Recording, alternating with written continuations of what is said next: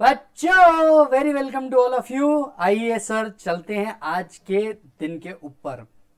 Sir कल तक के क्या पढ़ा था मैं वो एक बार फटाफट आपको रिवाइज करा देता हूँ हम हैं टॉपिक के में असेसमेंट के ऊपर असेसमेंट हम लोगों ने चालू कर दिया है मालिक और असेसमेंट के अंदर में क्या देखा हम फटाफट रिकॉल कर लेते हैं सबसे पहले सेक्शन जो असेसमेंट के अंदर में देखा वो था 140 ए चलो क्विक रिविजन करते हैं वन ए का रूल क्या था one A self assessment tax था जहां पर क्या किया जाता है असेसी अपना टोटल इनकम उसके ऊपर टैक्स कंप्यूट करता है प्लस उसके साथ साथ टू थर्टी फोर एबीसी का इंटरेस्ट जोड़ता है प्लस उसके साथ साथ फीस जोड़ता है और सेल्फ असेसमेंट टैक्स कैसे निकाला जाता है जो भी आपका ये कैलकुलेशन है tax plus interest plus fees इसमें से वो माइनस करता है relief under section eighty nine ninety ninety one plus वो माइनस करता है टीडीएस टीसीएस का क्रेडिट प्लस वो माइनस करता है मैट क्रेडिट प्लस वो जो टैक्स या इंटरेस्ट उसने one ninety one subsection two के अंदर में पे किया था वो भी वो माइनस कर देगा और आपका फाइनल अमाउंट पेबल निकालेगा और इसे क्या करेगा पे कर देगा और अगर आपने सेल्फ असेसमेंट टैक्स पे किया है डिपार्टमेंट इसे कैसे एडजस्ट करेगा फर्स्ट वो फीस के अगेंस्ट में एडजस्ट करेगा देन वो इंटरेस्ट के अगेंस्ट में एडजस्ट करेगा then it will be adjusted against the tax yes और no If self-assessment tax is not paid, assessee is liable. Assessee will be treated as assessee in default and he will be liable to interest under section 220 and penalty under section 221. This was the whole scheme. Then we have gone through section 143 subsection 1 मैंने आपको बोला था मालिक आज घर से पढ़ के आना है पूरी उम्मीद है कि आप नहीं पढ़ के आए होंगे इसलिए मैं रिवाइज भी करवा रहा हूं 143 सबसेक्शन 1 समरी असेसमेंट एक बार एसएससी ने अपना क्या कर लिया सेल्फ असेसमेंट टैक्स पे कर दिया रिटर्न कर दिया इसके बाद वो जाएगा summary assessment summary assessment shall be processed by the system whenever return is filed under one thirty nine और one forty two one it shall mandatorily processed clause A it will be processed to compute your total income or loss by finding the arithmetical error incorrect or adjusting arithmetical error incorrect claim disallowance of losses disallowance of deduction which is a return filed after the due date or disallowance of expenditure as mentioned in the audit report right aur iske baad hum logo ne dekha tha ki iske baad aapka interest tax and penalty if any will be computed फिर क्या किया जाता है penalty नहीं penalty गलत बोला मैंने tax interest and fees will be computed इसके बाद क्या होगा इसके बाद क्या होगा बड़ा सिंपल सी बात है आपका जो भी आपके नाम पे क्रेडिट होगा चाहे in the form of advance tax TDS TCS MAT credit या सेल्फ असेसमेंट टैक्स वो इसमें से माइनस किया जाएगा फाइनल अमाउंट पेबल और रिफंडेबल निकाला जाएगा इंटीमेशन जनरेट होगा रिफंड इफ एनी आ रहा होगा तो तुरंत रिफंड दे दिया जाएगा हालांकि अगर एओ चाहे तो सेक्शन टू ए के तहत क्या किया जा सकता है with prior approval of the CIT आपके रिफंड को विथ कर सकता है इंटीमेशन मैक्सिमम कितने टाइम के लिए इशू हो सकती है वन कब तक इशू हो सकती है one year from the end of financial year in which return is filed ये सोनो अच्छा जी इंटीमेशन के खिलाफ मेरे पास क्या क्या रेमेडीज अवेलेबल है I can go to rectification answer is yes can I go to appeal answer is yes can I go to revision answer is no yes और नो ओके okay. तो sir यहां तक के हम लोगों ने पढ़ा था तीन सेक्शन अब तक के कर चुके हैं और असेसमेंट्स के मीनिंग हम लोगों ने देख चुके हैं अब हम लोग बढ़ रहे हैं आगे कल कोई होमवर्क दिया था नहीं सर कोई होमवर्क नहीं था मैंने आपको टॉपिक बोला था कि हम होमवर्क देंगे पर मैं कोई होमवर्क आपको दे नहीं पाया था सर तो आज हम लोग आगे बढ़ते हैं आज का सेक्शन बड़े इंपॉर्टेंट है आज के लेक्चर बड़े इंपॉर्टेंट है तो पॉसिबल होगा तो साथ साथ में आप लोग पेज वगैरह ले लेना हम लोग कुछ हिस्ट्री तो मैं आपको बताता ही रहता हूँ तो हिस्ट्री आप लिख लीजा कीजिए क्योंकि मैंने आपको बोला था हिस्ट्री में जब भी बताऊंगा आप लिख लेंगे तो मुझे पूरी उम्मीद है कि आप साथ साथ में जब जब भी मैं कोई हिस्ट्री बता रहा हूँ आप वो हिस्ट्री को लिख रहे हैं ताकि आपको बहुत ज्यादा मजा आए बाद में ठीक है so I think two forty one A was done next सबसे पहले चार्ट रेफर करते हैं पेज नंबर 4.7 के ऊपर आ जाइए साथ साथ में एक बार मैं चार्ट रिकॉल करवाता हूं आपको मैंने आपसे कहा था कि चार्ट आपको क्या करना है याद करना है सो so, ने सबसे पहले क्या करा सेल्फ असेसमेंट टैक्स पे किया then he file the return of income return कहां गया प्रोसेसिंग के अंदर में गया प्रोसेसिंग करने के बाद AO will decide whether to do the assessment और not to do the assessment this is what AO decide so AO will decide whether to do the assessment और AO will decide whether not to do the assessment अगर वो सोचता है कि assessment नहीं करना है the whole process comes to an end अगर असेसमेंट ही नहीं करना तो आपने जो दिया एओ ने वो एक्सेप्ट कर लिया एओ ने वो एक्सेप्ट कर लिया मतलब काम खत्म हो गया आप जो सोच रहे हैं डिपार्टमेंट जो सोच रहे हैं वो सही चल रहा है कोई प्रॉब्लम नहीं है अब आपके ऊपर कोई असेसमेंट नहीं कोई इंक्वायरी नहीं नथिंग नथिंग नथिंग आप एकदम क्लीन चिट पाके यहां से एज ऑफ नाउ बाहर निकल जाएंगे मेरे इस वर्ड को ध्यान दीजिएगा एज ऑफ नाउ आप यहां से बाहर निकल जाएंगे बराबर है दूसरी बात एओ मान लीजिए कुछ वो असेसी है कुछ वो लोग हैं जिनके ऊपर एओ चाहता है असेसमेंट करे अब जरा सोचना प्रॉब्लम क्या है प्रॉब्लम ये है कि आपने अब तक क्या भरा है बेटा आपने अब तक के सिर्फ रिटर्न भरा है return is just a paper जिसके अंदर में हम लोग रखते हैं समरी क्या रखते हैं समरी आपको भी पता है हम रिटर्न के अंदर में क्या रखते हैं रिटर्न के अंदर में हमारा सिर्फ और सिर्फ समरी होता है कि इनकम कितना आया प्रॉफिट कितना आया एक्सपेंडिचर कितना आया पर उसको ऐसा शक हो सकता है ना कि आपने कोई ऐसे कैपिटल एक्सपेंडिचर्स थे जिनको रेवेन्यू ट्रीट करके डाल दिया हो हो सकता है कुछ एक्सपेंडिचर्स अलाउ नहीं हो पर आप लोगों ने क्लेम कर लिए हो ऐसा हो सकता है ना पॉसिबल है ना तो एओ क्या करेगा दो चीजें करेगा C A S S computer aided scrutiny software उसके सामने पहला एक ऐसी लिस्ट रखेगा उसके जुरिस्डिक्शन में आने वाले लोग जो क्या करेंगे जिनने रिटर्न नहीं भरा होगा अब एओ क्या करेगा वन वन के तहत कुछ लोगों को बोलेगा चल बेटा रिटर्न भर ले रे और दूसरा 142 12 ये वो सेक्शन है जो आपसे इंफॉर्मेशन कलेक्ट करने की पावर रखता है 142 12 एक ऐसा सेक्शन है जो आपसे इंफॉर्मेशन कलेक्ट करने की पावर रखता है तो अब हम चल रहे हैं अनादर सेक्शन के ऊपर 142 which is one of the very good power available with AO ये एक पावर है 142 1 या 142 12 ये एक पावर है एओस के पास आइए इसे डिस्कस करते हैं डिटेल के अंदर में सबसे पहले सेक्शन को दो पार्ट में डिवाइड कीजिए 142 11 142 12 ये दो पार्ट के अंदर में डिवाइड कीजिए और दोनों सेक्शन बिल्कुल अलग अलग है दोनों सेक्शन की बातें बिल्कुल अलग अलग है सबसे पहले बात कर लेते हैं 142 11 की 14211 आपसे क्या करता है एसएससी को बोलता है कि रिटर्न भर एओ डिमांड करता है एसएससी से एओ उसको नोटिस भेजता है नोटिस में क्या लिखा हुआ होता है आइए मैं आपको प्रैक्टिकल एस्पेक्ट बताता हूं एओ एक नोटिस बनाता है ये कंप्यूटर जनरेटेड नोटिस होती है बस उसका साइन होता है नोटिस होती है उसको बोला जाता है नोटिस के अंदर में लिखा होता है कि आपको रिटर्न भरना है नोटिस टाइम लिमिट भी देता है कि रिटर्न कब तक भरना है नोटिस टाइम लिमिट भी देता है कि रिटर्न आपको क्या करना है कब तक के भरना है सो so, एओ एक नोटिस भेजता है एसएससी को बोलता है चलो रिटर्न भरो सर क्या रीजन लिखना जरूरी है कि वो नोटिस क्यों दे रहा है देखिए 142 11 का अगर नोटिस आ जाए तो आप बिल्कुल ये समझ के चल एओ ने आपका असेसमेंट ओपन कर दिया है एओ ने आपका असेसमेंट ओपन कर दिया और इसलिए वो आपके रिटर्न भरवाना चाह रहा है सर आपको कैसे पता कि एओ ने असेसमेंट ओपन कर ही दिया है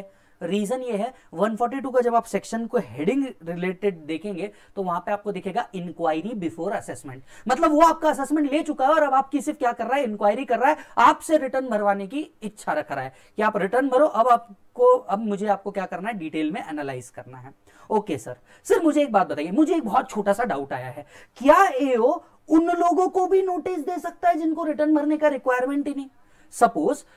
my income is two lakh forty thousand rupees yes or no my income is 2 lakh 40000 rupees can i also receive a notice and if any I receive a notice whether I need to file return क्योंकि law के हिसाब से 139 के हिसाब से मुझे return भरने की जरूरत ही नहीं है तो क्या ऐसा हो सकता है कि एओ मुझे भी नोटिस दे दे और बोले कि चल रिटर्न भर तेरी इनकम बेसिक एग्जामेशन लिमिट से ऊपर जा रही है या नहीं जा रही है पता नहीं या 139 की कंडीशन सेटिस्फाई हो रहा है या नहीं पता नहीं क्या ऐसा हो सकता है कि मुझे भी नोटिस आ जाए क्या लगता है आपको मुझे बताइए सोचिए ज़रा पूछिए अपने आप से आप लोगों में से जितने लोगों ने डीटी पूरे तीन दो साल आर्टिकलशिप करी होगी दो तीन साल जो भी आर्टिकलशिप करी होगी उनको ऐसा लग रहा था कि उनको बहुत कुछ पता है तो अब अपने नॉलेज का एक्सप्रेशन एक्सप्लेनेशन दीजिए बताइए मुझे क्या उन लोगों को भी नोटिस दिया जा सकता है जिनको लॉ के हिसाब से रिक्वायरमेंट ही नहीं है रिटर्न भरने की and the answer is yes जब 14211 वन वन का नोटिस आता है 14211 वन वन का नोटिस आता है तो इट इज टोटली इरेलेवेंट कि आपकी रिटर्न फाइलिंग रिक्वायरमेंट है या नहीं है नोटिस आया मतलब आपको क्या करने का है सिंपली रिटर्न भरने का ही है सर कब तक के रिटर्न भरेंगे उतने दिन जितने नोटिस के अंदर में लिखा होगा उतने दिन जितने नोटिस के अंदर में लिखा होगा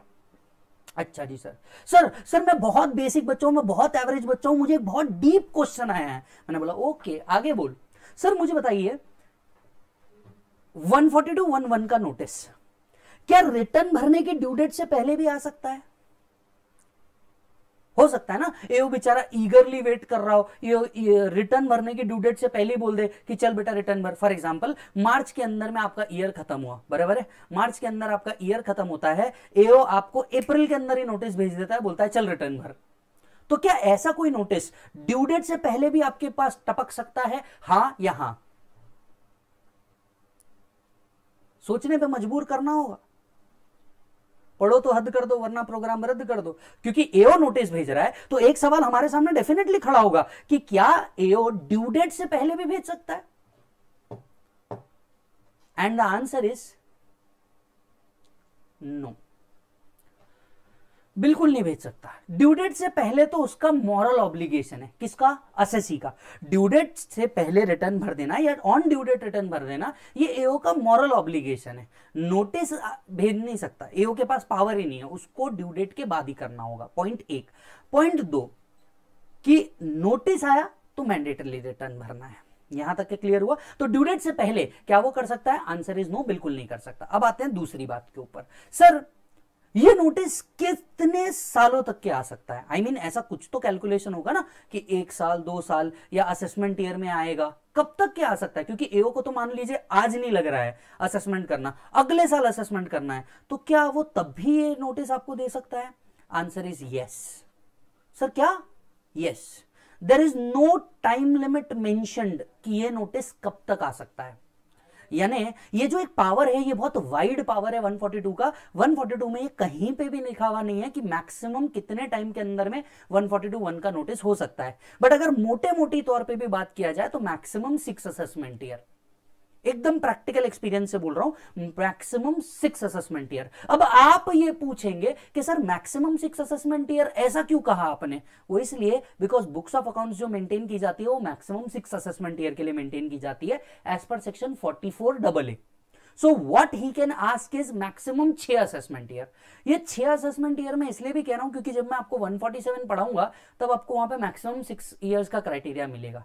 तो हालांकि एक्ट में ऐसा कुछ भी नहीं लिखा है कि मैक्सिमम नोटिस कब तक के आ सकती है बट स्टिल अगर मैं डीप डाउन एनालिसिस करूं तो मैं आपको क्लियर कट बोल सकता हूं कि मैक्सिमम छह असेसमेंट ईयर तक के क्या आ सकता है 142 का नोटिस आ सकता है मालिक इससे ऊपर नहीं आ सकता तो यहां तक के फटाफट रिकॉल करते हैं वन फोर्टी वन के तहत वन फोर्टी वन वन के तहत आपको क्या कर सकता है ए नोटिस दे सकता है ये नोटिस जो होगी रिटर्न फाइलिंग के ड्यू डेट के बाद ही आ सकती है ये नोटिस अगर आपके पास आई है तो आपको रिटर्न भरना है चाहे आपकी responsibility one thirty nine one के अंदर में बन रही हो या नहीं बन रही हो रिटर्न कब तक के भरना है उतने टाइम तक के भरना है जब तक के नोटिस के अंदर में लिखा होगा तो उतने टाइम तक के आपको क्या करना है रिटर्न भरना है मैक्सिमम कितने सालों के रिटर्न इसके अंदर में भराए जा सकते हैं वो हर इंडिविजुअल ईयर्स के लिए आपको क्या आ सकता है नोटिस आ सकता है जिस सालों के भी आपको बोला है कि इस सालों के आपको रिटर्न भरना है तो उस सालों के आ सकते हैं ठीक है अच्छा जी सर तो एक बात और समझनी है सर मेरे को ये जो नोटिस हम लोग दे रहे हैं ये जो नोटिस हम लोग दे रहे हैं क्या ये देना मैंडेटरी है आई I मीन mean, मान लीजिए एओ को अगर असेसमेंट करनी है और वो सोचता है कि एसएससी से रिटर्न नहीं भरवाया जाए क्या वो डायरेक्टली बेस्ट जजमेंट असेसमेंट कर सकता है सवाल तो आता है ना कि क्या अब ये तो क्या हो रहा है कि एओ ने एओ चाह रहा है रिटर्न भरे अगर एसएससी ने रिटर्न नहीं भरा या मान लीजिए एओ चाह रहा है कि वो अब रिटर्न नहीं भरे क्या फिर भी वो उसका असेसमेंट कर सकता है आंसर इज यस और उस असेसमेंट को हम कहते हैं बेस्ट जजमेंट असेसमेंट 144 अगर 144 करना चाह रहा है एओ बेस्ट जजमेंट असेसमेंट करना चाह रहा है तो फिर उस केस में 142 11 का नोटिस नहीं भी दिया तो भी चलेगा क्योंकि रिस्पॉन्सिबिलिटी किसकी थी असेसी की थी रिटर्न फाइल करने की वो रिटर्न फाइल नहीं करता तो एओ के पास दो रास्ते हैं जरा चार्ट देखिएगा असेसमेंट का अगर रिटर्न फाइल नहीं किया तो ऐसे दो रास्ते दिख रहे हैं एक रास्ता जा रहा है आपका वन वन के तहत जो कहता है एओ चाहे तो आपसे रिटर्न भरवा सकता है और रिटर्न भरवा के फिर आपको क्या कर देगा नॉर्मल असेसमेंट कर देगा पर अगर एओ चाहे बिल्कुल उसके हक में बिल्कुल उसके पावर में कि वो डायरेक्ट फोर भी कर सकता है आपकी बेस्ट जजमेंट भी बना सकता है तो क्या सीखा हम लोगों ने हम लोगों ने सीखा अगर एओ बेस्ट जजमेंट असेसमेंट करना चाहिए वन फोर फोर करना चाहे तो 142 का नोटिस मैंडेटरी नहीं है मैंडेटरी नहीं है और ये आपको एमसीक्यू बोल करके आ सकता है ये हुआ 11 की बात अब आते हैं 12 सबसे पहले तो आपको इसको एक अलग नजरिए से देखना है don't compare it with 11 compare it with 12 one two ये सबसे बड़ा पावर है एओ के पास इंफॉर्मेशन कलेक्ट करने का इस पावर के तहत एओ क्या कर सकता है एओ आपके पूरे डॉक्यूमेंट मंगा सकता है इंफॉर्मेशन मंगा सकता है बिल्स इनवॉइसेस मंगा सकता है आपके असेट एंड लाइबिलिटीज डिटेल्स भी मंगा सकता है तो ये सेक्शन बड़ा ही वाइडली वाइड पावर देता है एओ को आपकी इंफॉर्मेशन बुलाने का वन के तहत जो इंफॉर्मेशन बुलाई जाएगी क्या यूज है इसका ऑडिट वो आपका पूरा का पूरा रिटर्न को ऑडिट करेगा through information collected under 142 two information अच्छा जी सर सर कितने सालों की इंफॉर्मेशन मंगाई जा सकती है इसके अंदर में sir maximum three previous year yes maximum three previous year की आपसे डिटेल मंगाई जा सकती है मतलब आपको अगर इंफॉर्मेशन लेनी भी है तो ओनली थ्री प्रीवियस ईयर तक का मैक्सिमम इंफॉर्मेशन ये मंगा सकता है अच्छा जी सर सर क्या of balance sheet asset and liabilities की भी डिटेल मंगाई जा सकती है ऑफ बैलेंस शीट मतलब पर्सनल असेट ऑब्वियसली बात है सो so, क्या personal asset and personal liabilities की भी डिटेल मंगाई जा सकती है आंसर इज यस ये इन्वेस्टिगेशन करने का पार्ट चालू हो गया अब आपका तो अब वो आपकी पर्सनल डिटेल भी मंगा सकता है including the assets and liabilities Prabhu including the asset and liabilities में मंगाया जा सकता है पर इसके लिए जेसी का अप्रूवल लगता है ज्वाइंट कमिश्नर का क्या लगता है अप्रूवल लगता है अच्छा जी सर बिल्कुल ठीक है सर 14212 के तहत आप बोल रहे हैं कि इंफॉर्मेशन मंगाई जा सकती है बिल्कुल मंगाई जा सकती है लेकिन मैं अब आपको एक और प्रैक्टिकल एस्पेक्ट बताता हूं जो आपकी किताबों में नहीं लिखा होता मॉड्यूल खोल के देख लेना नहीं लिखा है उसके अंदर में बट मैं आपको एक ऐसा प्रैक्टिकल एस्पेक्ट बताऊंगा और मैं कितना भी चाहूँ यार वो निकल जाता है क्योंकि बंदा प्रैक्टिस के अंदर में हूँ प्रैक्टिस के अंदर में हूँ तो मेरे को मेरे को ऐसा लगता है कि यार मैं मेरे बच्चों के सामने सब कुछ रख दूँ मैं मेरे बच्चों के सामने सब कुछ रख दूँ sir one forty two one two जब भी आता है ना ये generally generally generally one forty three two के नोटिस के साथ आता है 143 नोटिस यस 142 12 जो आता है ये जनरली 143 नोटिस के साथ आता है 143 2 मतलब जो असेसमेंट का नोटिस होता है 143 2 का उसके साथ आता है हालांकि मैं आपको एक बात बता दूं 143 2 और 142 12 के अंदर में बहुत सारी डिसिमिलैरिटीज है हाँ कुछ डिफरेंसेस भी है मैं पहले आपको वो क्लियर करता हूं चाहे तो आप लोग लिख के रखें 143 subsection two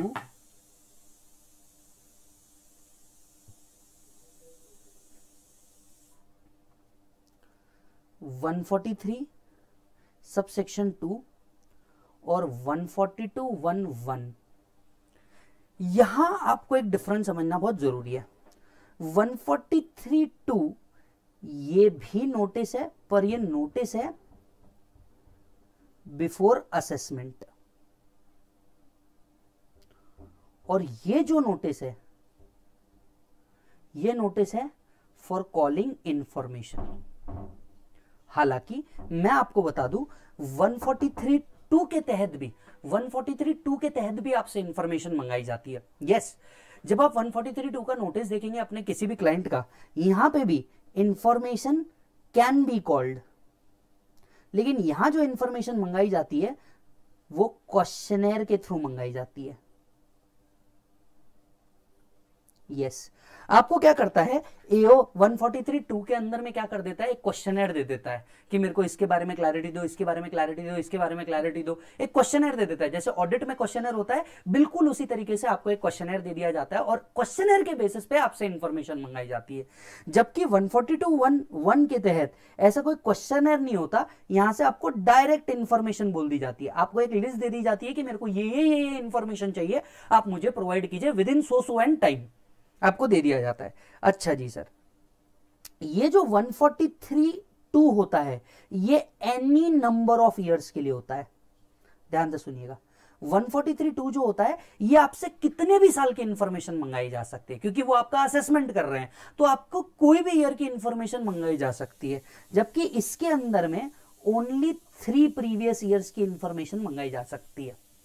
प्रीवियस ईयर जो कैलकुलेट कर रहे हैं आप वो तो हो ही सकता है इसके अलावा थ्री प्रीवियस ईयर के हो सकते हैं यानी इन टोटल चार years current year plus three previous year ऐसे ओवरऑल चार ईयर्स के लिए क्या किया जा सकता है आपसे इंफॉर्मेशन मंगाई जा सकती है लॉ के हिसाब से देखा जाए तो ये मोर पावरफुल है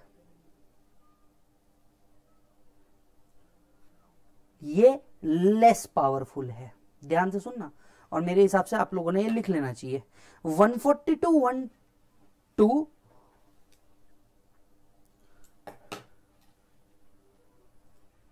one forty three two one forty two one two ये मोर पावरफुल है ये लेस पावरफुल है सर लेस पावरफुल क्यों है लॉजिकली अगर आप देखें तो इसके बिना भी आपकी असेसमेंट हो सकती है बेस्ट जजमेंट असेसमेंट हम थोड़ी देर पहले डिस्कस कर रहे थे 144 के तहत लॉजिकली इसके बिना भी आपकी असेसमेंट हो सकती है दूसरी इंपॉर्टेंट बात यहां पे मैक्स तीन साल की इंफॉर्मेशन आ सकती है इसी के लिए यह लेस पावरफुल हो जाता है सर लेस पावरफुल होने के बावजूद भी why this section has been brought लिख के रखें why this section has been inserted जब इतना ही लेस पावरफुल है तो ये सेक्शन को इंसर्ट क्यों किया गया मैं आपको बताता हूं इसके तार जुड़ते हैं सेक्शन 144 से yes. इसके तार जुड़ते हैं सेक्शन 144 से सर कैसे तार जुड़ते हैं 144 से मुझे भी समझाइए मैं भी एवरेज बच्चा हूं मैंने बोला बताता हूं बेटा 144 से इसके तार ऐसे जुड़ते हैं कि जब 144 होता है तो मैंने आपको बताया है कि क्या निकलता है बेटा शो कॉज नोटिस निकलता है आपके खिलाफ बराबर है उस शो कॉज नोटिस के क्या होता है जब शो कॉज नोटिस निकलता है और असेसी का बेस्ट जजमेंट असेसमेंट करना हो तो बेस्ट जजमेंट असेसमेंट हवा में नहीं किया जाता उसके तहत क्या किया जाता है 14212 का नोटिस दिया जाता है और उसकी इंफॉर्मेशन मंगाई जाती है बराबर है अब वो असेसमेंट करने तो नहीं आ रहा पर इंफॉर्मेशन तो उसकी लगेगी 14212 के तहत उसकी इंफॉर्मेशन मंगाई जाती है और उस इंफॉर्मेशन के बेसिस पे 144 किया जाता है बेस्ट जजमेंट असेसमेंट किया जाता है तो ऐसा भी नहीं कि बेस्ट जजमेंट असेसमेंट मतलब कुछ भी हवा में कर देंगे ए वो अपने मर्जी से कुछ भी निकाल देगा नहीं जब आप 144 के बेसिक वर्ड पढ़ेंगे लॉ का इंटरप्रिटेशन करेंगे बेसिक वर्ड पढ़ेंगे तो वहां पर लिखा होगा on the basis of information available AO can do best judgement assessment और ये जो वर्ड है ना on the basis of information available यही है वन वन टू इसीलिए लेस पावरफुल होने के बावजूद भी आपसे इंफॉर्मेशन मंगाने का पहला तरीका बनता है 14212 बिकॉज यहां पे लिखेगा because on the basis of information you can do best judgement assessment under section 144 ये है इसके पीछे का लॉजिक ये है इसके पीछे का लॉजिक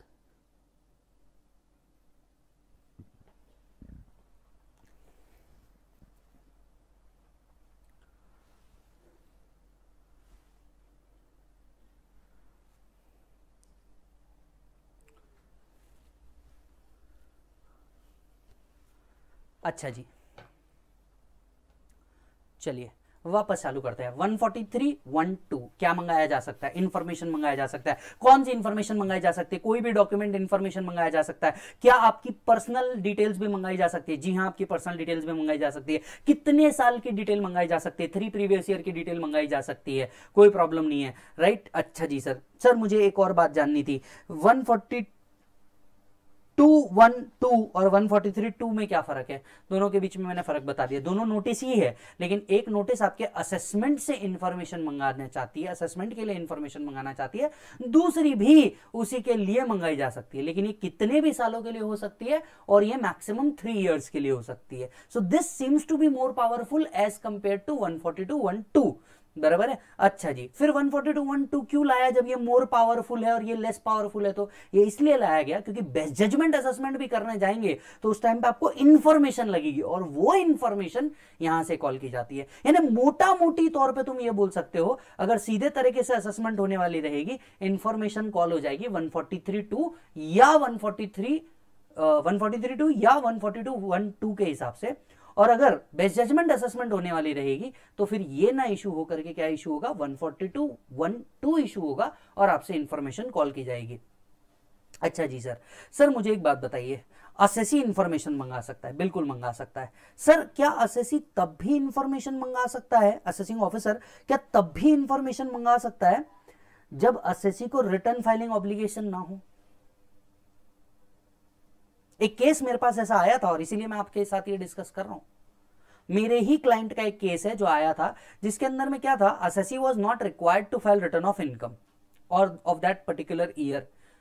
और ऐसे ही केस में क्योंकि वो हर साल रिटर्न भर रहा था और उस पर्टिकुलर ईयर में उसकी इनकम नहीं हुई थी ज्यादा तो उसने रिटर्न नहीं भरा अब ऐसे केसेस में हुआ ये कि एओ की तरफ से 142 12 आ गया कि भैया इसको इन्फॉर्मेशन दो and there arises a question कि क्या रिटर्न भरने का ऑब्लिगेशन नहीं है तो भी इंफॉर्मेशन कॉल की जा सकती है क्या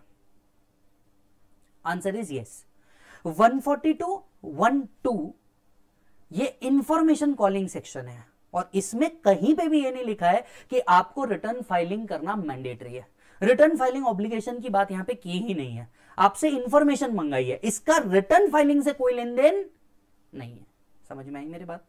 ओके सो चलिए ये लिख दिया होगा आपने यहां मैं वापस आता हूं बहुत डीप डाइव कर रहे हैं अपन वापस से समझते हैं one forty two one one forty two one one one forty two one two दो column one forty two one one आपसे रिटर्न भरने की बात करेगा return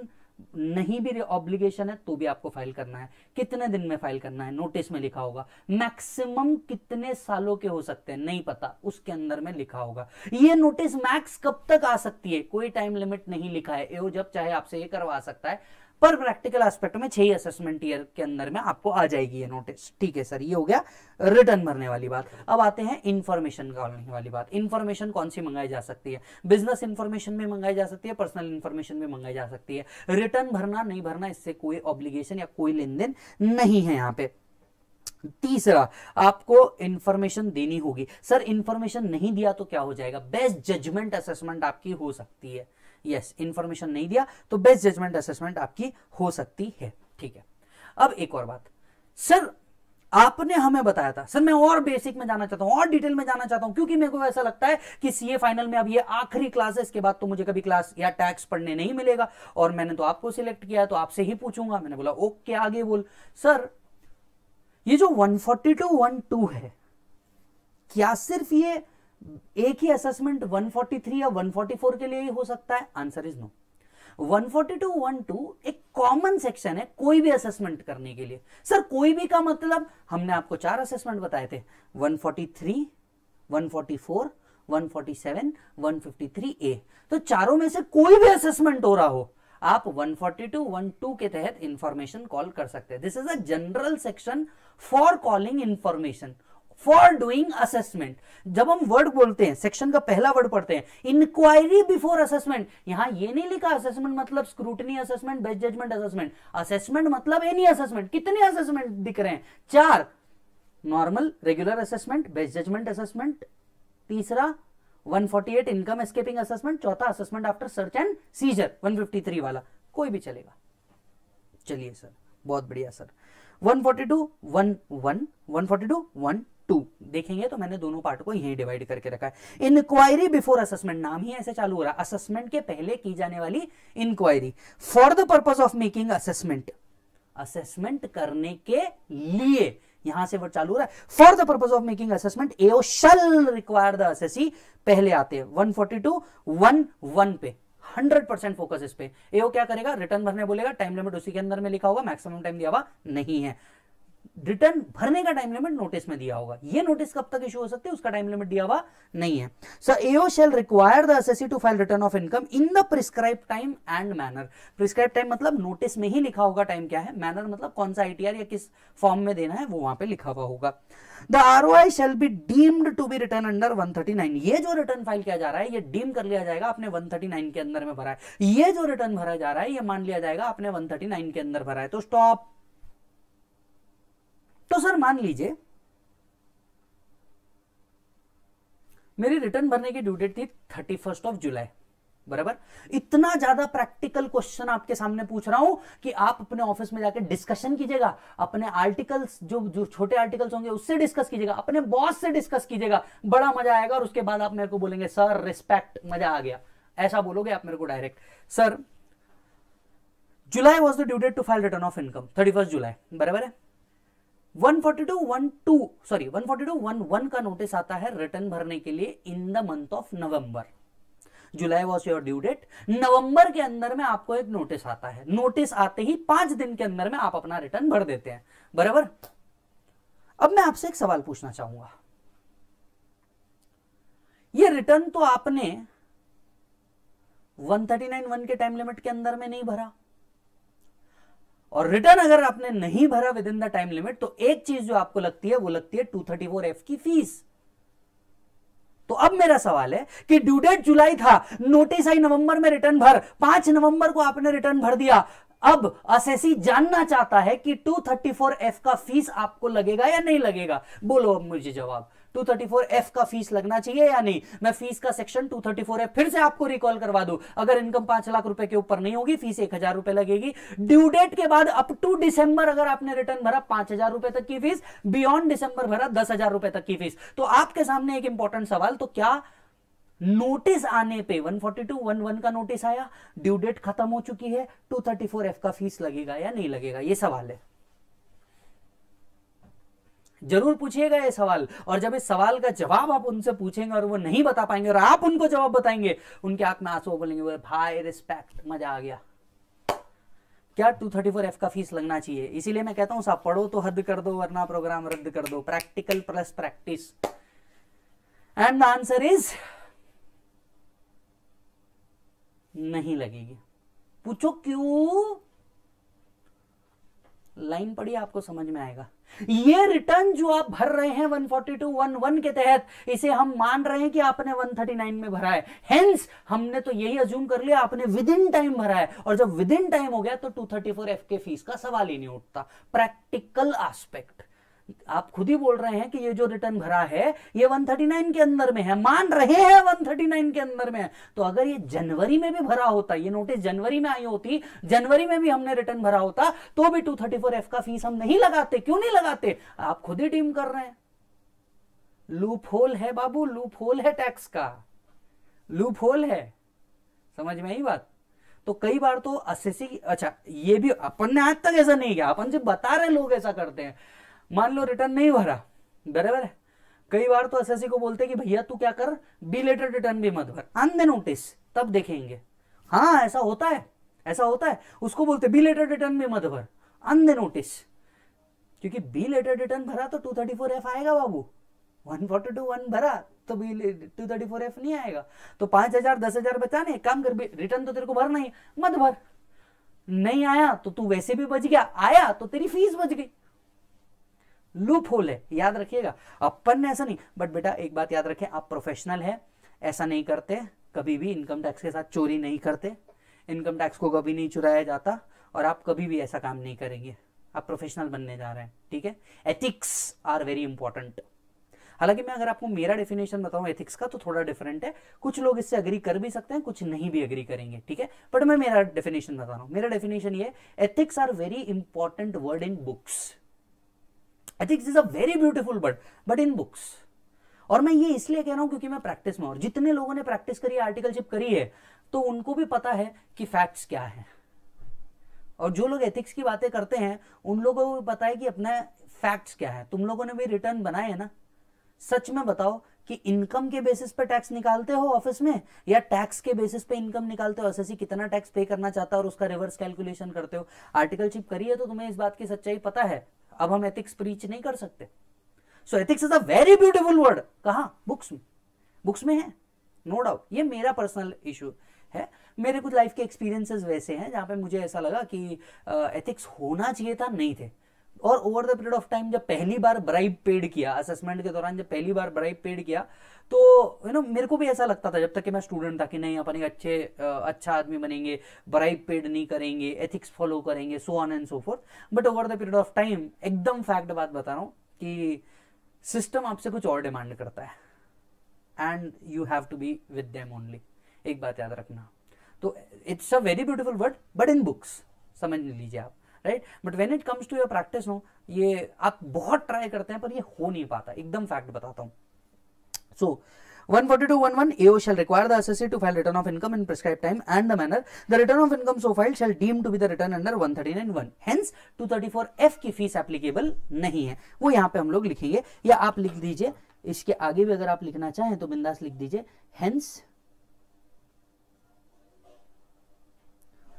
fees under section 234F is not applied even if ROI is after the due date even if ROI is after the due date ये आप लिख के रखें done sir one forty two one two पे आ जाइए to produce और cause to produce such accounts और documents as AO may require उन्होंने लिखा है सच डॉक्यूमेंट और इंफॉर्मेशन सच का मतलब है जो उसने मांगा यहां सच का मतलब क्या है ये जो वर्ड लिखा है सच एज इसका इंटरप्रिटेशन है as demanded by AO AO ने जैसा डिमांड किया उसके बेसिस के ऊपर right including the statement of asset and liabilities not more than three years prior to previous year in short कितने हो गए टोटल चार साल इस साल का तो है ही प्लस थ्री प्रीवियस ईयर के ऊपर आप नहीं बढ़ सकते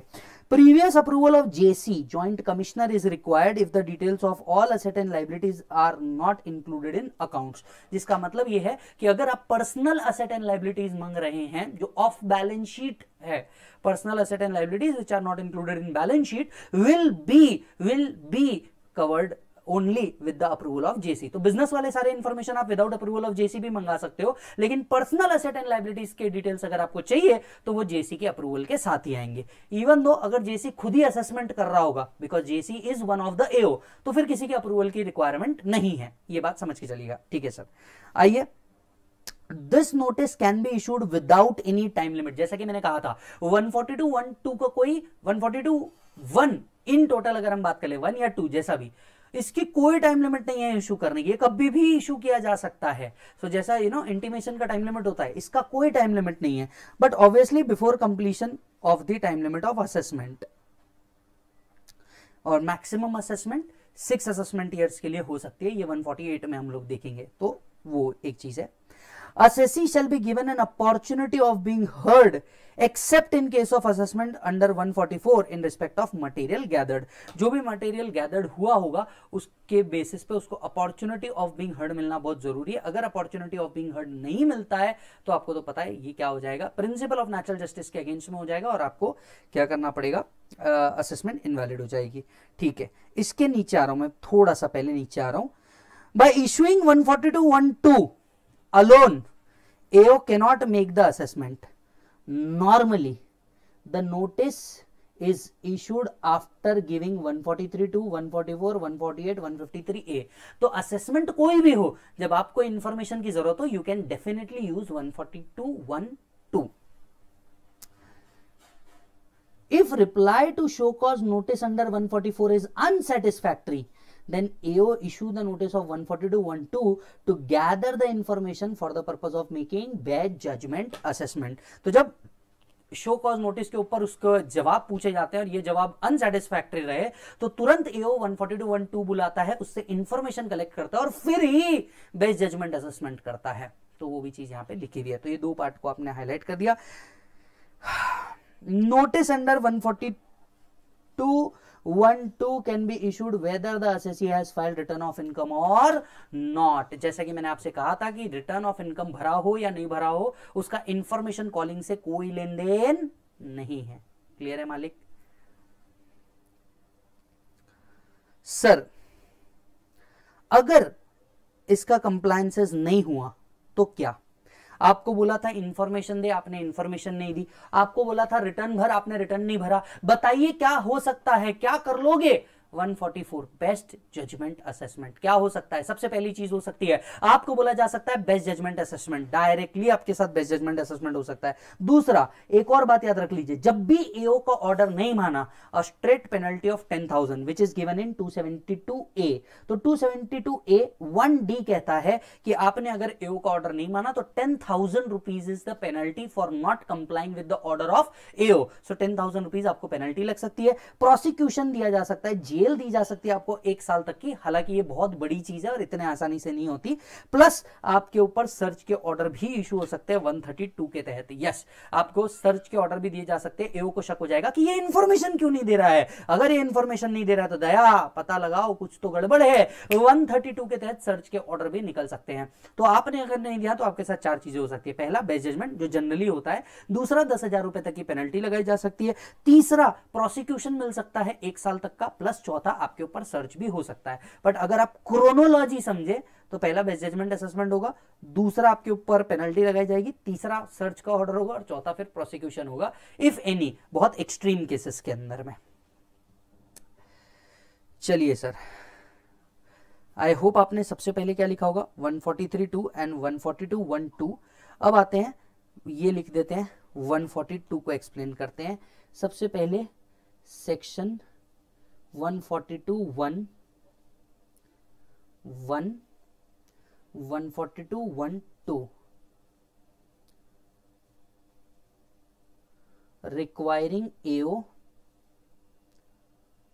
to file R O I मैं जितनी चीजें आपसे कहता हूं यह सारी चीजें मैं आपको लिखा के भी दूंगा don't worry calling of information section का नाम लिखिए inquiry before assessment inquiry before assessment आ जाइए सेक्शन के ऊपर ध्यान देते हैं सेक्शन क्या कहता है हमसे सेक्शन हमसे कहता है रिटर्न फर्निश करने को तो क्या होगा AO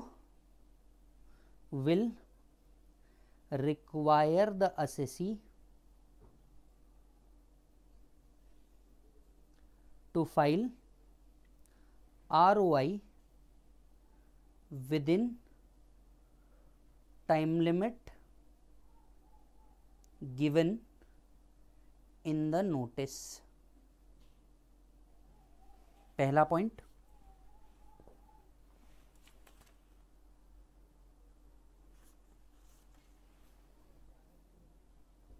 notice can be issued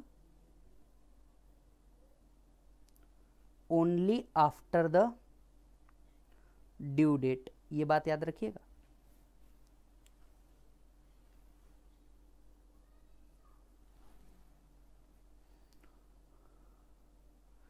for making best judgment assessment under section 144 forty two one 142.1.1 is not required अगर एस ने पहले ही सोच लिया है कि उसको बेस्ट जजमेंट असेसमेंट करना है तो फिर रिटर्न भरने की ज़रूरत ही नहीं है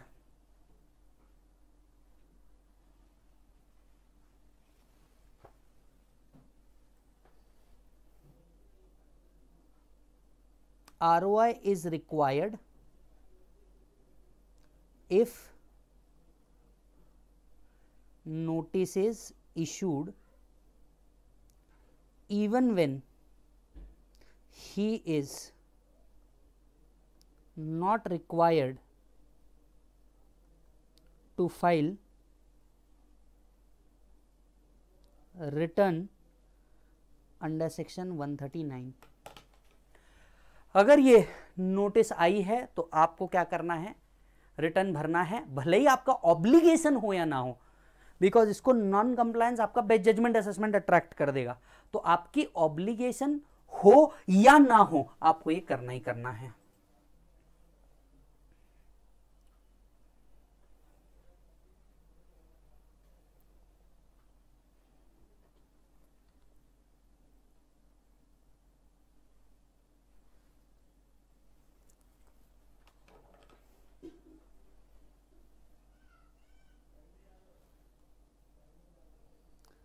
AO will require documents and information for off balance sheet a and liability approval of JC is required generally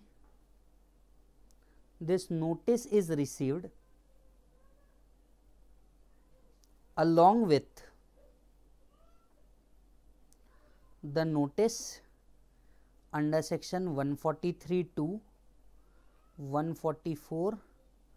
148 153 a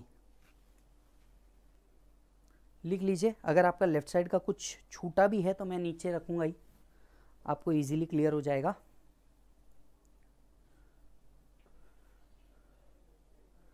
maximum information for three years prior to previous year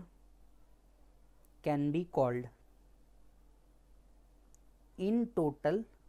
four assessment year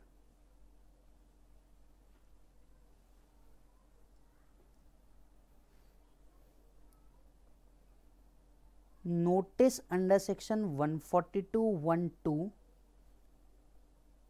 can be issued whether he is required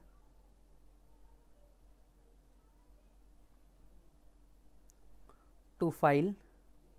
ROI or not.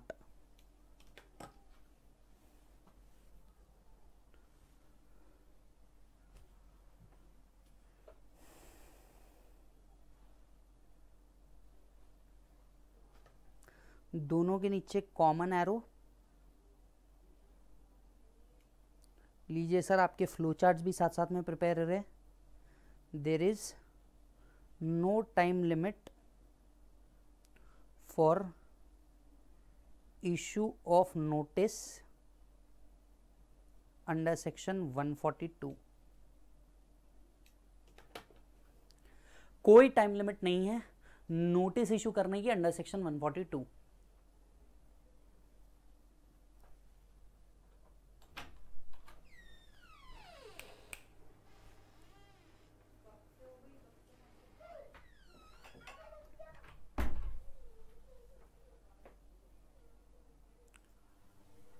चलिए ये नहीं हुआ है तो please एक बार complete कर लीजिए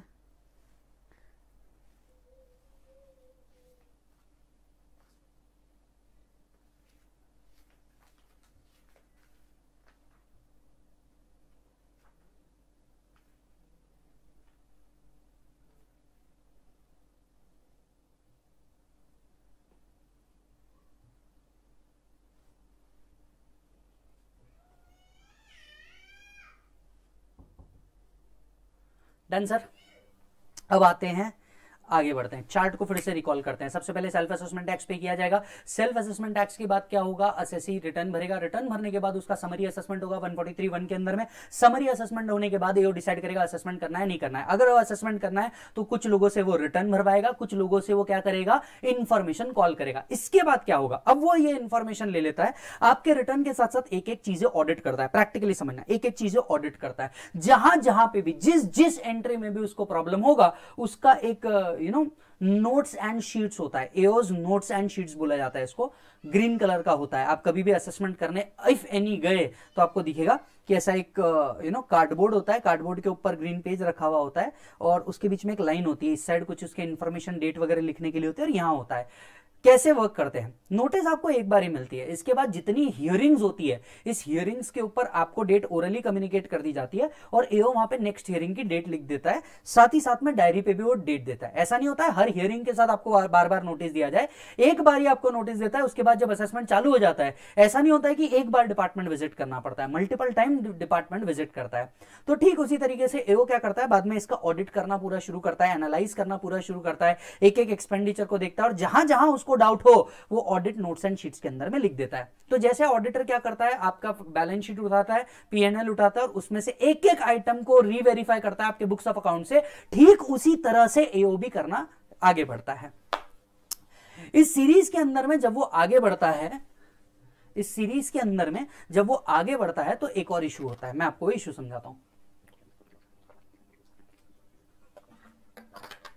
इशू ये होता है सर कि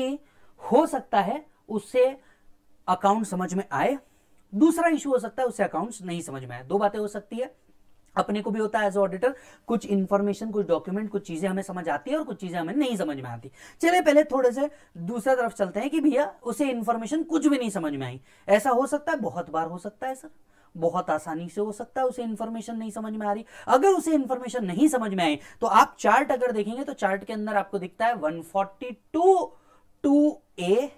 पहला पावर और दूसरा पावर 142a दोनों अलग अलग चीजें हैं 142 ब्रैकेट में 2a दूसरा 142 डायरेक्ट कैपिटल a ये दोनों अलग अलग चीजें हैं समझते हैं क्या चीज है पहली चीज पहला order special order special order या स्पेशल ऑडिट इसे कहा जाता है स्पेशल ऑडिट का मतलब क्या होता है अगर आपके अकाउंट्स उसको नहीं समझ में आ रहे हैं एओ को आपके अकाउंट्स अगर नहीं समझ में आ रहे हैं तो वो पहली चीज करेगा स्पेशल ऑडिट का ऑर्डर देगा स्पेशल ऑडिट का ऑर्डर क्या होता है जरा समझिएगा एओ ऑर्डर देता है कब कब ये ऑर्डर इश्यू किया जा सकता है क्या ऐसे कहीं कुछ लिखा है कि कब कब कौन कौन से केसेस में यह हो सकता है आंसर इज यस पहले यह होता था कि मैं आपको बताता हूँ इसके पीछे का लॉजिक क्या है लॉजिक ये था कि एक समय ऐसा था कि एओ की और जो प्रोफेशनल्स होते थे चार्टर्ड अकाउंटेंट्स की कई बार इनकी क्या हो जाती थी जुगलबंदी हो जाती थी और एओ किसी भी रीजन के वजह से उठा करके क्या दे देता था चार्टर्ड अकाउंटेंट के पास दे देता था केस और कहीं ना कहीं दोनों भी अर्न करते थे over the period of time जब ये पता चला तो डिपार्टमेंट ने क्लियर कट केसेस लिख दिए कि किन किन रीजंस के वजह से ही आप स्पेशल ऑडिट का ऑर्डर दे पाएंगे आइए उन रीजंस को एनालाइज करते हैं पहला रीजन क्या हो सकता है पहला रीजन है sir nature and complexity of accounts कई बार ऐसा होता है कि वो इतना कॉम्प्लेक्स नेचर का होता है कि एओ ऐसे समझ ही नहीं पाता कि ये बिजनेस किस तरीके का और अकाउंट्स किस तरीके से मेंटेन किए गए हैं वो क्लियर कट नहीं समझ पाता और ऐसे केसेस में वो स्पेशल ऑडिट का ऑर्डर दे सकता है मैं आपको कुछ एग्जाम्पल्स भी बताते जाऊंगा आप चाहें तो ये जो नोट्स हैं यहाँ पे कॉलम्स बने हुए हैं यहाँ पे आप साथ साथ में लिखते जाए nature and complexity of accounts पहला है शेयर और कमोडिटी ट्रेडर भयानक कॉम्प्लेक्स होते हैं सर इनके अकाउंट्स सर कहा बहुत तो इजी तो होते हैं profit and loss account statement मिल जाता है जब आपके असेसमेंट होते हैं सिर्फ प्रॉफिट एंड लॉस स्टेटमेंट से काम नहीं चलता वो आपके पूरे ट्रांजेक्शन को एनालाइज करेंगे कई बार तो ऐसा होता है हम इंट्राडे ट्रेड कर देते हैं कई बार हम कॉल पुट एक साथ खेल देते हैं हेज खेल डालते तो उसके लिए कोरिलेट करना बड़ा मुश्किल हो जाता है और ऐसे केसेस में वो क्या कर देता है स्पेशल ऑडिट का ऑर्डर दे देता है दूसरा बनता है वॉल्यूम ऑफ अकाउंट्स इमेजिन कीजिएगा कंपनी इमेजिन कीजिएगा company like Sun Pharma imagine कीजिएगा कंपनी लाइक सिप्ला लुपिन इनके अकाउंट्स कितने ह्यूज होंगे कितने वॉल्यूमनियस होंगे अगर इनके असेसमेंट ओपन हुए तो आपको लगता है एक वो पूरा ये कर पाएगा नहीं क्योंकि उसको बहुत सारे असेसमेंट करना है उसके अंदर में तो वो क्या कर देता है वॉलमनियस के केस में वो ट्रांसफर कर देता है तीसरा हो सकता है डाउट अबाउट दी करेक्टनेस कई बार एओ को ऐसा लगता है कि ये जो बनाए गए हैं अकाउंट्स इसका वेरिफिकेशन नहीं हुआ है प्रॉपर तरीके से या ये सही तरीके से बनाए नहीं गए हैं तो हो सकता है ये क्या करे अगर उसको डाउट आ रहा हो करेक्टनेस के बारे में तो वो इस चीज का डिसीजन ले सकता है चौथा होता है मल्टीप्लीसिटी ऑफ ट्रांजेक्शन शेयर के केस में भी अप्लाई कर सकता है या फिर दूसरा एग्जाम्पल दू आपको तो आपके सिटी के जो भी ज्वाइंट्स होंगे जो फूड आउटलेट्स होंगे हालांकि कोविड नाइन्टीन सिचुएशन के अंदर में फूड जॉइंट्स तो खैर बाहर के बहुत सारे ने तो बंद कर दिया बट स्टिल स्विगी चालू है तो कुछ तो चल जाता है हमारा ना द पॉइंट इज कि सर आप अभी भी बाहर का खा रहे हैं मुझे बताइएगा सर मैसेज वैसेज करके कि आप लोग अभी भी बाहर का खा रहे हैं या नहीं सी मैं बहुत ज़्यादा फूडी हूँ आप लोग समझ भी सकते हैं देख करके मुझे खाना बहुत पसंद है और मेरे लाइफ का मोटो है कि भैया आदमी खाने के लिए जीता है और जीने के लिए खाता है तो मैं पहले वाले में से आता हूँ कि खाने के लिए जीता हूँ मैं मैं उस कैटेगरी में आता हूँ तो मैं उम्मीद करता हूँ मैं जब भी आपकी सिटी के अंदर में आऊँ और हम लोग मिले तो प्लीज़ आप मुझे वहाँ के अच्छे फूड आउटलेट्स पर ज़रूर ले करके जाना राइट मैं ये आपसे उम्मीद रखता हूँ चलिए आगे बढ़ते हैं तो जो भी आपके फूड आउटलेट्स होंगे अब जैसे पुणे का मैं आपको बताऊं पुणे की दुर्गा कॉफी बहुत ज्यादा फेमस मतलब नेक्स्ट लेवल फेमस है और एक गार्डन वड़ा पाव है वो बहुत ज़्यादा फेमस गार्डन वड़ा पाव वाले पे तो पुणे के अंदर में रेड भी हुआ हुआ है अब garden vada pav every transaction vada pav vada pav vada pav vada pav किसी का एक दो तीन चार मतलब इतने ज़्यादा मल्टीपल मल्टीपल मल्टीपल ट्रांजैक्शन होता है ये वो बोर है vada pav vada pav vada pav coffee coffee coffee coffee multiplicity of transaction बहुत ज्यादा है और इसके अंदर में कई बार कंफ्यूजन हो जाता है कुछ अकाउंट्स रिकॉर्ड होते हैं कुछ नहीं होते इस बारे में जब उसको डाउट हो जाए तो वो क्या कर सकता है दे सकता है next specialised nature of business activity of the assessee assessee का नेचर ऑफ बिजनेस जो है ये बहुत ही स्पेशलाइज्ड और जनरली अपने को ऐसा देखने को नहीं मिलता है मैं आपको बताता हूं क्योंकि हमारे पास एक ऐसे क्लाइंट है और वो बहुत कॉम्प्लिकेटेड केस है आपको उनका बिजनेस मॉडल ही नहीं समझ में आता मैं आपको बताता हूँ क्या करते हैं वो लोग वो क्या करते हैं जो कंपनीज होती है कंपनी से कॉन्ट्रैक्ट उठाते हैं जो आ, मेरे क्लाइंट है वो क्या करते हैं कंपनी से पूरी के पूरी जीन्स का कॉन्ट्रैक्ट उठाते हैं और इसे होलसेलर को देते हैं हाँ और यही उनका बिजनेस है जिससे उनको एक रेवेन्यू ऑन होता है सर इसमें रेवेन्यू क्या है कमीशनिंग कंपनी का प्रोडक्ट अलग अलग होलसेलर्स तक के पहुंचाना इसके ऊपर उनको एक कमीशन मिलता है टर्नओवर बेस्ड कमीशन होता है बराबर है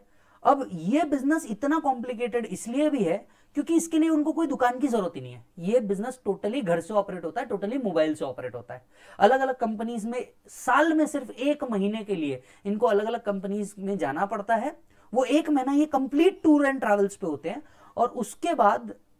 पूरा साल इनको घर पे बैठना है and you won't believe turn profit turnover reaches in crore क्योंकि आप कंपनी से उठा रहे हो और होलसेलर को दे रहे हो मतलब आप कहीं बीच में हुई नहीं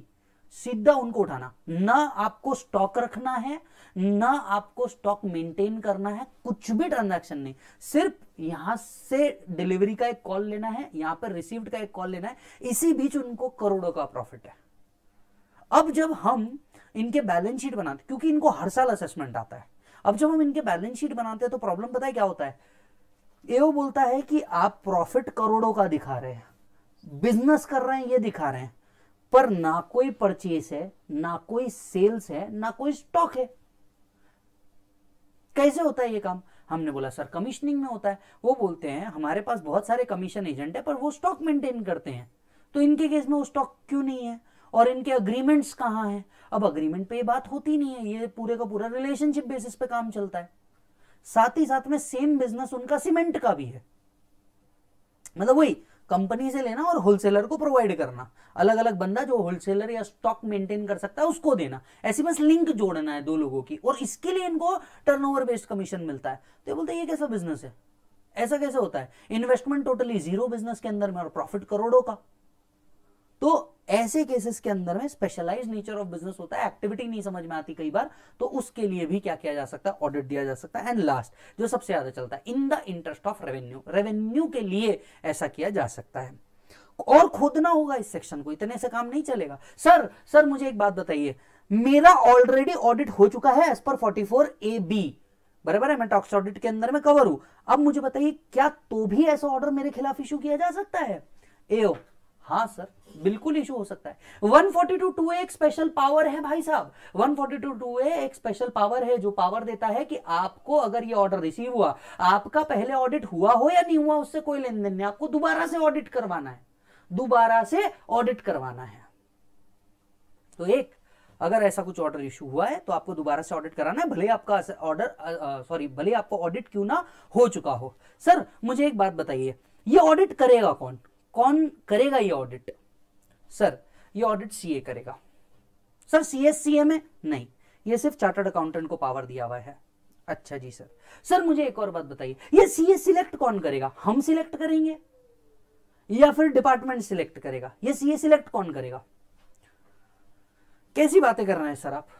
अगर आपका ही सिलेक्शन होता तो फिर ऑडिट का रिक्वायरमेंट ही नहीं आप अपने हिसाब से उसे कभी भी मोल्ड कर पाते और इंडिपेंडेंस ऑफ ऑडिटर नाम का तो कंसेप्ट ही खत्म हो जाता तो कौन करेगा मतलब क्या डिपार्टमेंट एक सीए नॉमिनेट करेगा वो इसका ऑडिट करेगा आपका सीए नहीं CIT commissioner of income tax ने कुछ सीए को नॉमिनेट किया हुआ है वो इसका ऑडिट करते हैं आपका सीए नहीं करेगा oh good good good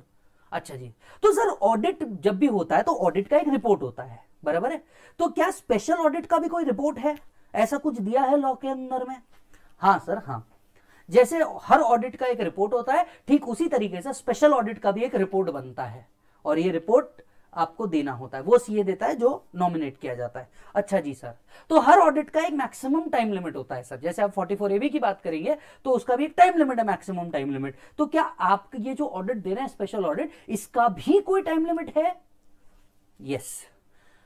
special order के अंदर में लिखा होता है कितने टाइम के अंदर आप क्या करेंगे ये ऑडिट रिपोर्ट एओ को प्रोवाइड कर देंगे तो जो भी सीए नॉमिनेट हुआ है उस वो क्या करेगा मैक्सिमम टाइम लिख देगा कि आपको कब तक के प्रोवाइड करना है उसी टाइम लिमिट के अंदर में ये इंफॉर्मेशन प्रोवाइड होनी चाहिए वाह सर सर मान लीजिए अगर वो एओ इस टाइम के अंदर में नहीं प्रोवाइड कर पाया जो टाइम आपने नोटिस के अंदर में लिखा था लेट से नोटिस के अंदर में लिखा था विद इन फोर्टी डेज कर देना फोर्टी डेज में वो नहीं कर पाया मल्टीप्लीसिटी वॉल्यूम ऑफ ट्रांजेक्शन तो फिर तो भी सर सेक्शन ने एओ को एक और पावर दिया ऐसा हुआ था एक बार और इस टाइम पे सेक्शन को सुटेबली अमेंड किया गया था और कहा गया था कि अगर विद इन टाइम नहीं भी हो पाया तो एओ के पास पावर रहेगा कि वो इस टाइम लिमिट को एक्सटेंड कर सकता है सर ये तो गलत है ना फिर फिर तो एओ क्या करेगा multiplicity of transaction volume of transaction फिर तो वो अपने हिसाब से कितने भी साल लगेगा बढ़ा देगा जब उसके हाथ में पावर है पोस्टपोन करने का तो फिर तो सर कितने भी साल हो जाएगा ये थोड़ी जस्टिस हुआ सर सर ऐसा नहीं है यहां पे ये लॉ है कि आप चाहें तो ये कितने भी साल के लिए एक्सटेंड हो सकता है ऐसा नहीं है ये दिया है मैक्सिमम 180 डेज के लिए हो सकता है यानी आप एक्सटेंशन भी दे सकते हैं but the overall period of this special audit shall not exceed 180 days generally time limit कितना लिखा होगा नोटिस में लिखा होगा लेकिन आप इसे एक्सटेंड कर सकते हैं पर एक्सटेंशन भी मैक्सिमम कितने दिन का हो सकता है 180 डेज का हो सकता है यानी overall period including extension 180 days का हो सकता है उससे ऊपर नहीं हो सकता वाह वाह वाह सर क्या बात है चलो टाइम लिमिट तो है सर मेरे को एक और जानना है सर मुझे एक बात बताइए इस ऑडिट की फीस कौन देगा क्योंकि मेरे हिसाब से अकाउंट्स बराबर है शक आपको है मैं तो फीस नहीं दूंगा नहीं नहीं ऑडिट आपका हो रहा है फीस आपको देनी चाहिए हम क्यों देंगे फीस आप देंगे सर एक मिनट गलत शक आपको है मेरे को नहीं है शक आपको है और अगर आपको मेरे हिसाब से तो अकाउंट्स बराबर है कर दो ऑडिट आपको नहीं समझ में आ रहा फीस मैं नहीं दूंगा ये केस आपको बता रहा हूं मैं Sahara India Sahara India supreme court में गए थे इस डिसीजन के लिए ये जो बात मैं अभी आपके सामने कर रहा था ये सहारा और अच्छा मैं पहले ही बता देना किसी को डरना मत ये जो डिस्कशन है ये कोर्ट रूम वाला डिस्कशन ये होता रहता है क्लास में मजे जरूरी है और जब कोई सामने यू नो आपको एक पूरा ड्रामा दिखता है तो आपको पढ़ने में और मजा आता है तो भैया किसी ने डरना मत कि सर को ये क्या हो गया कौन कौन से रोल प्ले कर रहे हो सकता है now the point is Sahara India case Sahara India वो केस था पहले लॉ के अंदर में लिखा था कि जो फीस बेयर करेगा वो असेसी बेयर करेगा और इस लाइन को सहारा इंडिया ने सुप्रीम कोर्ट में चैलेंज किया था कि जब शक एओ को है तो उसका फीस मैं क्यों बेयर करूं मैं ये फीस बेयर नहीं करूंगा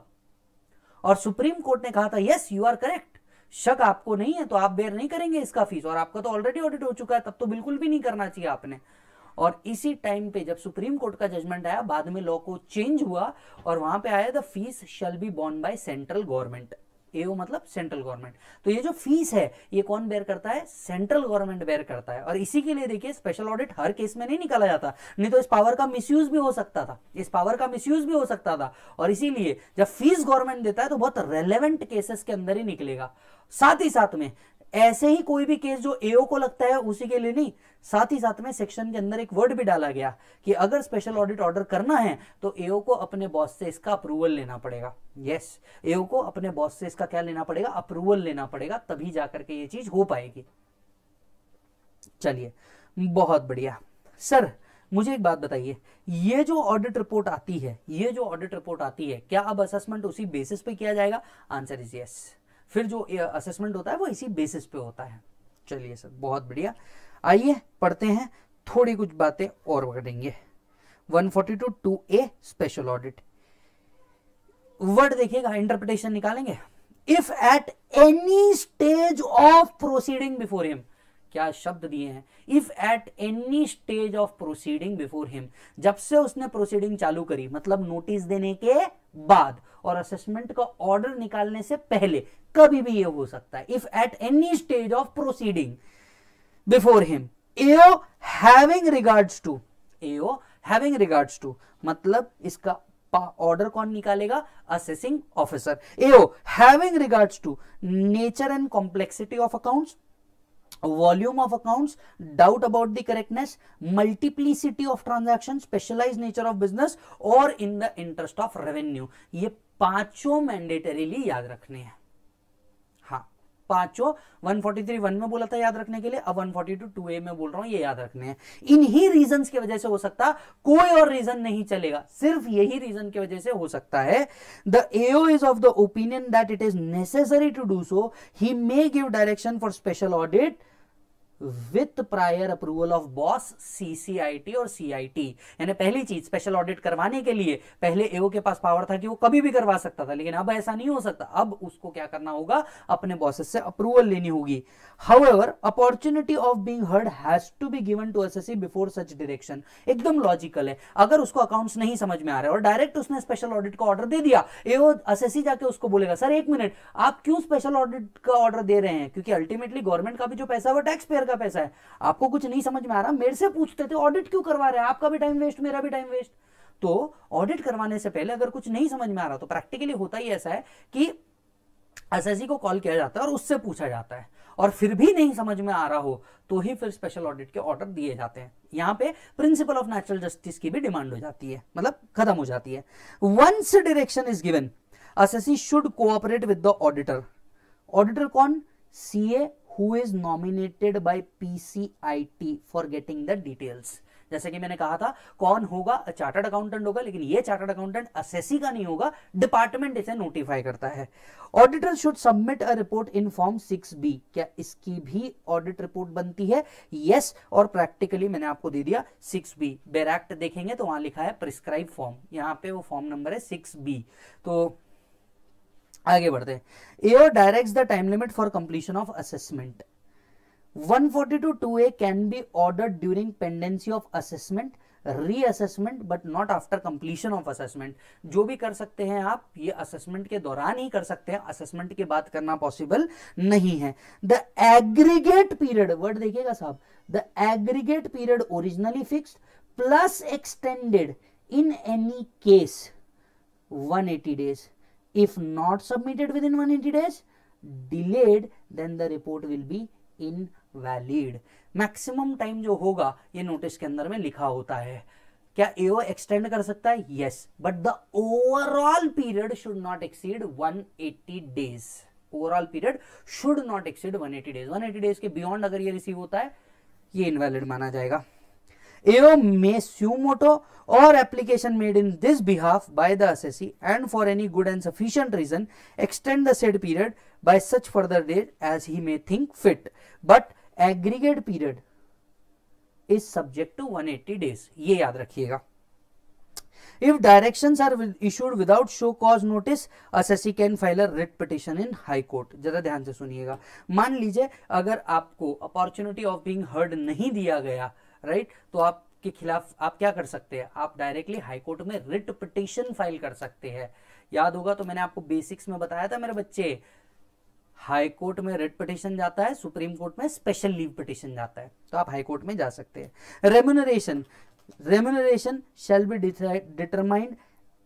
by CCIT and CIT and paid by central government MCQ है दादा ये बड़ा होकर एमसीक्यू बनेगा कि ये जो रेम्यूनरेशन होगा जो सीए को पे होगा रेम्यूनरेशन किसका सीए का जो रेम्यूनरेशन होगा वो सीआईटी डिसाइड करेगा कि इस काम के लिए फीस कितनी होनी चाहिए और वो फीस सेंट्रल गवर्नमेंट पे करेगी वो फीस कौन पे करेगी सेंट्रल गवर्नमेंट पे करेगी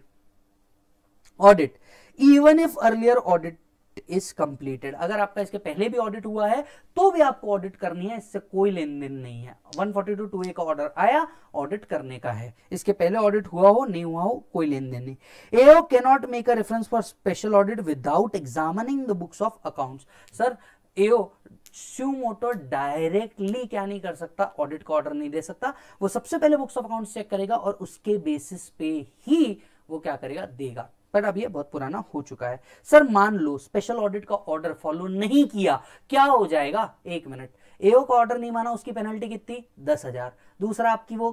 बजा सकता है बेस्ट जजमेंट असेसमेंट कर सकता है तीसरा आप ऑडिट नहीं करवा रहे हो क्या प्रॉब्लम है आपके ऊपर सर्च एंड सीजर भी आ सकती है साथ साथ में एक साल के लिए आपको जेल भी हो सकती है तो चार चीजें पहला 144 बजा देगा दस हजार रुपए का आपको पेनल्टी ऑर्डर लग सकता है प्रोसिक्यूशन हो सकता है एक साल के लिए या फिर सर्च ऑर्डर भी दे सकता है कि असेसी इसका ऑडिट क्यों नहीं करवा रहा है क्या तकलीफ है क्यों कंप्लाई नहीं हो रहा है इसका तो सर्च भी हो सकता है याद रखें इस ऑर्डर के खिलाफ मान लीजिए आपको लगता है ये गलत ऑर्डर है आपका ऑडिट नहीं होना चाहिए इसके खिलाफ आप क्या कर सकते हैं रिट पिटिशन फाइल हो सकता है हाई कोर्ट में इसके अलावा कुछ नहीं हो सकता अपील नहीं हो सकता रेक्टिफिकेशन नहीं हो सकता सर क्यों नहीं हो सकता ये नोटिस नहीं है बाबा ऑर्डर है ऑर्डर है इसके खिलाफ आपको सीधा सीधा जाना होगा कहाँ हाई कोर्ट में रिट पिटिशन फाइल करने के लिए और कोई तरीका नहीं है no appeal can be filed against the direction under 142 forty two A और any notice issued by AO under the income tax act the assessee has constitutional remedy the assessee can file a writ petition in the high court challenging the validity of the direction under 142 two A so this is a direction direction के against में आप separate petition कर सकते हो thereafter assessee can file a special leave petition to supreme court high court से भी अगर आपको न्याय नहीं मिलता है तो आप कहाँ जा सकते हैं सुप्रीम कोर्ट में जा सकते हैं ये बिल्कुल हो सकता है else there is no remedy in law इसके अलावा आपको कोई रेमेडी लॉ के अवेलेबल नहीं है इसके अलावा आपको कोई भी लॉ की रेमेडी अवेलेबल नहीं है एक बार ये पैराग्राफ पढ़ लीजिए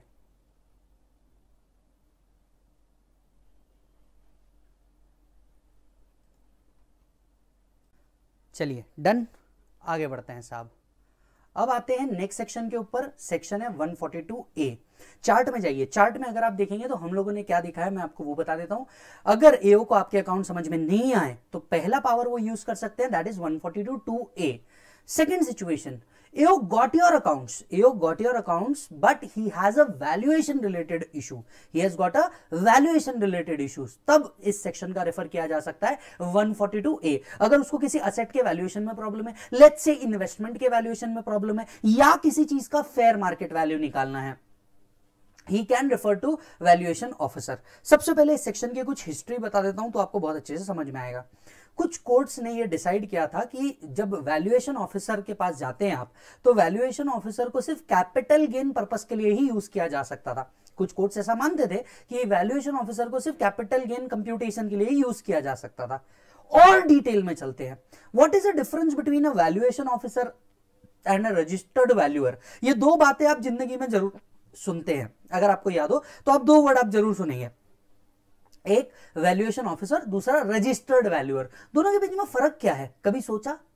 और अगर नहीं सोचा तो आज आपको अपने दोस्तों से भी पूछना चाहिए मैं तो आपको बता रहा हूं पर अपने दोस्तों के पास जाना बोलना पूछना बता वैल्यूएशन ऑफिसर और रजिस्टर्ड वैल्यूअर के बीच में फर्क क्या है नहीं बता पाए तो तुम उसे बताना और बोलेगा भाई रिस्पेक्ट आइए मैं आपको बताता हूं सबसे पहले यहां पे लिख सकते हो देखो यहां पे जगह खाली है इतने से पार्ट में लिख सकते हो तो आप लिख लो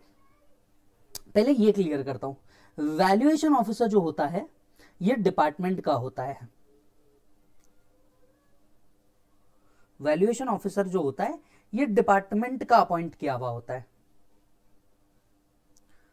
वहीं रजिस्टर्ड वैल्यूअर जो होता है ये प्राइवेट होता है तो डिपार्टमेंट अगर वैल्यूएशन करवाए वो वैल्यूएशन ऑफिसर होता है इसको शॉर्ट फॉर्म वीओ वो वैल्यूएशन ऑफिसर डिपार्टमेंट वाला होता है यही असेसी वैल्यू करवाए किसी चीज का तो वो होता है रजिस्टर्ड वैल्यूअर ये और तो एओ को शक है आपके वैल्यूएशन के ऊपर तो वो वैल्यूएशन ऑफिसर के पास जाएगा एओ को असेसी को निकालना है कि यार मेरी बिल्डिंग की वैल्यू कितनी है चलो मैं बेचता हूँ मेरी बिल्डिंग की वैल्यू कितनी है तो वो रजिस्टर्ड वैल्यूअर के पास जाकर के क्या निकालता है उसका वैल्यू निकालता है ये दोनों में फर्क है अभी हम किसके पास जा रहे हैं रजिस्टर्ड वैल्यूअर के पास जा रहे हैं क्या नहीं हम जा रहे हैं वैल्यूएशन ऑफिसर के पास तो हिस्ट्री बता देता हूँ हिस्ट्री कुछ ऐसी थी कि एक समय था जहां पे कुछ कोर्ट्स ने डिसाइड किया था कि जो वैल्यूएशन है ये सिर्फ कैपिटल गेन पर्पसेस के लिए भी यूज किया सिर्फ कैपिटल गेन पर्पसेस के लिए ही यूज किया जा सकता है over the period of time इस सेक्शन इस पर्टिकुलर जजमेंट को ओवररूल किया गया इस सेक्शन को ला करके जहां पे क्लियर कट कर दिया गया कि सिर्फ कैपिटल गेन पर्पज के लिए नहीं ऑल हेड ऑफ इनकम में कहीं पे भी अगर आपको वैल्यूएशन की जरूरत पड़े तो ये सेक्शन यूज किया जा सकता है तो फर्स्ट ऑफ ऑल क्या ये सिर्फ कैपिटल गेन पर्पज के लिए यूज किया जा सकता है सेक्शन आंसर इज नो ये सेक्शन हर उस जगह के लिए यूज किया जा सकता है जहां पे आपको वैल्यू निकालनी हो या फेयर मार्केट वैल्यू निकालनी हो उन हर जगह पे ये सेक्शन यूज किया जा सकता है मैं आपको एक छोटा सा एग्जाम्पल बताता हूं मान लीजिए मैंने ज्वेलरी गिफ्ट दी राइट right, मेरे फ्रेंड को which is taxable under section 56 two ten friend के हाथ में अब इसका वैल्यूएशन क्या इस सेक्शन को यूज करके एओ निकाल सकता है आंसर इज यस तो जरूरी नहीं है सिर्फ कैपिटल गेन पर्पस के लिए हर हेड के इनकम हर हेड के असेट इन्वेस्टमेंट्स या फेयर मार्केट वैल्यू निकालने के लिए इस सेक्शन का यूज किया जा सकता है ये हुई पहली बात दूसरी बात कुछ अगर हिस्ट्री में जाकर के देखें इस सेक्शन के तो वो सेक्शन आपको बताता है कि सर ये जो सेक्शन था ये सिर्फ और सिर्फ तभी यूज हो सकता था जब यू नो एस के अकाउंट्स जो है उसके करेक्टनेस और कंप्लीटनेस को लेकर के एओ को शक हो तो ही वो इस सेक्शन का यूज कर सकता है सेक्शन को सुटेबली अमेंड किया गया over the period of time और यहां पे कवर कर दिया गया कि एओ को शक हो या ना हो कभी भी अगर उसको ऐसा लग रहा है कि उसको अकाउंट्स का वैल्यूएशन असेट्स का वैल्यूएशन अकाउंट्स का नहीं असेट का वैल्यूएशन इन्वेस्टमेंट का वैल्यूएशन या किसी का फेयर मार्केट वैल्यू डिटरमाइन करना है तो वो हो सकता है तो ये दो हिस्ट्री थी पहला हिस्ट्री था कि इसको सिर्फ कैपिटल गेन पर्पज के लिए चूज किया जाएगा वो हटा दिया गया सेक्शन से दूसरा हिस्ट्री था जब एओ को यू नो शक होगा अबाउट द करेक्टनेस कंप्लीटनेस तो ही इसे यूज किया जा सकता था वो भी हटा दिया गया तो over the period of time आज क्या बचा है सेक्शन के अंदर में सेक्शन कहता है जब भी असेसिंग ऑफिसर को असेट से वैल्यूएशन रिलेटेड इशू हो इन्वेस्टमेंट के वैल्यूएशन रिलेटेड इशू हो या फिर किसी चीज का फेयर मार्केट वैल्यू डिटरमाइन करना हो वो वैल्यूएशन ऑफिसर के पास जा सकता है इस वैल्यू को डिटरमाइन करने के लिए वैल्यूएशन ऑफिसर क्या करेगा वैल्यूएशन ऑफिसर असेसी से इंफॉर्मेशन मंगाएगा क्योंकि उसको भी इन्फॉर्मेशन चाहिए तभी तो वो क्या करेगा वैल्यूएशन निकालाएगा तो असेसिंग ऑफिसर असेसी से इन्फॉर्मेशन मंगाएगा और उसके बेसिस पे एक एस्टिमेटेड वैल्यू कैलकुलेट करके देगा एक और बात क्या कोई टाइम लिमिट है जब तक के वैल्यूएशन ऑफिसर को अपनी रिपोर्ट बनानी है answer is yes valuation officer को अपनी ये report within six month बनानी होती है from the end of the month in which reference is made तो जिस महीने में एओ ने रेफरेंस दिया वैल्यूएशन ऑफिसर को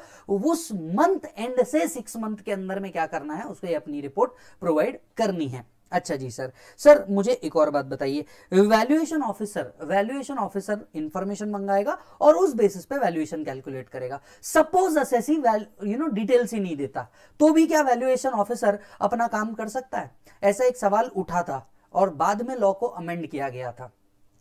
सवाल यह था कि असेसी ने इंफॉर्मेशन दी ही नहीं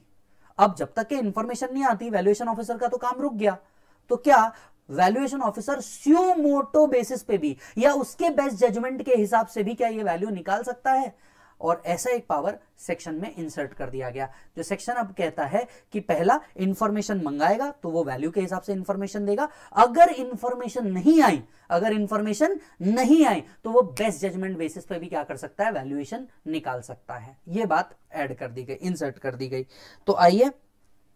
बेरैक्ट पढ़ते हैं बेरैक्ट के अंदर में कुछ कुल मिलाकर के पॉइंट्स दिए हुए वो पढ़ते हैं एओ में करेगा कौन एओ एओ में for the purpose of assessment या रीअसेसमेंट असेसमेंट करने के लिए या रीअसेसमेंट करने के लिए दोनों भी जगह यूज कर सकता है make a reference to valuation officer to estimate the value including fair market value तो फेयर मार्केट वैल्यू भी निकालना है एक्ट में जहां जहां पे भी तो वैल्यूएशन ऑफिसर का यूज किया जा सकता है so AO may for the purpose of assessment और reassessment estimate the value including fair market value of any asset property investment and submit a copy of the report to him the assessing officer may make a reference to valuation officer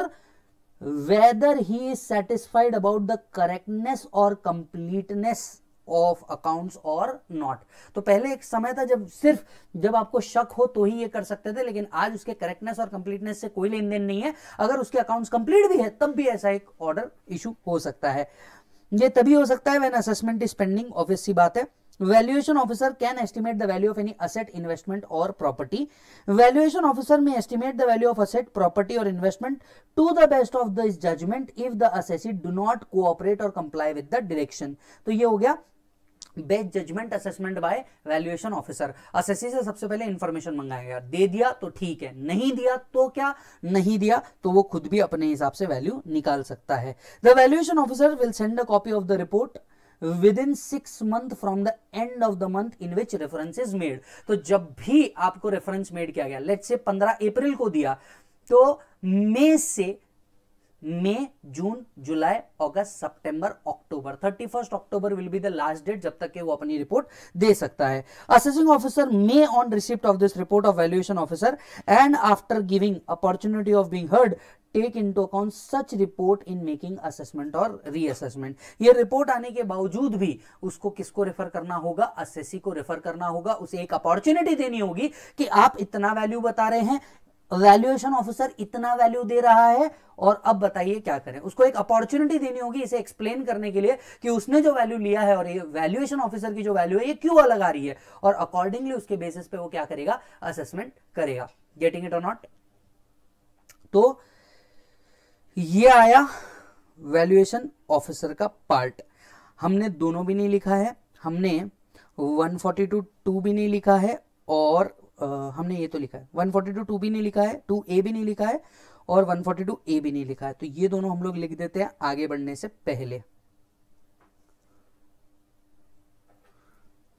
आइए register में register में डालिए 142 two A special audit special audit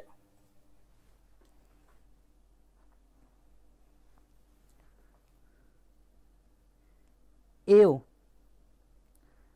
at any stage of proceeding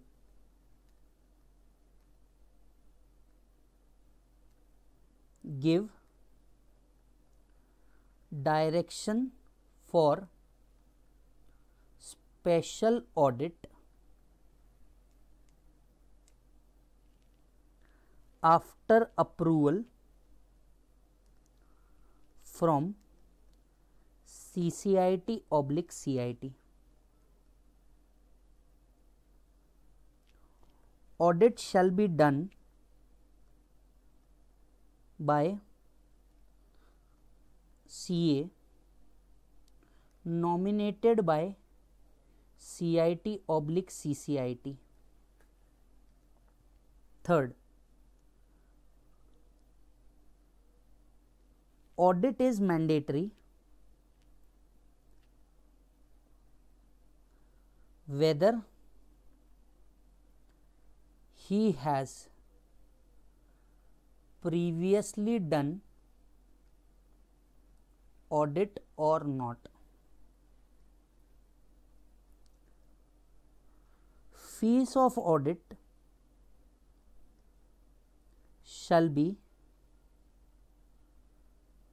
determined by CIT and paid by central government.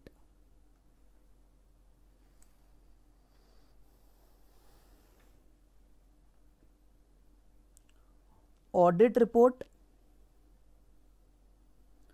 must be provided within time limit provided in order AO may also extend the time but aggregate period shall not exceed 180 days. The aggregate period shall not exceed 180 days.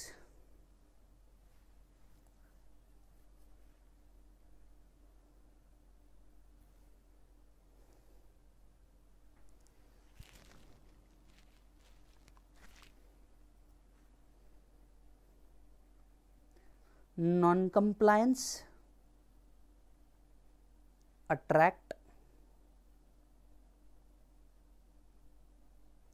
penalty 10,000 rupees, bad judgment assessment under section 144, prosecution, search order. Under section 132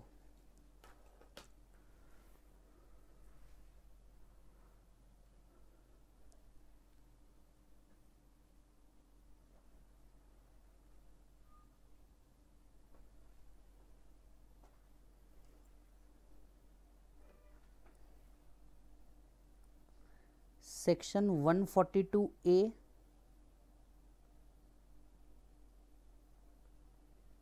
valuation officer.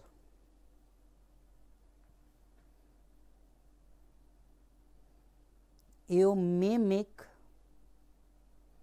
a reference to valuation officer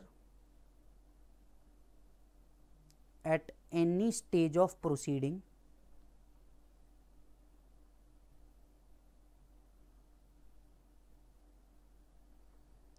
to determine the value including fair market value of any assets, property or investment.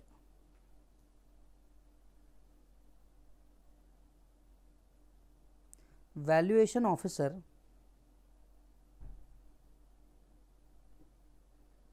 can call information and provided by assessee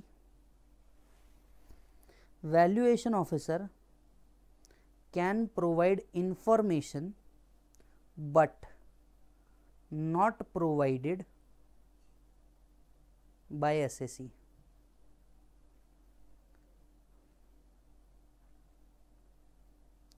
he will value on the basis of records.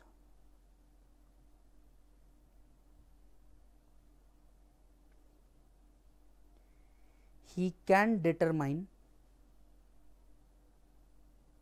value to the best of his judgment.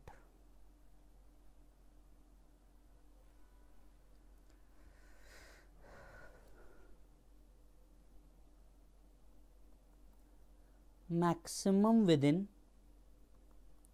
6 months from the end of the month in which reference is made.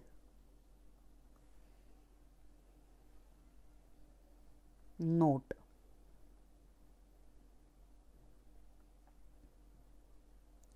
valuation oblique fair market value can be determined for any head of income not just capital gain. not just capital gain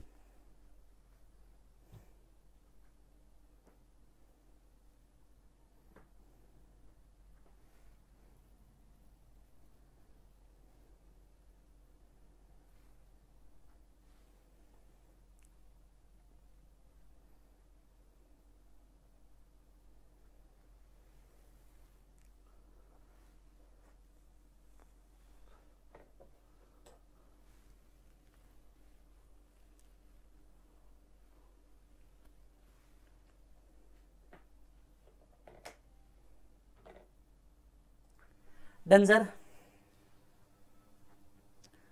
इतना भी आप लिख देंगे तो काफी हो जाएगा यही आपके फ्लो चार्ट्स भी बन गए यही आपके शॉर्ट नोट्स भी बन गए वापस से शॉर्ट नोट्स के ऊपर मत बैठना या फिर मान लीजिए आप लोग मैं तो आप सबसे पहले चाह रहा हूं कि आप लिखो क्या क्या होता है कुछ चीजें बन जाती है लिख के हो जाता है मैक्सिमम अपने को कोई सेक्शन को वापस से रीराइट करने को पांच या दस मिनट लगता है पर एटलीस्ट आपके वो माइंड के अंदर में स्टक हो जाएगा आपकी लिखने की आदत खत्म हो गई है और मेरा ओवरऑल ऑब्जेक्टिव प्रभु सिर्फ और सिर्फ एक ही है कि आपके लिखने की आदत वापस से आ जाए गेटिंग इट ऑन दूसरी बात क्या है यही आपके शॉर्ट नोट्स भी बन रहे अब आपको इतने सारे वर्ड्स दोबारा पढ़ने की जरूरत नहीं है इतना सब जो है दोबारा पढ़ने की जरूरत नहीं स्ट्रेट अवे यहाँ पे आकर के भी आप रिवाइज करोगे तो भी चलेगा या मान लो कोई नहीं लिख रहा होगा तो आपको जो मैं सुपर थर्टी फाइव की बुक दे रहा हूँ फास्ट ट्रैक बुक दे रहा हूँ सुपर समरी दे रहा हूँ राइट उसके अंदर में भी हम लोगों ने इसी चीज को क्या कर दिया है शॉर्ट कर दिया है तो एग्जाम से पहले आप क्या कर लोगे सुपर समरी अब अगर मैं तीन बुक का कंपाइलेशन बताऊं जब आप अभी पहली बार मेरे साथ रीड कर रहे हैं आप पूरा का पूरा बैरैक्ट पढ़ रहे हैं ठीक है जब आप दूसरा रिविजन करें जो हमने लिखाया है बस उससे रिविजन कर ले आपका काम हो जाएगा और एग्जाम से फाइनली पहले अगर आपको कुछ पढ़ना है तो जो सुपर समरी बुक मैं आपको दे रहा हूँ सुपर समरी बुक देख लेना काम हो जाएगा गेटिंग इट और नॉट एमसीक्यू क्वेश्चन है तो मैं आपको पहले ही बता चुका हूं कि मैं आपको दे रहा हूं उसके अंदर से कुछ एक्स्ट्रा क्वेश्चन आप क्या कर सकते हो सॉल्व कर सकते हो ठीक है मालिक तो हमने और दो सेक्शन पढ़ लिए प्रभु कौन से दो सेक्शन पढ़ लिए 142 टू ए 142 ए वापस से आते हैं किसके ऊपर चार्ट के ऊपर वापस आइए असेसमेंट चार्ट के ऊपर सबसे पहले क्या होगा सेल्फ असेसमेंट टैक्स होगा सेल्फ असेसमेंट टैक्स के बाद आपका रिटर्न भरा जाएगा रिटर्न जाएगा प्रोसेसिंग में वन फोर्टी के अंदर में जहां पर अर्थमेटिकल एर इन करे क्लेम जैसी सारी चीजें होंगी इसके बाद देखेंगे कि क्या असेसमेंट होने वाला है या असेसमेंट नहीं होने वाला है ये अगर असेसमेंट उठाता है तो उसको क्या लगेगा इन्फॉर्मेशन लगेगा करेगा one forty two one one के तहत वो रिटर्न भरवाएगा या फिर one forty two one two के तहत वो आपसे इन्फॉर्मेशन कॉल करेगा इन्फॉर्मेशन मंगाने के बाद वो उसको क्या करेगा ऑडिट करेगा और फिर देखेगा कि क्या उसे समझ आ रहा है या नहीं आ रहा है अकाउंट्स अगर नहीं समझ में आ रहे हैं तो उस के पास दो पावर है एक वो कुछ लोगों के केस में और हायर अथॉरिटीज से पावर लेके दोबारा से ऑडिट करने बोल सकता है हेंस 142 ए हो सकता है या फिर हो सकता है कि वो कुछ जगह पे अकाउंट्स बिल्कुल सही है मुझे सिर्फ वैल्यूएशन में प्रॉब्लम है तो वैल्यूएशन ऑफिसर के पास भी जा सकता है रजिस्टर्ड वैल्यूअर के पास नहीं वैल्यूएशन ऑफिसर के पास जा सकता है बोल सकता है जजमान मुझे क्या निकाल के दीजिए वैल्यूएशन निकाल के दीजिए आ हा याद आया मालिक यहां तक के चलो आगे बढ़ते हैं अब बात करते हैं असेसमेंट्स की ओर अब हम जा रहे हैं कोर सेक्शंस ऑफ असेसमेंट की ओर लेकिन उसके पहले आपको कुछ करना होगा अब देखिए या तो आपको वैल्यूएशन में प्रॉब्लम था वैल्यूएशन हो गई या ऑडिट हो गया अब आप कहां जाएंगे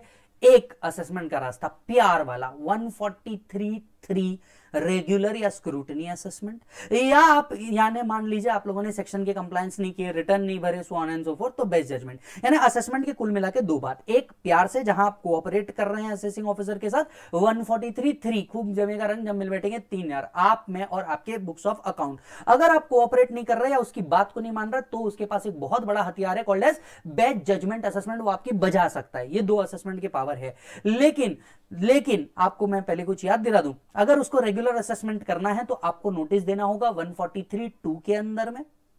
और अगर उसको 144 करना है तो आपको इशू करना होगा शोकॉज नोटिस उसको क्या करना होगा इशू करना होगा यानी इधर ऑफ द केस या तो 143 टू का नोटिस आएगा आपके पास और जिसको याद नहीं आ रहा वो जाके अपना लिखा हुआ रजिस्टर पलटाए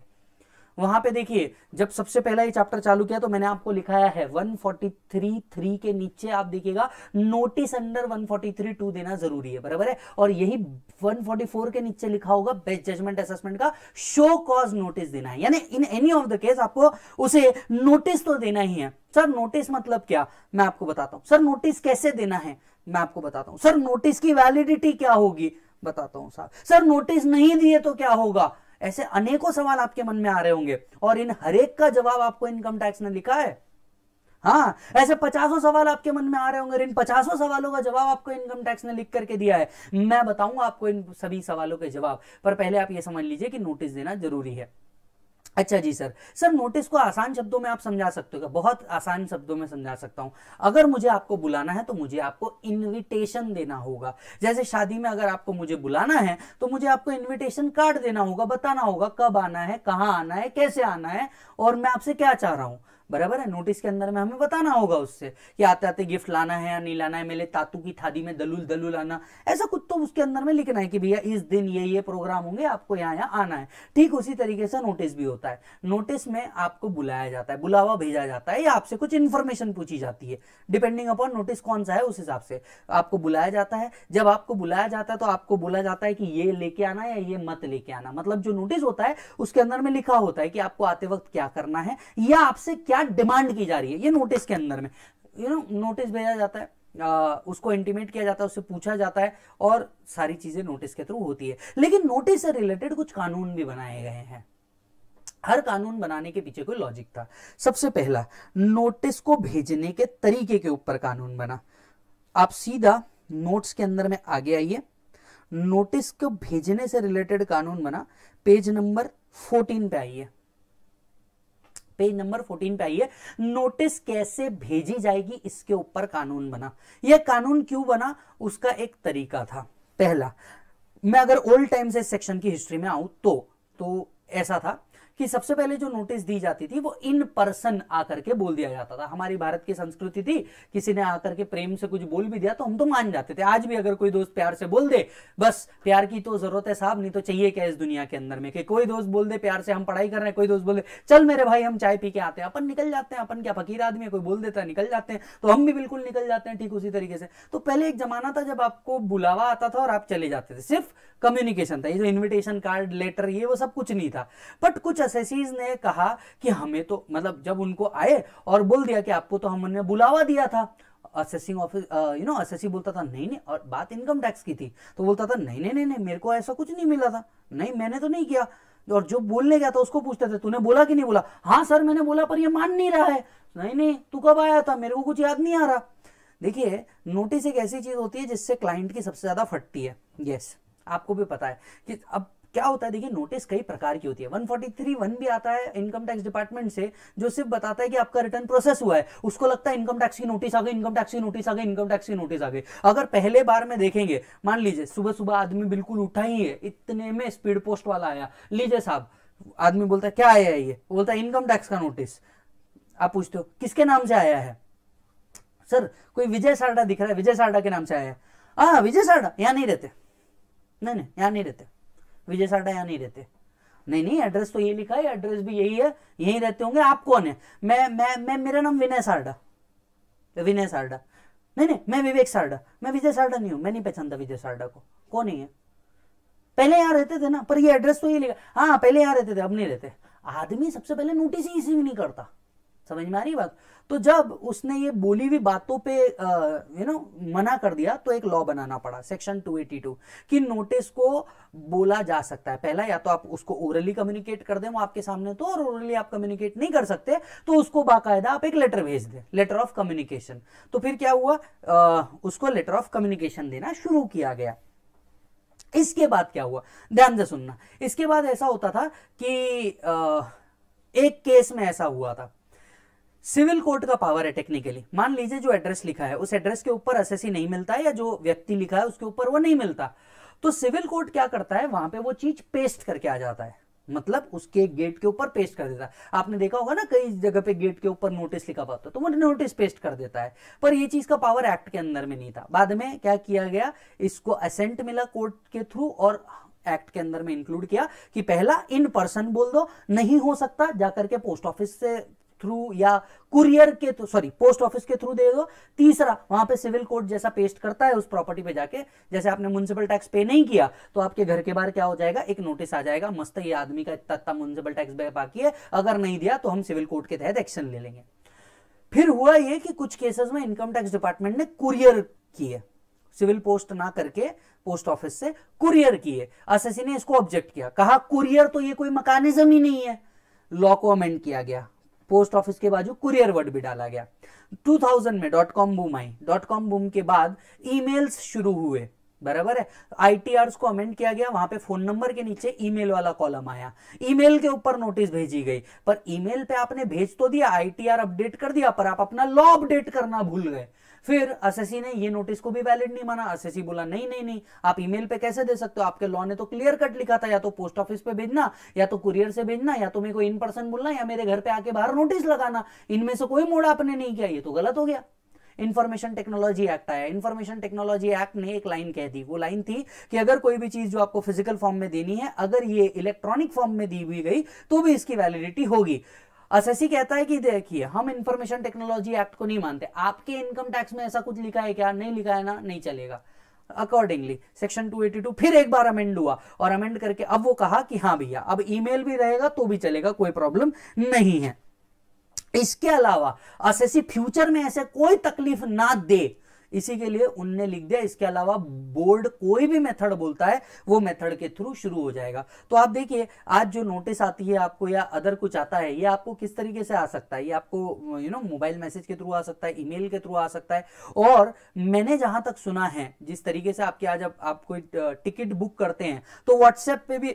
आपको कम्युनिकेशन आते हैं इनफैक्ट अगर आप आईसीआईसीआई बैंक देखेंगे तो वो आपको व्हाट्सएप भी करते हैं अगर कुछ डिपॉजिट हुआ या विड्रॉ हुआ तो तो ऐसा एक बात चल रही है कि इनकम टैक्स में भी व्हाट्सएप का एक मैकेनिज्म लेंगे सूट लिया जाएगा जिसके तहत हर एक को इनकम टैक्स का नोटिस अगर देना है तो वो व्हाट्सएप भी कर देंगे बिकॉज ये सबसे ज्यादा चलने वाला as of now communication system है तो ऐसा भी कुछ हो सकता है राइट लेकिन लॉ ने इसके लिए पहले से तैयारी करके रखी है उन्होंने यानी अदर इलेक्ट्रॉनिक मोड वर्ड डाल रखा है तो सबसे पहले बात करते हैं सेक्शन 282 नोटिस किस तरीके से दिया जाता है चाहे वो कोई भी नोटिस हो इनकम टैक्स डिपार्टमेंट का जो भी नोटिस होगा साथ ही साथ में फर्स्ट अक्टूबर 2019 की कोई बात याद दिला देता हूं कोई भी नोटिस जब आएगा इसके ऊपर दिन नंबर लिखा मैंडेटरी होना चाहिए डॉक्यूमेंट आइडेंटिफिकेशन नंबर लिखा हुआ मैंडेटरी होना चाहिए अगर डॉक्यूमेंट आइडेंटिफिकेशन नंबर उसके ऊपर लिखा हुआ नहीं है तो ये फिर वैलिड नहीं माना जा सकता तो 282 देखते हैं service of notice exam point of view से बिल्कुल काम का नहीं है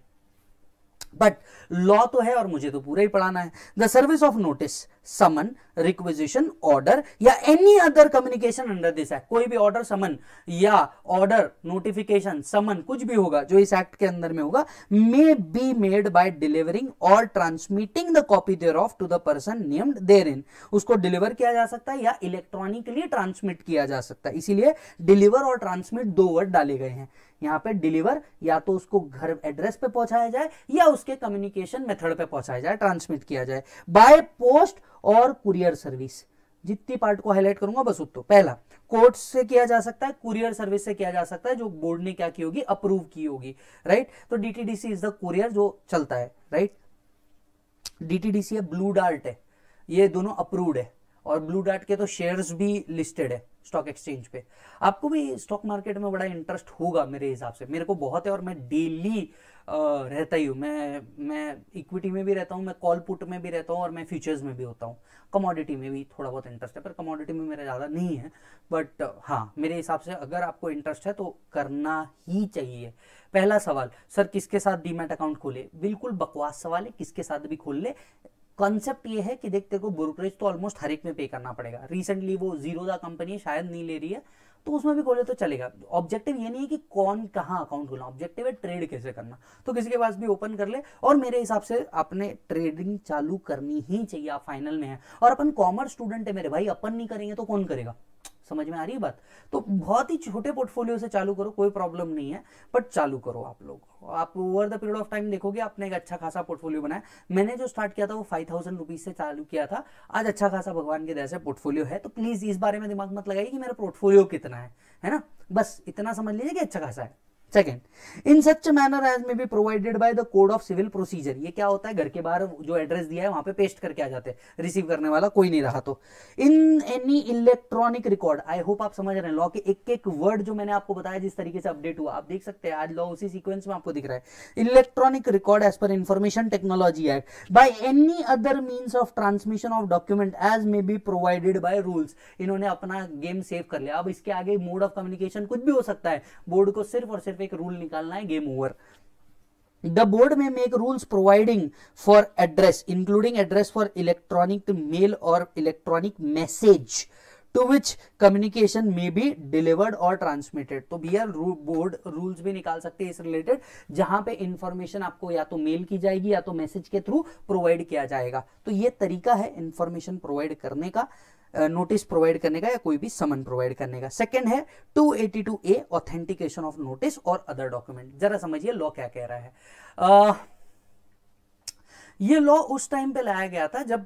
जब कई बार फेक नोटिस भी बनती थी यस और नो नोटिसेस चले जाती थी तो इस टाइम पे क्या किया गया कुछ जगह पे कुछ नोटिसेस में ऑथेंटिकेशन वाली बात कही है ऑथेंटिकेशन करना मतलब क्या एओ को उस नोटिस के ऊपर इन पर्सन साइन करना होता है या इलेक्ट्रॉनिकली इसे डीएससी के थ्रू या अदर चीजों के थ्रू ऑथेंटिकेट करना होता है अब जैसे आईसीएआई ही आपको कम्युनिकेशन भेजता है तो उस पर ब्लू कलर का देखना नीचे एक सिग्नेचर होता है नीचे लिखा होता है this is a computer generated this is a computer generated signature and it will be treated as valid तो बिल्कुल उसी तरीके से आपको अगर कहीं पे लॉ में लिखा है कि नोटिस ऑथेंटिकेट करना है तो जब तक कि वो नोट ऑथेंटिकेट नहीं की जाए या तो फिजिकल साइन या कंप्यूटर जैसा भी जो कुछ बोर्ड ने रूल्स बनाए होंगे जब तक इस पर ऑथेंटिकेशन ना हो तब तक के ये नोटिस वैलिड नहीं मानी जाएगी और बाय डिफॉल्ट में ऐसा होता है इनफैक्ट अगर आप देखेंगे ना जो नोटिफिकेशन आते हैं जो सर्कुलर आते हैं वो भी अप्रोप्रिएटली साइंड होते हैं so where this act require where this act require or other document required to be issued by any income tax authority such notice shall be signed and issued in paper form or communicated in electronic mode by the authority in accordance with the procedure as may be prescribed तो जहां जहां act में clear cut लिखा है देखिए हर case में ये करने की जरूरत नहीं है पर हाँ जहां जहां एक्ट ने बहुत क्लियर कट लिखा है वहां तो ये करना ही करना है एवरी नोटिस और other document to be issued served और given for the purpose of this act by any income tax authority shall deem to be authenticated in the name and office of designated authority is printed stamp और otherwise return on तो जब भी कोई notice issue होगी किसी व्यक्ति के नाम पे अगर उस पर साइन भी है और इलेक्ट्रॉनिक तरीके से भी दिया है तो ये मान लिया जाएगा उसके ऑफिस में उसके थ्रू ही इशू की गई है तो अगर उसके ना करके मान लीजिए वो बोलता है सेक्रेटरी को कि आप अपनी साइन करके दे दीजिए तो उसके ऑफिस से ही इशू हुई है ऐसा मान लिया जाएगा for the purpose of this section a designated income tax authority means any income tax authority authorise by board to issue serve और गिव नोटिस और अदर डॉक्यूमेंट और आफ्टर ऑथेंटिकेशन इसका मीनिंग क्या है मैं आपको बताता हूं देखिए आज जो इंटीमेशन या नोटिस जाती है ये ऑनलाइन जाती है इनकम टैक्स जो ये नोटिस देता है ये ऑनलाइन जाता है सर ऑनलाइन मतलब ऑनलाइन मतलब सिस्टम से ऑटोमेटिकली जनरेट होता है सिग्नेचर भी ऑटोमेटिकली सिस्टम के थ्रू ही जाता है तो अब यहाँ पे बोर्ड खुद नहीं भेजता बोर्ड ने क्या किया है किसी एक अथॉरिटी को ऑर्थराइज कर दिया कि आप इसे भेजेंगे तो वो अथॉरिटी भी अगर भेज रही है राइट सीपीसी बैंगलोर वो अथॉरिटी भी अगर भेज रही है तो ये मान लिया जाएगा कि मेरे तरफ से आया है इस बात का इन्होंने अप्रूवल ले लिया ना जरूरी नहीं है इन पर्सन में हमेशा करूं अगर मैंने अपने पावर किसी और को भी दिया और वो नोटिस इश्यू कर रहे हैं तो ये मान लिया जाएगा कि ये नोटिस मेरे तरफ से ही आया है so two eighty two about how notice is given two eighty two A talks about if authentication is required it needs to be authenticated now if I do not authenticate it, but I have given my power to somebody else and he sent the notice after authentication. It will be deemed that I have sent you this particular information. Simple सी बात है मालिक exam point of view से काम का बिल्कुल काम का नहीं सर कोई बिल्कुल ये काम का नहीं है तो आप रजिस्टर में जाइए इस पे लिखने में भी टाइम हम वेस्ट नहीं करेंगे हम रजिस्टर पे जाइए लिखिए 282 मैनर ऑफ गिविंग नोटिस सीधा लिखिए रेफर पेज नंबर जो भी पेज नंबर होगा वो जैसा कि मैंने कहा अननेसेसरी जगहों पे बिल्कुल अपनी एनर्जी को वेस्ट मत करो 282 A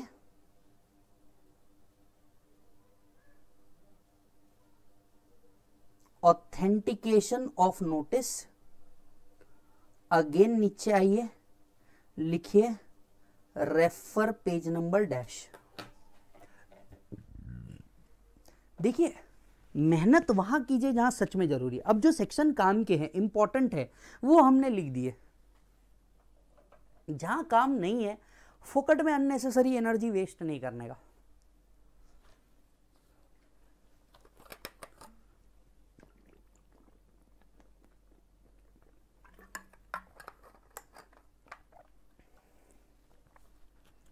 डन सर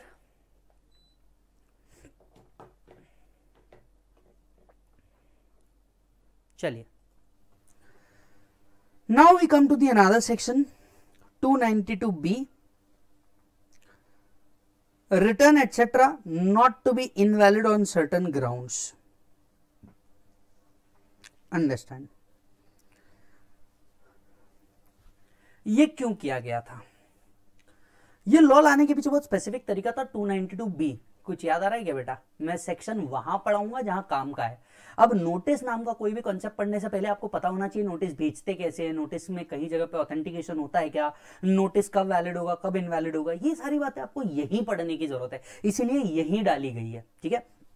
बी क्या कहता है बी पहले इसकी हिस्ट्री सुन लीजिए क्यों ये सेक्शन आया उसके पीछे का लॉजिक समझ जाएगा तो आपको बहुत इजीली समझ में आ जाएगा हुआ ये कि कुछ जगहों पे ऐसा किया गया कि नोटिस था नोटिस जो पहले निकलते थे वो ह्यूमन राइटिंग में निकलते थे अब राइटिंग में लिखते वक्त कई बार ऐसा हो जाता था कि उसके अंदर में एड्रेस मिस्टेक हो जाता था राइट पहले बहुत स्पेसिफिक एड्रेस नहीं होते थे तो एड्रेस मिस्टेक हो जाता था गूगल मैप्स भी नहीं थे तो ढूंढने में प्रॉब्लम होती थी प्लस नाम लिखते वक्त कई बार नाम कुछ गलत लिख जाते थे जेंडर में कई बार गलती हो जाती थी राइट अब इंटेंशन तो वो था नहीं पर यह गलती हो गई तो असेसी क्या करता था असेसी वो पूरे असेसमेंट को ही इनवैलिड डिक्लेयर कर देता था यह कहकर कि जब नोटिस ही सही नहीं है तो असेसमेंट सही कैसे हो सकता है जब आपका नोटिस ही सही नहीं है तो आपका असेसमेंट सही नहीं हो सकता और इसी के लिए ये पूरे असेसमेंट का कोई लॉजिक ही नहीं है और वो इस तरीके से अपनी लाइबिलिटी को अवॉइड करने की कोशिश करता था इनकम टैक्स डिपार्टमेंट बोलता था कि यार एक एरर के वजह से एक एरर के वजह से अगर पूरा का पूरा असेसमेंट इनवैलिड होने लग गया तो ये तो गलत हो जाएगा और इस केस इसलिए एक सेक्शन इंसर्ट किया गया 292 बी ताकि टेक्निकली देखा जाए तो these sections are in the favour of department only बिल्कुल सही सोच रहे हैं आप these sections are in the favour of department only जो डिपार्टमेंट को पावर देता है कि अगर नोटिस या असेसमेंट या इस तरीके से कहीं पे भी कोई एरर हो गया हो कोई ओमिशन हो गया हो इसका मतलब ये नहीं है कि वो क्या हो जाएगा इनवैलिड हो जाएगा by reason of that error और ओमिशन ऐसा नहीं है कि वो इनवैलिड हो जाएगा पूरा का पूरा ही issue so no return of income मैंने इसको शॉर्ट कर दिया है no return of income assessment notice summon और एनी अदर प्रोसीडिंग सब कुछ कवर कर लिया साहब इन्हें नोटिस समन असेसमेंट कुछ भी नहीं छोड़ा इनफैक्ट ये सेक्शन ये भी बोलता है आपके रिटर्न में भी कोई गलती हुई होगी तो हम एक्सेप्ट कर लेंगे साहब कोई प्रॉब्लम नहीं हम इसको लिए हम ये नहीं बोलेंगे कि रिटर्न वैलिड हो जितना हमारे लिए उतना आपके लिए भी मतलब आपने अगर एड्रेस गलती से गलत डाल दिया नाम लिखने में स्पेलिंग मिस्टेक हो गई V I J A Y की गया V J I A Y हो गया पैन कार्ड तो है आपका हम इसमें आपका दोष नहीं मानेंगे हम एक्सेप्ट कर लेंगे चलो कोई प्रॉब्लम नहीं ओके रिटर्न वर्ड लिख दिया और उसके आगे अपनी पूरी लाइन लगा दी no return assessment notice summon other proceeding furnished और मेड और इशूड और टेकन और purported to have been furnished जो फर्निश किया गया इशू किया गया डिपार्टमेंट की तरफ से लिया गया आपसे या जो इशू करने वाले in person to the provision of this act shall be invalid so word देखिएगा साहब no return assessment summon other proceeding invalid और shall deem to be invalid merely by reason of any mistake उसके अंदर mistake है नाम लिखते वक्त गलत लिख दिया V I J A Y की जगह V I V J I A Y एक तो मेरा ही बताता हूं मैं आपको my spelling is S A R D A मेरा सरनेम का स्पेलिंग बट दो बार इनकम टैक्स की तरफ से नोटिस में यह गलती हुई है क्या किया उनने पता है पहला तो लिखा Vijay Sharda S H A R D A अब ये एक्चुअली एक्सेंट का प्रॉब्लम है मतलब जो अगर आप बोलेंगे ईस्टर्न साइड के लोग होते हैं राइट वो विजय नहीं बोलते बिजोय बोलते हैं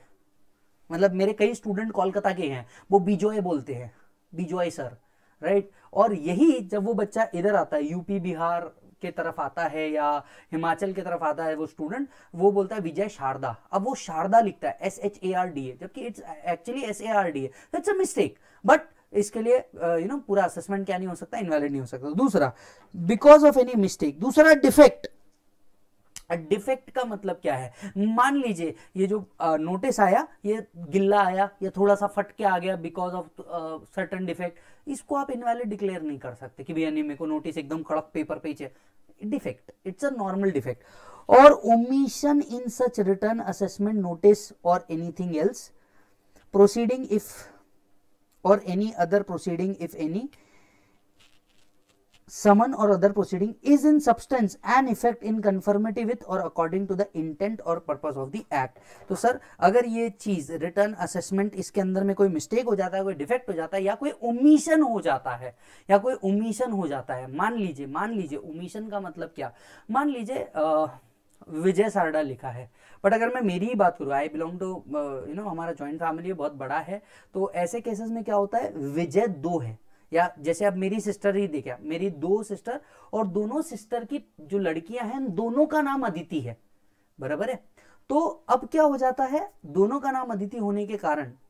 प्रॉब्लम ये इनफैक्ट सरनेम भी सेम है उनका हालांकि वो अलग अलग फैमिली में गए हुए हैं पर सरनेम भी सेम है अब क्या होता है दोनों के डैड का नाम तो अलग होगा पर नोटिस के अंदर में क्या आता है अदिति मालू तो ऐसे केसेस में क्या होता है कि बीच का नाम आपने काट दिया तो डज नॉट मीन्स कि ये छोटा सा ओमिशन आपका पूरा का पूरा इनवैलिड डिक्लेयर कर देगा क्योंकि उसके साथ साथ क्या होता है आपका पैन नंबर भी आता है इसीलिए नोटिस जब आप देखेंगे तो एसएससी का नाम भी लिखा होता है और नोटिस भी लिखा होता है तो ये इनवैलिड डिक्लेयर नहीं होगा 292 भी बस इतना सही कहता है कि ये डिपार्टमेंट को संरक्षण देता है कुल मिला करके आपको लिखना चाहिए क्या बिल्कुल नहीं 292 बी लिख दीजिए सीधा सीधा रेफर नोट्स एरो करके लिख दीजिए पेज नंबर जहां टाइम नहीं लगाना है वहां टाइम नहीं लगाएंगे लिखने के ऊपर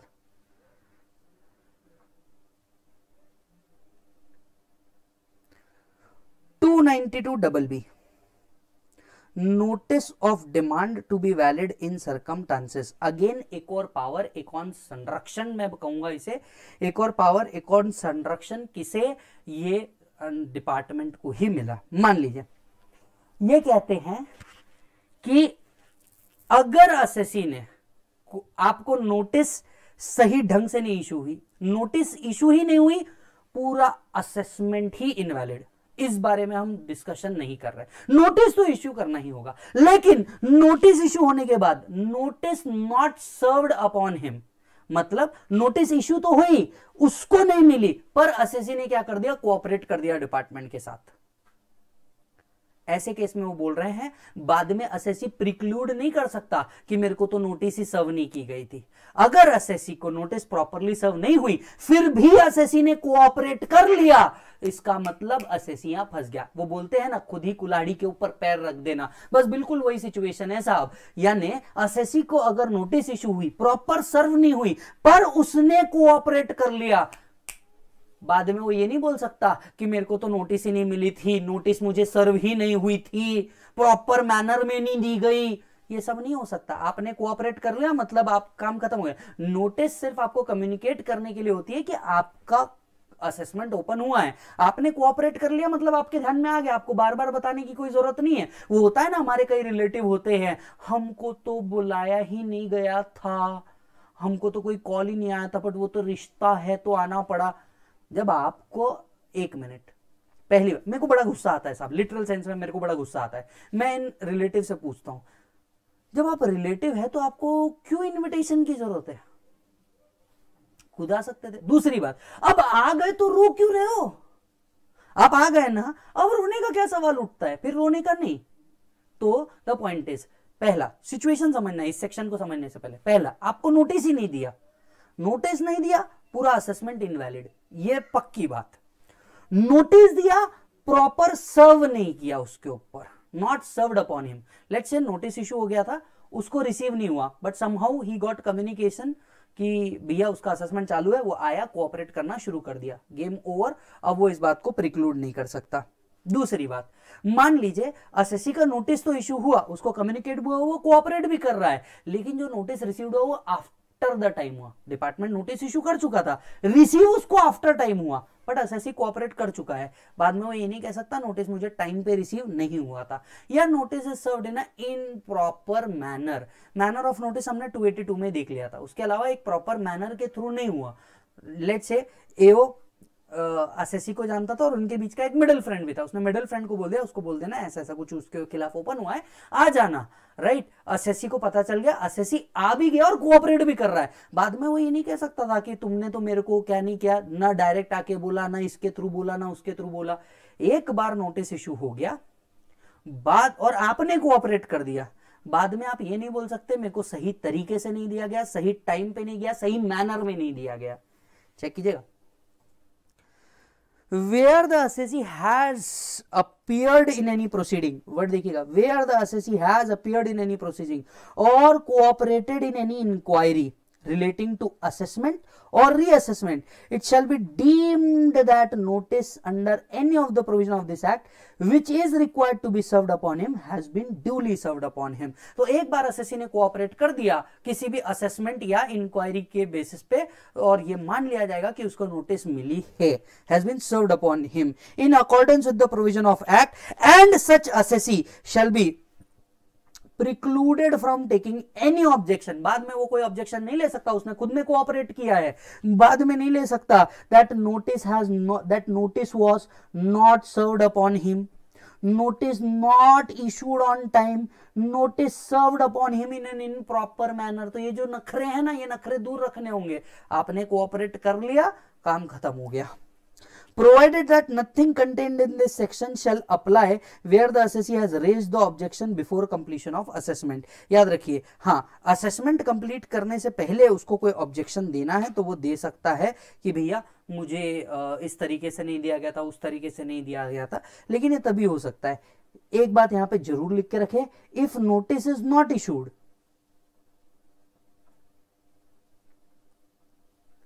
issue ही नहीं की असेसमेंट नॉट वैलिड नोटिस तो इशू करना पड़ेगा सर्व हो या ना हो यहीं से हमें एक और बात के ऊपर डिस्कशन करना होगा आगे बढ़ने से पहले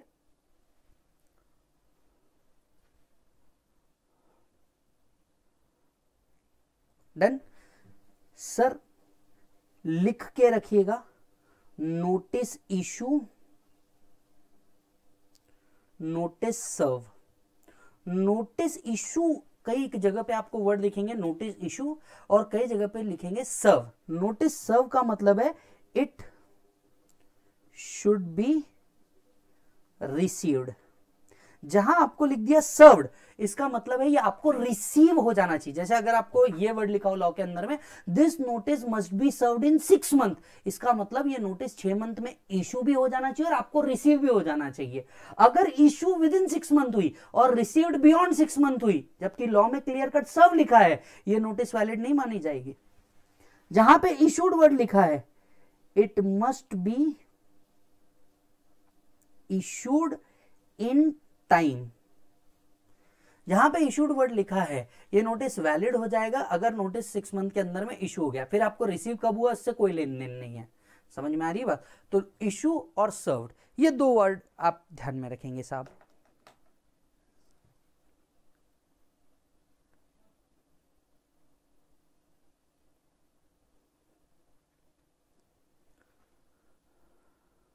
डन सर डन सर तो यहाँ पे नोटिस आपको देना ही पड़ेगा वहां पे नॉट सर्व वर्ड लिखा है तो नोटिस अगर इशू ही नहीं किया तब तो कंप्लीटली इनवैलिड इस बारे में हम कोई डिस्कशन नहीं कर रहे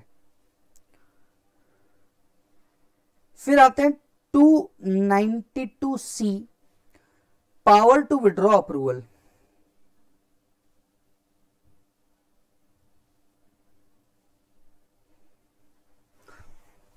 समझिए क्या पावर है ये टेक्निकली एक पावर है जो गवर्नमेंट या बोर्ड एक्सरसाइज करता है ये सिर्फ एक सेक्शन है बिल्कुल मतलब कोई काम का नहीं है बट हाँ आप जब आज पहली बार पढ़ रहे हैं तो आज बेसिक्स में पढ़ लीजिए पूरा ये ऐसा है कि मान लीजिए कमिश्नर ऑफ इनकम टैक्स को आ, किसी भी तरह के चैरिटेबल या रिलीजियस ट्रस्ट को अप्रूवल देने का पावर है कि आप किसी भी चैरिटेबल और religious trust subject to certain condition आप क्या कर सकते हैं उन्हें अप्रूव कर सकते हैं ऐसा एक पावर उनको दिया हुआ है now the point is now the point is अगर सेंट्रल गवर्नमेंट और बोर्ड चाहे तो ये जो पावर उसको दिया गया है ये पावर उससे छीन भी सकता है मतलब अगर सेंट्रल गवर्नमेंट ऑर्डर निकाल दे कि बॉस अब सीआईटी क्या नहीं करेगा पावर नहीं देगा और अब ये पावर जेसीआईटी के हाथ में होगा या सी यू नो सीसीआईटी के हाथ में होगा तो ऐसा कोई पावर निकाला जा सकता है उसके हाथ से ये लिखा हुआ है section 292 C power to withdraw approval तो अप्रूवल देने का कोई पावर होगा तो वो विड्रॉ किया जा सकता है ऐसा एक सेक्शन यहाँ पे कहता है सो वेयर सेंट्रल गवर्नमेंट और बोर्ड और any income tax authority who has been conferred by the power under the provisions of the act to grant any approval to the assessee central government or board may notwithstanding the provision to withdraw such approval has not been specifically provided in the provision withdraw such approval at any time provided the central government or the board or income tax authority shall after giving a reasonable opportunity of showing cost against the proposed withdrawal withdraw the approval after recording the reason of doing so हालांकि ऐसा कोई भी power उसके हाथ से छीनने से पहले अपॉर्चुनिटी ऑफ बीइंग हर्ड देना क्या हो जाएगा मैंडेटरी हो जाएगा सो so, अगर हम देखें तो 282 से लेकर के यहां तक 292 सी तक के हमने जितने भी सेक्शन पढ़े हैं अब तक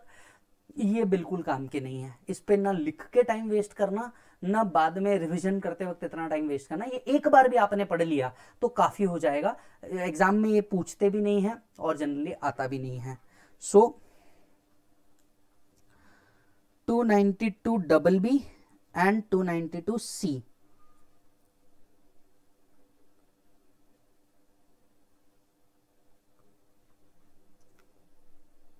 refer notes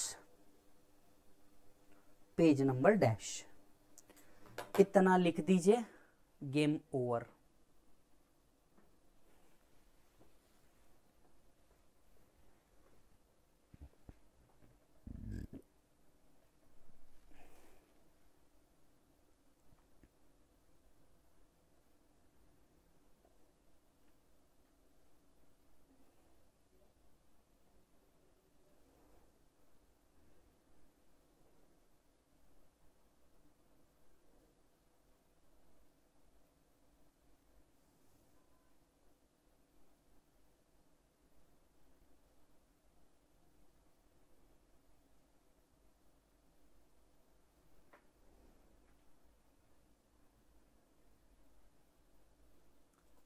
अच्छा जी सर आइए 288 पे चलते हैं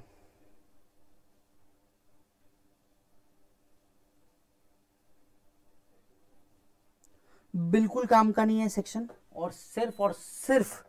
रेलेवेंट प्रोविजन इसकी हम लोगों ने कवर करी है एटी 288 है बहुत बड़ा सेक्शन है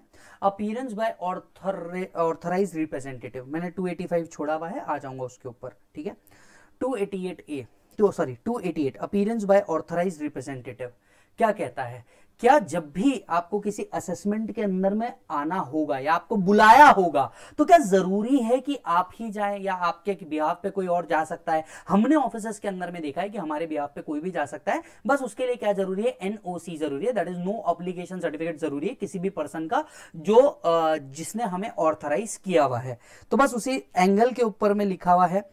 असेसी हुई is entitle to require to attend before any income tax authority और tribunal in connection with any proceed proceeding under this act otherwise than required under 131 thirty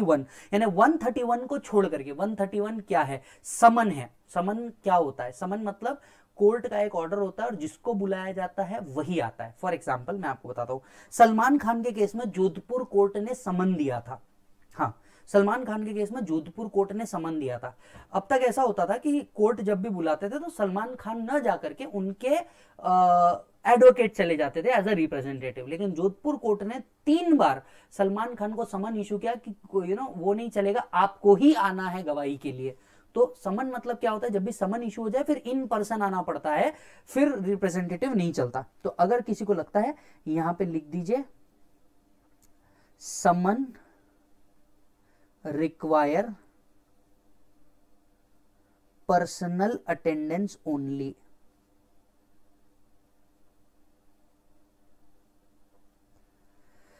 summon require personal attendance only इसीलिए summon को छोड़ करके हर उस जगह पे जहां पे आप इनकम टैक्स अथॉरिटी के सामने जा रहे हैं या फिर इनकम टैक्स अपील ट्रिब्यूनल के सामने जा रहे हैं so assessee who is entitled to attend before any income tax authority और appeal tribunal otherwise than under 131 to attend personally और examine on oath may subject to other provision attended by a authorise representative तो जरूरी नहीं आपको जाना है आप क्या करते हो सामने वाले से एनओसी लेते हो और ऑथराइज रिप्रेजेंटेटिव बोल के खुद जाते हो ये ऑफिसर्स में आपके द्वारा देखा गया एक बहुत नॉर्मल प्रोविजन है for the purpose of this section authorise representative means a person authorise representative में कौन कौन हो सकता है धीरे देखिएगा right means a person authorise by the assessee in writing to appear on और बिफोर हिम इन राइटिंग का मतलब क्या है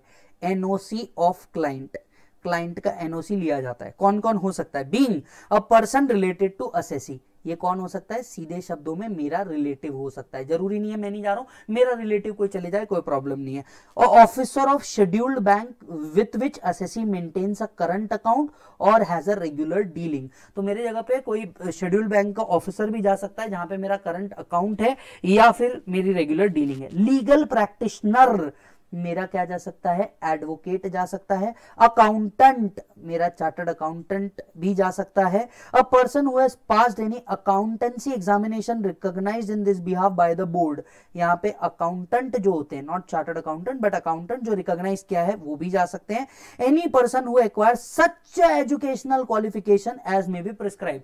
central government क्या करता है बोर्ड कुछ एजुकेशन क्वालिफिकेशन दे सकता है अगर वो एजुकेशन क्वालिफिकेशन आपके पास है तो आप उनके बिहाफ पे जा सकते हो any person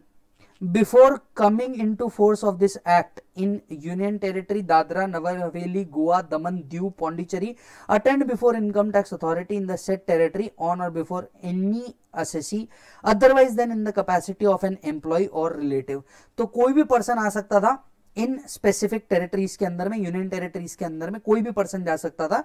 otherwise then by employ और उसका रिलेटिव छोड़ करके कोई भी पर्सन जा सकता था इन जगहों पे कोई काम का नहीं other person who immediately before commencement of act was an income tax practitioner इस एक्ट के चालू होने से पहले अगर कोई भी इनकम टैक्स प्रैक्टिशनर था वो भी जा सकता है अब ये भी कोई काम का नहीं इसमें आया है अमेंडमेंट क्यों लाया गया अमेंडमेंट मैं वो भी बता देता हूं सर ये अमेंडमेंट लाना बहुत ज़्यादा जरूरी था और इसलिए भी ये आया है अगर कोई भी बी आईबीसी के अंदर में जाता है इंसॉल्वेंसी बैंक्रप्सी कोड के अगेंस्ट में जाता है तो उसके बिहाफ पे फिर हर जगह क्या होता है आ, इनको जाना पड़ता है आ, एडजुडिकेटिंग अथॉरिटी को जाना पड़ता है अब प्रॉब्लम ये हो रहा था हु कैन रिप्रेजेंट में कहीं पे भी एडजुडिकेटिंग अथॉरिटी लिखा हुआ नहीं था इसी के लिए क्या किया गया एक और एड किया गया एनी अदर पर्सन ये वर्ड मिसिंग था यहां पे any other person as may be prescribe तो यहां पे एक क्लॉज ऐड किया गया any other person as may be prescribe और अब अब क्या किया जाता है बोर्ड क्या कर देता है प्रिस्क्राइब कर देता है एक सीधा सीधा ऑर्डर इशू करके कि we prescribe the authorise authorise representative और adjudicating authority in case of IBC to be one of the person who will be appearing before income tax authority तो ये जनरली अगर आप मेरी पिछली बुक देखेंगे टैक्स की अगर आपके किसी सीनियर ने या जिसने भी आपको रेफर किया होगा आप उसकी बुक देखेंगे तो ये सेक्शन आपको वहां पे दिखेगा भी नहीं and since it was an amendment हमने उसको यहाँ पे लिया हुआ है तो any other person as may be prescribe इसीलिए मैंने आपको रीजन भी लिख के दिया this is amendment because of the IBC insolvency bank code insolvency bank code के अंदर में एडजुडिकेटिंग अथॉरिटी जाता है और इनमें से ना वो कोई रिलेटिव होता है ना कोई लीगल प्रैक्टिशनर होता है ये वो कोई भी कैटेगरी में नहीं आता इसलिए लॉ में एक और वर्ड लाना जरूरी था और वो था any other person as may be prescribe तो ये एक अमेंडमेंट हुआ है फाइनेंस एक्ट ट्वेंटी के तहत बट ओवरऑल सिचुएशन अगर मैं इसकी भी बोलू बिल्कुल आप रजिस्टर में जाइए लिखिए 288 authorised representative refer notes page number dash जो भी आपका पेज नंबर होगा उतना डाल दीजिए matter over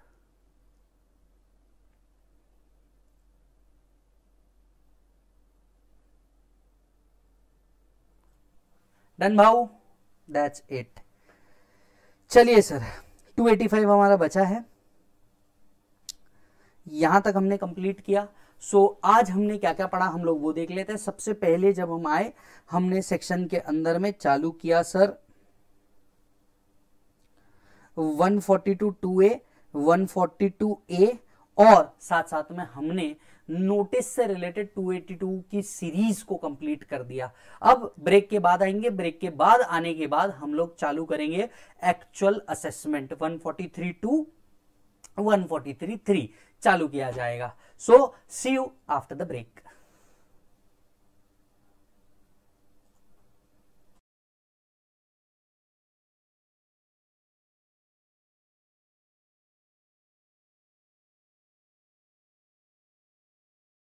yes welcome after the break और अब हम चालू करते हैं क्या बेटा अब हमारे ओरिजिनल के असेसमेंट के सेक्शन शुरू होते हैं यहाँ तक के जो हम लोगों ने किया है वो एक बार हम लोग फटाफट देख लेते हैं the first as will file the self assessment tax then file return of income return of income will go to what correct summary assessment summary assessment के बाद the AO will decide whether he wants to do the assessment और he don't want to do the assessment if he wish to do the assessment then he will call the information और require some assessee to file the return of income under 14211 और 14212 as the case may be then whenever the information is received he will check and verify whether the information is understandable or not whether he could understand it or not if he could not understand it he will use 2 of the power 142 2a दोबारा से audit करवा के आ या फिर कहीं valuation related issue होगा तो वो सिर्फ वैल्यूएशन करवाएगा 142 ए के अंदर में बराबर भाई इसके बाद या तो अब वो रेगुलर असेसमेंट करेगा या तो वो बेस्ट जजमेंट असेसमेंट करेगा आप असेसमेंट का चार्ट देख चुके होंगे और मैं इतने बार बोल रहा हूं तो आई थिंक आप लोग को बहुत अच्छे से रिवाइज हो चुका होगा आगे बढ़ते हैं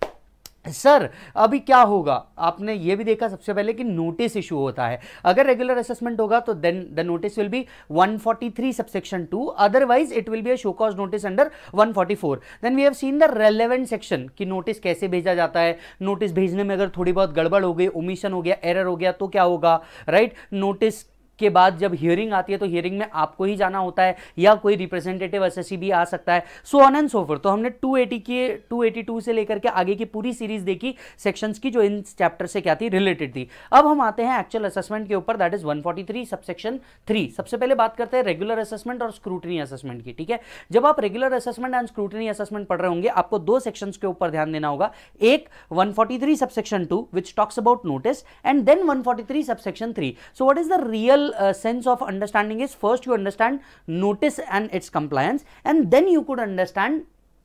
the actual assessment what it is carried out exam point of view आपके लिए ज़्यादा इंपॉर्टेंट है 143 सबसेक्शन 2 143 3 इतना इंपॉर्टेंट नहीं है right exam point of view से 143 सबसेक्शन 2 ज़्यादा इंपॉर्टेंट है क्योंकि उसमें नोटिस से रिलेटेड इश्यूज होते हैं राइट right? कुछ बातें स्टार्ट करते हैं 143 सबसेक्शन टू आप सबको पेज नंबर 10 के ऊपर आना है 143 सबसेक्शन टू अब अगर आप सेक्शन देखेंगे तो सबसे पहले यहां पे लिखा है ये नोटिस भेजेगा कौन और भेजेगा कब अगर रिटर्न भरा है तो ही वन फोर्टी थ्री टू आ सकता है अदरवाइज नहीं that means it simply is the first interpretation the movement you will read the bare act it says that when a return is filed under 139 और 142 which simply denote us if return is filed the only assessment you could made is one forty three subsection three and if not complied with this notice four no doubt but the first primary assessment you will do is regular assessment if the return is filed so अगर return ही नहीं भरा होगा क्या one forty three subsection two आ सकता है answer is no अगर return नहीं भरा होगा तो वन फोर्टी आ नहीं सकता दूसरी चीज सर बताइए अगर हमने ये नोटिस ही नहीं भेजी तो क्या असेसमेंट वॉइड हो जाएगा हाँ भाई अगर आपने नोटिस ही नहीं भेजी इनविटेशन ही नहीं दिया और आपने डायरेक्ट काम कर दिया तो फिर आप इसके रेगुलर असेसमेंट कैसे कहेंगे सो so, नोटिस नहीं दिया तो पूरा असेसमेंट क्या हो जाएगा वॉइड हो जाएगा तो दूसरी चीज हमने क्या सीखी 143.3 अगर करना है रेगुलर असेसमेंट अगर करना है तो वन का नोटिस देना जरूरी है नोटिस नहीं दिया या नोटिस टाइमली नहीं दिया वापस से सुनिएगा नोटिस नहीं दिया या नोटिस टाइमली नहीं दिया दोनों भी केसेस में आपका क्या हो जाएगा असेसमेंट वाइड एब इनिशियो हो जाएगा कैसा हो जाएगा बेटा वाइड एब इनिशियो हो जाएगा ठीक है सर सर मुझे एक बात बताइए ये नोटिस भेजता कौन है तीसरी चीज़ रिटर्न भरा पहली चीज़ रिटर्न भरा तो ही 1432 हो सकता है राइट दूसरा आ, हम लोगों ने बात करी दूसरी चीज़ की रिटर्न अगर नहीं भेजा तो पूरा असेसमेंट वाइड एब इनिश हो जाएगा तीसरा ये नोटिस भेजेगा कौन who is the authority who will send the notice अब इसके अंदर में कुछ सालों पहले अमेंडमेंट आया था वो अमेंडमेंट क्यों आया था मैं बता देता हूं सबसे पहले जब ओरिजिनली इस सेक्शन को बैरैक्ट के अंदर में लाया गया था तब उस टाइम पे सिर्फ असेसिंग ऑफिसर वर्ड यूज किया गया था बाद में नोटिस जो थी ये ऑनलाइन जनरेट हो गई किसके through C computer aided scrutiny software के थ्रू नोटिस ऑनलाइन जनरेट शुरू होना चालू हो गई तो जब ये ऑनलाइन जनरेट होना शुरू हो गई तो ऐसा हुआ कि इसके आगे एओ के आगे एक और वर्ड ऐड करना पड़ा प्रिस्क्राइब अथॉरिटी सो 143 टू कौन भेजता है एओ भी भेज सकता है या प्रिस्क्राइब अथॉरिटी भी भेज सकती है ये एमसीक्यू बोल करके आ सकता है याद रखिएगा नोटिस कौन भेजेगा 143 टू की या तो एओ भेजेगा या फिर आपका प्रिस्क्राइब अथॉरिटी भेजेगा ये प्रिस्क्राइब अथॉरिटी कौन है as of now C S S but law लिखते वक्त हमें हमेशा प्रिस्क्राइब अथॉरिटी देना है तो पहली चीज़ नोटिस नहीं भेजा तो ये वॉइड हो जाएगा दूसरी चीज़ नोटिस एओ भेज सकता है प्रिस्क्राइब अथॉरिटी भेज सकता है तीसरी चीज़ रिटर्न भरा तो ही आ, ये नोटिस आ सकता रिटर्न नहीं भरा तो ये नोटिस आ सकता नहीं बहुत बढ़िया सर तो चौथी चीज़ सर ये नोटिस देंगे कब तक ये नोटिस कब तक दिया जाएगा ये नोटिस दिया जाता है six month from the end of financial year in which return is filed ध्यान से सुनिएगा वर्ड और आपको यह टाइम लिमिट कॉन्ट्राडिक्टरी लगनी ही चाहिए 143 वन के साथ मैं पहली बता रहा हूँ वन फोर्टी थ्री वन के साथ ये कॉन्ट्राडिक्ट्री लगनी ही चाहिए क्योंकि वन वन समरी असेसमेंट क्या टाइम लिमिट दे रहा था बेटा आपको वो टाइम लिमिट दे रहा था one year from the end of financial year in which return is filed जबकि one forty three subsection three maximum time कितना देता है नोटिस भेजने का नोटिस भेजने का मैक्सिमम टाइम लिमिट कितना है six month from the end of the month in which return is filed तो जब भी रिटर्न फाइल्ड हुआ होगा हुआ होगा उस फाइनेंशियल ईयर से सिक्स मंथ तो अब मैं आपको इसका प्रोसेस बताता हूँ क्योंकि आपको ये कॉन्ट्राडिक्ट्री लगेगा कि इंटीमेशन का भेजने का टाइम लिमिट ज़्यादा रखा गया है जबकि नोटिस भेजने का टाइम लिमिट कम रखा गया है बिल्कुल सही जवाब क्योंकि ये जो मैंने आपको पहले भी बताया था इंटीमेशन का जो भेजने का टाइम लिमिट होता है ये इंटीमेशन का ये मैक्सिमम टाइम है वन ईयर हालांकि जो रिटर्न होते हैं आज का अगर करंट स्थिति देखा जाए तो मैक्स टू मैक्स दो महीने के अंदर में प्रोसेस हो जाता है मैक्स टू मैक्स और एओ क्लियर कट असेसमेंट की गाइडलाइंस निकाल देता है और जैसे ही मान लीजिए कोई रिटर्न प्रोसेस हो गया और उसके सामने जिस असेसी को क्या करना है उसको असेसमेंट करना है उसकी डिटेल अगर आ जाती है तो उसके लिए टेंशन वाली कोई बात ही नहीं होती है उसके लिए टेंशन वाली कोई बात ही नहीं होती कि वो तुरंत वन क्या कर देता है इशू कर देता है सो वन को इशू करने का टाइम लिमिट कितना है six month from the end of the month in which in which notice sorry return is filed अभी जो सिक्स मंथ है इसमें वर्ड लॉ में लिखा हुआ है सर्व मतलब छह महीने के अंदर ये इशू नहीं होना चाहिए छह महीने के अंदर ये इशू होके रिसीव हो जाना चाहिए सर इसका मतलब क्या ये ऐसा हुआ कि notice within six month हुए रिसीव बियॉन्ड सिक्स मंथ हुई तो क्या असेसमेंट इनवैलिड बिल्कुल हाँ इनवैलिड क्योंकि हमने क्या बोला नोटिस छः महीने के अंदर इशू भी हो जाना चाहिए रिसीव भी हो जाना चाहिए क्योंकि जब आप 143 टू के वर्ड्स पढ़ेंगे तो वहां पे एक्चुअली लिखा हुआ है सर्व्ड वर्ड लिखा हुआ है rather than issued served word लिखा हुआ है वहां पे that notice must be served within six month from the end of the financial year in which return is filed तो हाँ अगर मैं ये बोलूँ कि ये थोड़ा सा आपको ऐसा लगे कॉन्ट्राडिक्ट्री है वन फोर्टी थ्री वन के साथ तो मैं भी कहूंगा हाँ ये कॉन्ट्राडिक्ट्री है क्योंकि इसका टाइम लिमिट ज़्यादा होना चाहिए था बट स्टिल प्रैक्टिकली देखा जाए तो ये बहुत स्पीड में हो जाता है जहाँ पे असेसमेंट होने वाली होती है वहाँ पे ये काम ईजी हो जाता है स्पीड में हो जाता है ठीक है सर सर आ, मुझे कुछ बातें आपसे जाननी है क्या ये नोटिस भेजना ज़रूरी है मैंडेटरी है आंसर इज़ यस सर कौन से साल के लिए भेजी जा सकती है और क्या इससे कोई इंफॉर्मेशन मंगाई जा सकती है क्या आंसर इज यस 1432 जो आता है राइट right? इसके साथ साथ जनरली एक क्वेश्चन आता है जब आप ऑफिस में देखेंगे नोटिस अगर आपने किसी क्लाइंट का देखा होगा तो 1432 के साथ साथ एक क्वेश्चनर आता है जितनी भी ऑडिट क्वेरीज एओ ने निकाल करके रखी है वो क्वेश्चनर आता है ये नोटिस आपसे कहता क्या है ये नोटिस आपको किसी पर्टिकुलर दिन किसी पर्टिकुलर समय पे एओ के सामने प्रेजेंट होने बोलता है सो वन फोर्टी का नोटिस करता क्या है 1432 का नोटिस किसी पर्टिकुलर दिन पे आपको एओ के ऑफिस में सामने जाके प्रेजेंट होने का इन्विटेशन देता है तो अगर आपसे कोई रात में उठा के पूछे बेटा 1432 क्या करता है आपने बोलना है ये एक इन्विटेशन है एओ द्वारा कि आ हम दोनों मिलकर बैठेंगे किसी पर्टिकुलर दिन के ऊपर ये इनविटेशन क्या आपको खुद से करना जरूरी है नहीं कल ही हमने पढ़ा था कि कोई रिप्रेजेंटेटिव अथॉरिटी भी सॉरी आज ही हमने पढ़ा था कि कोई रिप्रेजेंटेटिव अथॉरिटी भी क्या कर सकता है इसको कंसिडर कर सकता है चलिए आइए थोड़ा सा आगे बढ़ते हैं तो कुछ चीज़ें और ज़्यादा क्लियर हो जाएगी मैं बेरेक्ट पढ़ रहा हूं पेज नंबर टेन के ऊपर where return has been furnished word यहां से चालू हो रहा है वेयर रिटर्न इज फर्निश्ड यानी एक बात तो बड़ी क्लियर होगी मालिक if return is not furnished if R O I not furnish लिखा है लिखने की जरूरत नहीं है नहीं तो आप बोलोगे सर इधर बुक में जगह ही नहीं दी नीचे लिखा है don't worry if R O I is not furnished 143 two not possible नीचे लिखा है बेटा टेंशन मत ले right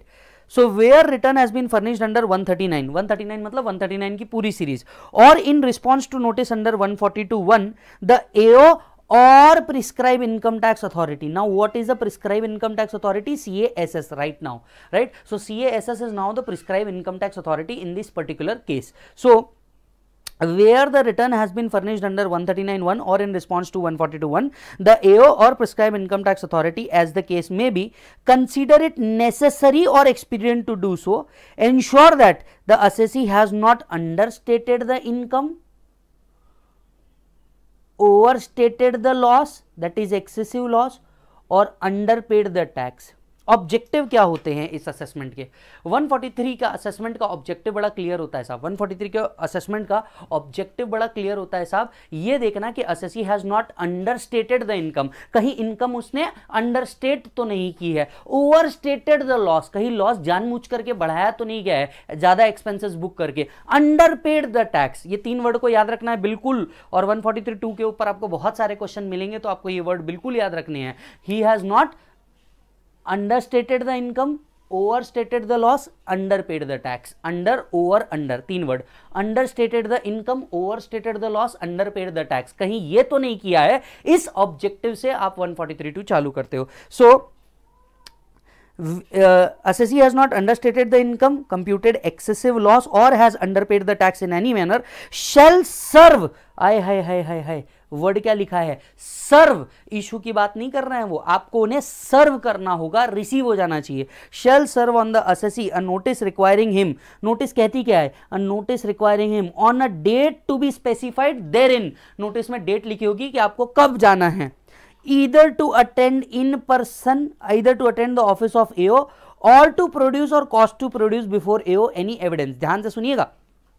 यहाँ पे वही बात प्रूव हो जाती है क्या 1432 फोर्टी टू के तहत भी इंफॉर्मेशन मंगाई जा सकती है क्या हाँ साहब इन्फॉर्मेशन मंगाई जा सकती है ये ओवर पावर करता है 142 12 को वन टू के अंदर में सिर्फ और सिर्फ तीन साल की इंफॉर्मेशन मंगाई जा सकती है लेकिन थ्री टू के अंदर में कितने भी नंबर ऑफ ईयर्स की इंफॉर्मेशन मंगाई जा सकती है कल हम लोगों ने अगर आपको याद होगा तो थोड़े दिन पहले हम लोगों ने इस बात को भी डिस्कस किया था on which the assessee may rely in support to return provided that provided that no notice under this section shall be served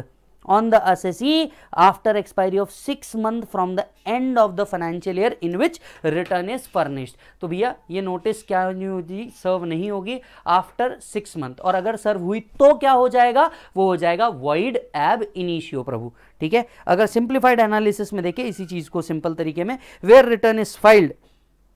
under 139 or 142.1 the AO or prescribed income tax authority not below ITO has been authorized by CBDT shall serve a notice. Notice shall be served within 6 months from the end of financial year in which return is made.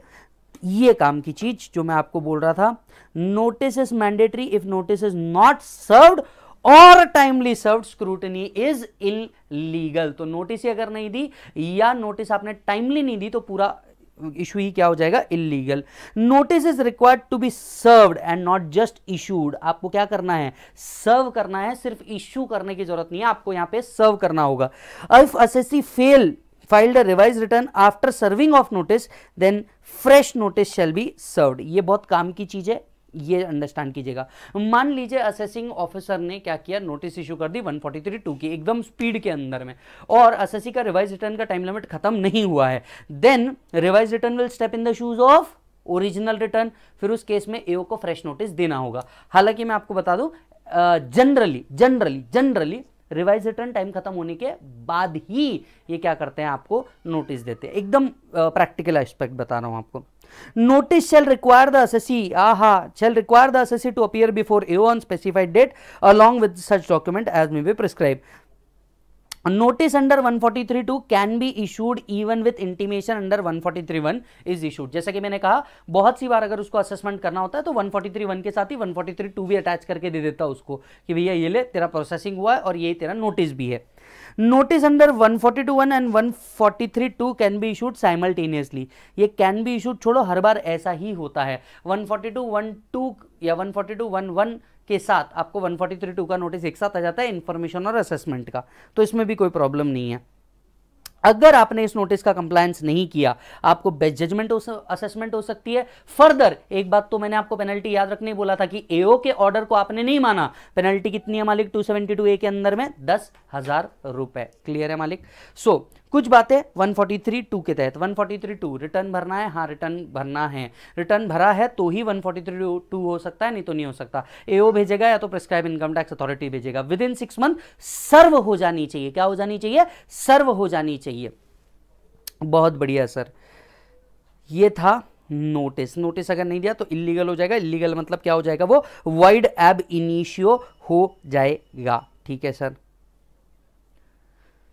Sir bare act में भी इतना ही है मैं तो आपको पहले ही बोल चुका आप मेरी बुक को बाजू रखिए बेरैक्ट को बाजू रखिए एक ही चीज़ है क्योंकि पूरा का पूरा बुक ही बेरैक्ट है और मैं ऐसे ही नहीं बोल रहा हूँ कि आपको सिर्फ सीए फाइनल पास करने के लिए ये बुक रखना है ये बुक आप अपने ऑफिसर्स के अंदर में रखेंगे सर ऑफिसर्स के अंदर में रखेंगे अपने जो इतने आर्टिकल दोस्त होंगे उनको बताएंगे कि भाई ये देख ये वाली बुक ले ये पूरा का पूरा बेरेक्ट प्लस सिंप्लीफाइड एनालिसिस दिया है इसके अंदर में तो सर ये हुआ आपका नोटिस अब आते हैं असेसमेंट अब आते हैं असेसमेंट के ऊपर 143.3 क्या होगा असेसमेंट मतलब मैं आपको समझाता हूं सर होता क्या है जिस दिन पर्टिकुलर दिन पे आपको बुलाया जाता है प्रैक्टिकल एस्पेक्ट समझिए जिस दिन आपको बुलाया जाता है आप सबसे पहले जाते हो आप सबसे पहले उनको एनओसी देते हो आप क्लाइंट नहीं जाता आप जाते हो ठीक है तो आप क्या करते हो आप जाते हो सबसे पहले उनको एनओसी पकड़ाते हो सर को बोलते हो sir I have been appointed as a you know professional for this particular SSC और असेसमेंट के लिए बताइए आपको क्या क्या चाहिए साथ साथ में 143 टू के तहत वो कुछ इन्फॉर्मेशन मंगाया हुआ होता है तो उसने बिल्कुल टाइम अलोकेट करके रखा होता है आप लोगों के लिए भी वो क्या करता है आपको पूछता है कि भैया उसकी जो नोट्स एंड शीट्स होती है उसमें से एक एक पॉइंट निकालता है और आपके सामने रखते जाता है और आपको उसके ऊपर एक्सप्लेनेशन मांगता है आप इसके ऊपर एक्सप्लेनेशन बहुत अच्छे से दे पाते हो क्योंकि जब आपको नोटिस मिला होता है उसके अंदर में उसके कुछ क्वेश्चन होते ही है उसके अंदर में कुछ उसके क्वेश्चन होते ही होते हैं राइट तो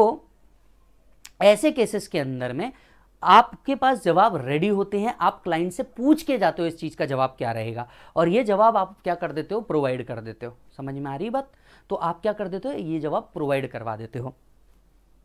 अब इसके बाद क्या होता है सर क्या एक ही हियरिंग में सारा काम हो जाता होगा आंसर इज नो एक हियरिंग में सारा काम नहीं होता मल्टीपल हियरिंग्स होती है लेकिन उन हर मल्टीपल हियरिंग्स के लिए आपको नोटिस नहीं दी जाती बस वो डेट्स एंड शीट्स में आपको ओरली सामने कम्युनिकेट किया जाता है और साथ साथ में डेट्स एंड शीट्स के अंदर में लिख दिया जाता है कि भैया ये आपको नेक्स्ट डेट प्रोवाइड की है एक हियरिंग में कभी कभी काम हो जाता है कई बार मल्टीपल हियरिंग्स लगती है जो भी जैसा भी जितनी क्वेरीज होगी उस हिसाब से आपको क्या करना होता है डील करना होता है अब 1433 मतलब क्या 1433 मतलब यही उसने पूरा ऑडिट कर लिया आपसे ऑडिट क्वेरी सॉल्व करवा दी अब कुछ पार्ट में क्या होगा वो अग्री करेगा कुछ पार्ट में वो क्या नहीं करेगा अग्री नहीं करेगा तो जहां वो अग्री नहीं करता वो आपको बोल देता है कि भैया मेरे को आपका ये एक्सप्लेनेशन नहीं समझ में आया और मैं इसका एडिशन कर रहा हूं एडिशन कर रहा हूं का मतलब ये होता है ये जो वर्ड है ये आपको असेसमेंट में सुनने मिलेगा मैं एडिशन कर रहा हूं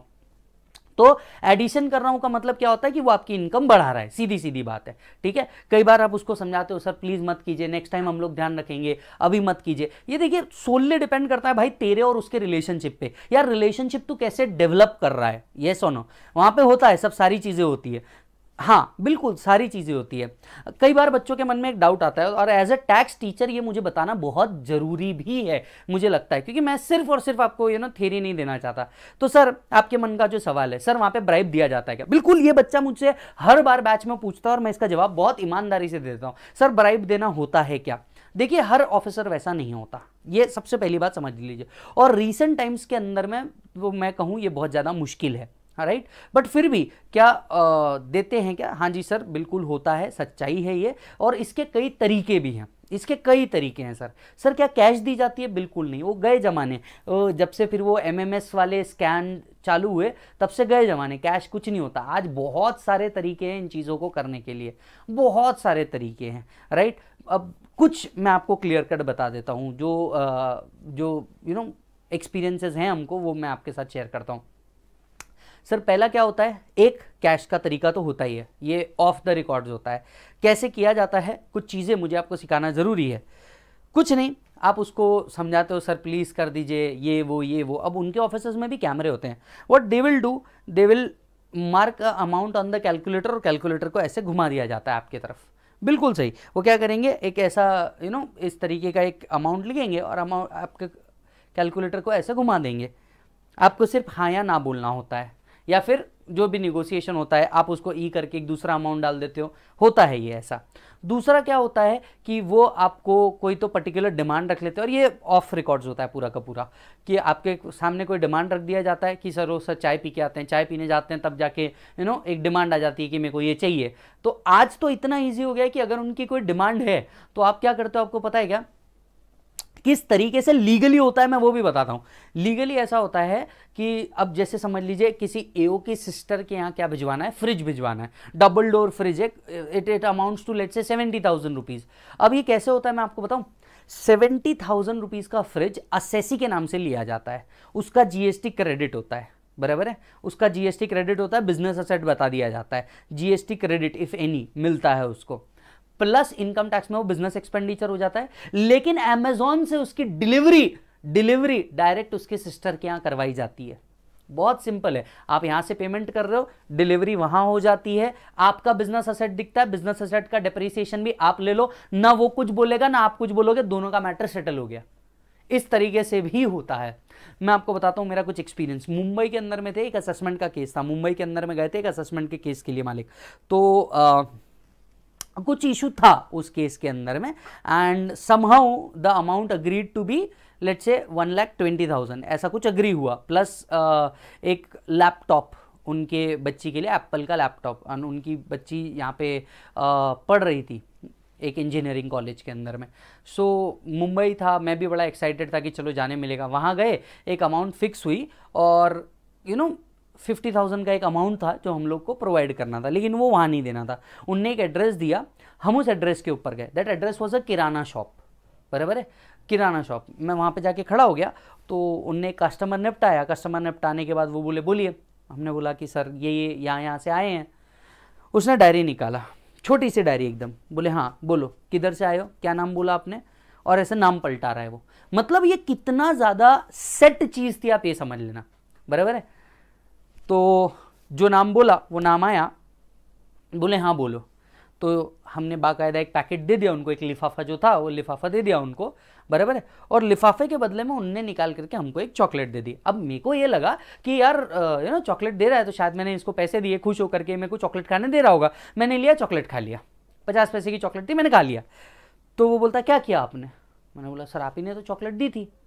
बोले ये चॉकलेट मैंने आपको दी थी ये चॉकलेट ले जाके आपको उधर देनी है पचास पैसे की चॉकलेट का मीनिंग वहां पे था पचास हज़ार रुपए रिसीव्ड हुए हैं और ये टोकन था जो हमको वहां देना था कि हाँ अमाउंट रिसीव हो चुकी है मतलब आप सोचो अगर अमाउंट पांच लाख रुपए होती या उससे ऊपर होता तो कौन सी चॉकलेट मिलती वो बोलता है ये चॉकलेट का पैसा आपको देना पड़ेगा पचास पैसे मैंने एक रुपए दिया दो एक और यू नो चॉकलेट ले लिया फिर एक चॉकलेट ले जाकर के उसको दिया कि भैया हाँ इस तरीके से टोकन अमाउंट हो चुकी है आज बहुत सारी चीज़ें होती है कई बार सोडेस्को वाउचर्स मांगे जाते हैं सोडेस्को वाउचर्स क्या होते हैं मैं आपको समझाता हूँ वो जो फ्री लंच डिनर कूपन्स नहीं होते वो होते हैं आई वाले जो होते हैं बोलते हैं उनसे सोडेस्को ला के तो इनके बच्चे कहीं ना कहीं कुछ पढ़ रहे होते हैं वहाँ जा करके उनको ये सोडेस्को वाउचर्स प्रोवाइड करो राइट तो अब ऐसा बहुत ज़्यादा हो चुका है बस ऐसा है कि अब बहुत सारे मकानिज़म आ चुके हैं फिर किसी का पेटीएम नंबर मिलता है उसके पेटीएम नंबर पे इतना अमाउंट ट्रांसफ़र कर दो तो ऐसी बहुत सारी चीज़ें हो चुकी है अब मकानिज़म बहुत बदल गए हैं पहले सिर्फ ऐसा होता था कि उनने पैसा मांगा पैसे देना है पर आज मकानिज़म बदल गए हैं राइट क्या डिमांड आती है मैं आपको बताऊं अब जैसे अब बहुत बार बात होती है यू नो ए और आपके बीच में बहुत बार बात होती है तो कई बार ऐसा होता है कि सर आ, जा रहा हूँ मैं आउट ऑफ इंडिया घूमने जा रहा हूँ तो फिर उनकी तरफ से आता है ज़रा कस्टम ड्यूटी से एक बॉटल उठा करके लेके आना ये वाली बॉटल का नाम लिख करके दे देते हैं एंड यू देखिए क्या है ये दोनों के बीच का वन टू वन रिलेशनशिप है ये बात आपको हमेशा याद रखनी पड़ेगी ये दोनों के बीच का वन टू वन रिलेशनशिप है फिर क्या होता है आप ऐसा कुछ ला करके देते हो दिवाली गिफ्ट्स जाते हैं sir you have to maintain the relationship और ये सारी चीज़ें होती ही है येस सो नो मैं बिल्कुल देखिए मैंने आपको कल भी आ, कल भी बताया आज भी बता रहा हूँ कि सर ये सारी चीज़ें होती है मैं आपको ये नहीं मैं आपको कोई हसीन सपने नहीं दिखाऊंगा कि भैया देख इतना अच्छा होता है income tax department deep down we all know कि ये सारी चीज़ें हैं हाँ ऐसा है कि सिस्टम हर बार ट्राई करता है इसको कर्ब करने का और एक और तरी एक और सेक्शन है मैं आपको बताऊँगा कि इन चीज़ों को बचने के लिए क्या सेक्शन आया है मैं वो भी बताऊँगा आपको तो हाँ करप्शन है बिल्कुल है सर बट ये एथिकल है क्या मैंने आपको पहले ही कहा ethics is a very beautiful word in books books के अंदर वो बहुत अच्छा वर्ड है सर बट प्रैक्टिकल लाइफ में वो अप्लाई करना थोड़ा सा मुश्किल है ये सो नो आइए सो वन फोर्टी क्या करेगा 1433 आपकी इसी तरीके से इनकम को कंप्यूट करेगा जो आप आपने जितने जवाब दिए जिससे वो सेटिस्फाइड है वो कट कर देगा जिससे वो सेटिस्फाइड नहीं है वो आपकी इनकम में क्या कर देगा एडिशन कर देगा आपका टोटल इनकम टैक्स या अमाउंट रिफंड निकालेगा स्टॉप मेरी इस बात को ध्यान से सुने वो आपका टोटल टैक्स या अमाउंट रिफंड निकालेगा टोटल टैक्स या अमाउंट रिफंड निकालेगा स्टॉप असेसमेंट कितने प्रकार के थे एक one forty three and last one A only one के अंदर ही रिफंड आ सकता है 144, 148, 153 बचे हुए तीनों के अंदर रिफंड नहीं दिया जा सकता रिफंड अगर आना होगा तो सिर्फ यहीं आ सकता है बचे हुए तीन असेसमेंट के अंदर में रिफंड नहीं आ सकता टेंशन मतलब सब लिखा है मैं सिर्फ आपको बता रहा हूं बराबर है तो वो आपकी टोटल इनकम कंप्यूट करेगा टोटल टैक्स कंप्यूट करेगा और अमाउंट रिफंड इफ एनी वो आपको प्रोवाइड कर देगा वन के अंदर में यह है पहला क्लॉज वन का दूसरा एक और पावर दिया गया है वन के अंदर में वो पावर क्या है उस बारे में भी डिस्कस कर लेते हैं ध्यान से सुनिए आपको याद है 139.4 सी सारे you know C various institution university colleges जिसको various section under section ten के एग्जामेशन दिए हैं हाँ तो होता यह है जब भी किसी अथॉरिटी बॉडी इंस्टीट्यूशन कॉलेज इनको कोई एग्जामेशन दिया जाता है इनकम टैक्स के अंदर में that exemption is subject to certain condition while doing the assessment it is also the responsibility of assessing officer to check whether those condition on which which is given is satisfied or not Suppose his exemption is, if the condition for exemption is satisfied, he will do nothing. However, if he during the assessment come across some of the condition on which exemption is given is not satisfied, what AO will do? Whether AO will take up the exemption? Answer is no.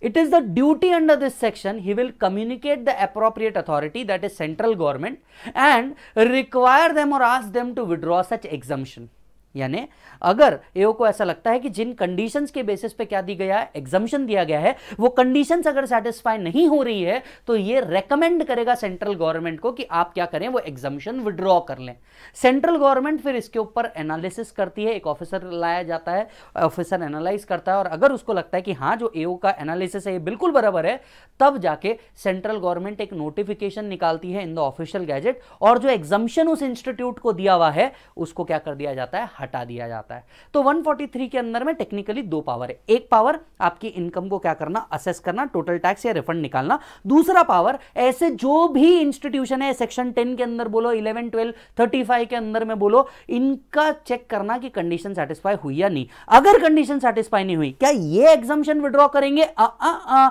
ये सिर्फ recommend करेंगे कि आप क्या कर दीजिए ये exemption को विड्रॉ कर दीजिए ये एग्जामेशन हटा दीजिए और फिर क्या होता है ये एग्जामिशन विड्रॉ किया जा सकता है पर इसके लिए क्या निकलेगा नोटिफिकेशन निकलेगा इन द ऑफिशियल गैजेट तो ये दो चीज़ें टेक्निकली 143 थ्री के अंदर में होती है अच्छा जी सर सर जैसा कि आपने कहा था every powers comes with a limitation तो क्या असेसमेंट करने का भी कोई टाइम लिमिट है मतलब असेसमेंट कितने दिनों में हो जानी चाहिए या मैक्स ये कब तक के ख़त्म हो जाना चाहिए यस yes, ये लिखा है सर कहाँ लिखा है लिखा है सेक्शन 153 के अंदर में 153 one to be more precise one subsection three आपको बताता है maximum time limit maximum time limit जब ये असेसमेंट कंप्लीट हो जाना चाहिए 143 का तो वो भी हम लोग देखेंगे बट आप जब भी पढ़ें 143 टू वन थ्री और 153 वन तीनों एक साथ पढ़ें मज़ा आएगा आपको एकदम ऐसा सरलता से पूरा सेक्शन जाएगा आइए सर समझते हैं on the day specified in notice याद है नोटिस के अंदर में डे लिखा था आपको किस दिन आना है कहां पहुंचना है और as soon as after may be ये वर्ड को ध्यान से और as soon word as may be इसका मतलब क्या होता है एडजर्नमेंट अगर आपको कोई एडजर्नमेंट मिला होगा तो वो after hearing such evidence as the assessee may produce and such other evidence AO may require on special point and after taking into account all relevant material which has gathered, the AO shall by order in writing make assessment of total income or loss of the assessee, determine the sum payable or refund. इसी के नीचे लिखिए under section 144, 147, 153A refund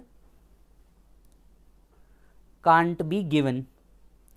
यानी refund अगर देना भी है तो सिर्फ और सिर्फ इसी सेक्शन के अंदर में दिया जा सकता है कोई और सेक्शन में नहीं दिया जा सकता तो एओ क्या करेगा एक टोटल इनकम या लॉस कंप्यूट करेगा पेएबल या रिफंड निकालेगा जबकि आप 144, 147, 153 में जाओगे वहां से पेएबल वर्ड दिखेगा रिफंड वर्ड नहीं दिखेगा और every word has its own meaning दादा of any amount due to him on the basis of such assessment provided provided in case of research association under 1021 news agency association institution institution fund or institution given in section 1023c which requires to furnish written under 1394 c no order making assessment of total income or loss of such university institution educational institution hospital shall be made by AO without giving effect to section 10 unless the AO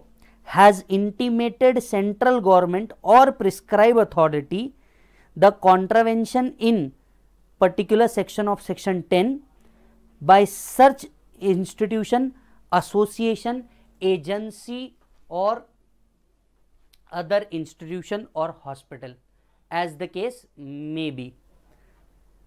Where in his view such contravention has taken place. क्या कह रहा है ये ये part कह रहा है आपका कि सर कोई भी इंस्टीट्यूशन का क्या किया जाएगा असेसमेंट किया जाएगा और जब असेसमेंट करते रहेंगे तो उनको सेक्शन टेन का एग्जामेशन दिया जाएगा लेकिन उस एग्जामेशन देने से पहले उसे यह चेक करना होगा कि जिन कंडीशंस पे उसे क्या दिया गया हो एग्जामेशन दिया गया हो क्या वो कंडीशन सेटिस्फाई हो रही है या वो कंडीशन सेटिस्फाई नहीं हो रही है The approval granted to such research association or other association, fund or trust or institution or university or other educational institution or medical institution has been withdrawn or notification issued in respect of such agency, fund, trust institution has been rescinded ये भी साथ में check करना होगा कि जो approval था वो अप्रूवल उनके पास है तो सही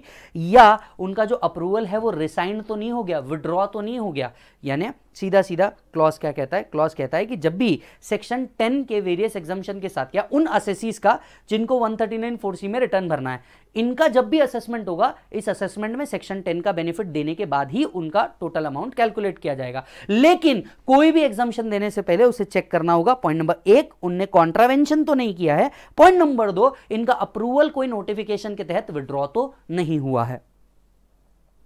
सिंप्लीफाइड एनालिसिस देखिए सेक्शन को आसान भाषाओं में समझने का कार सेक्शन यहाँ पे खत्म होता है सिंप्लीफाइड एनालिसिस मेरा एनालिसिस है requiring the assessee to attend is office produce any evidence on which assessment may rely to check that income has not under stated loss is not over stated tax has been not under paid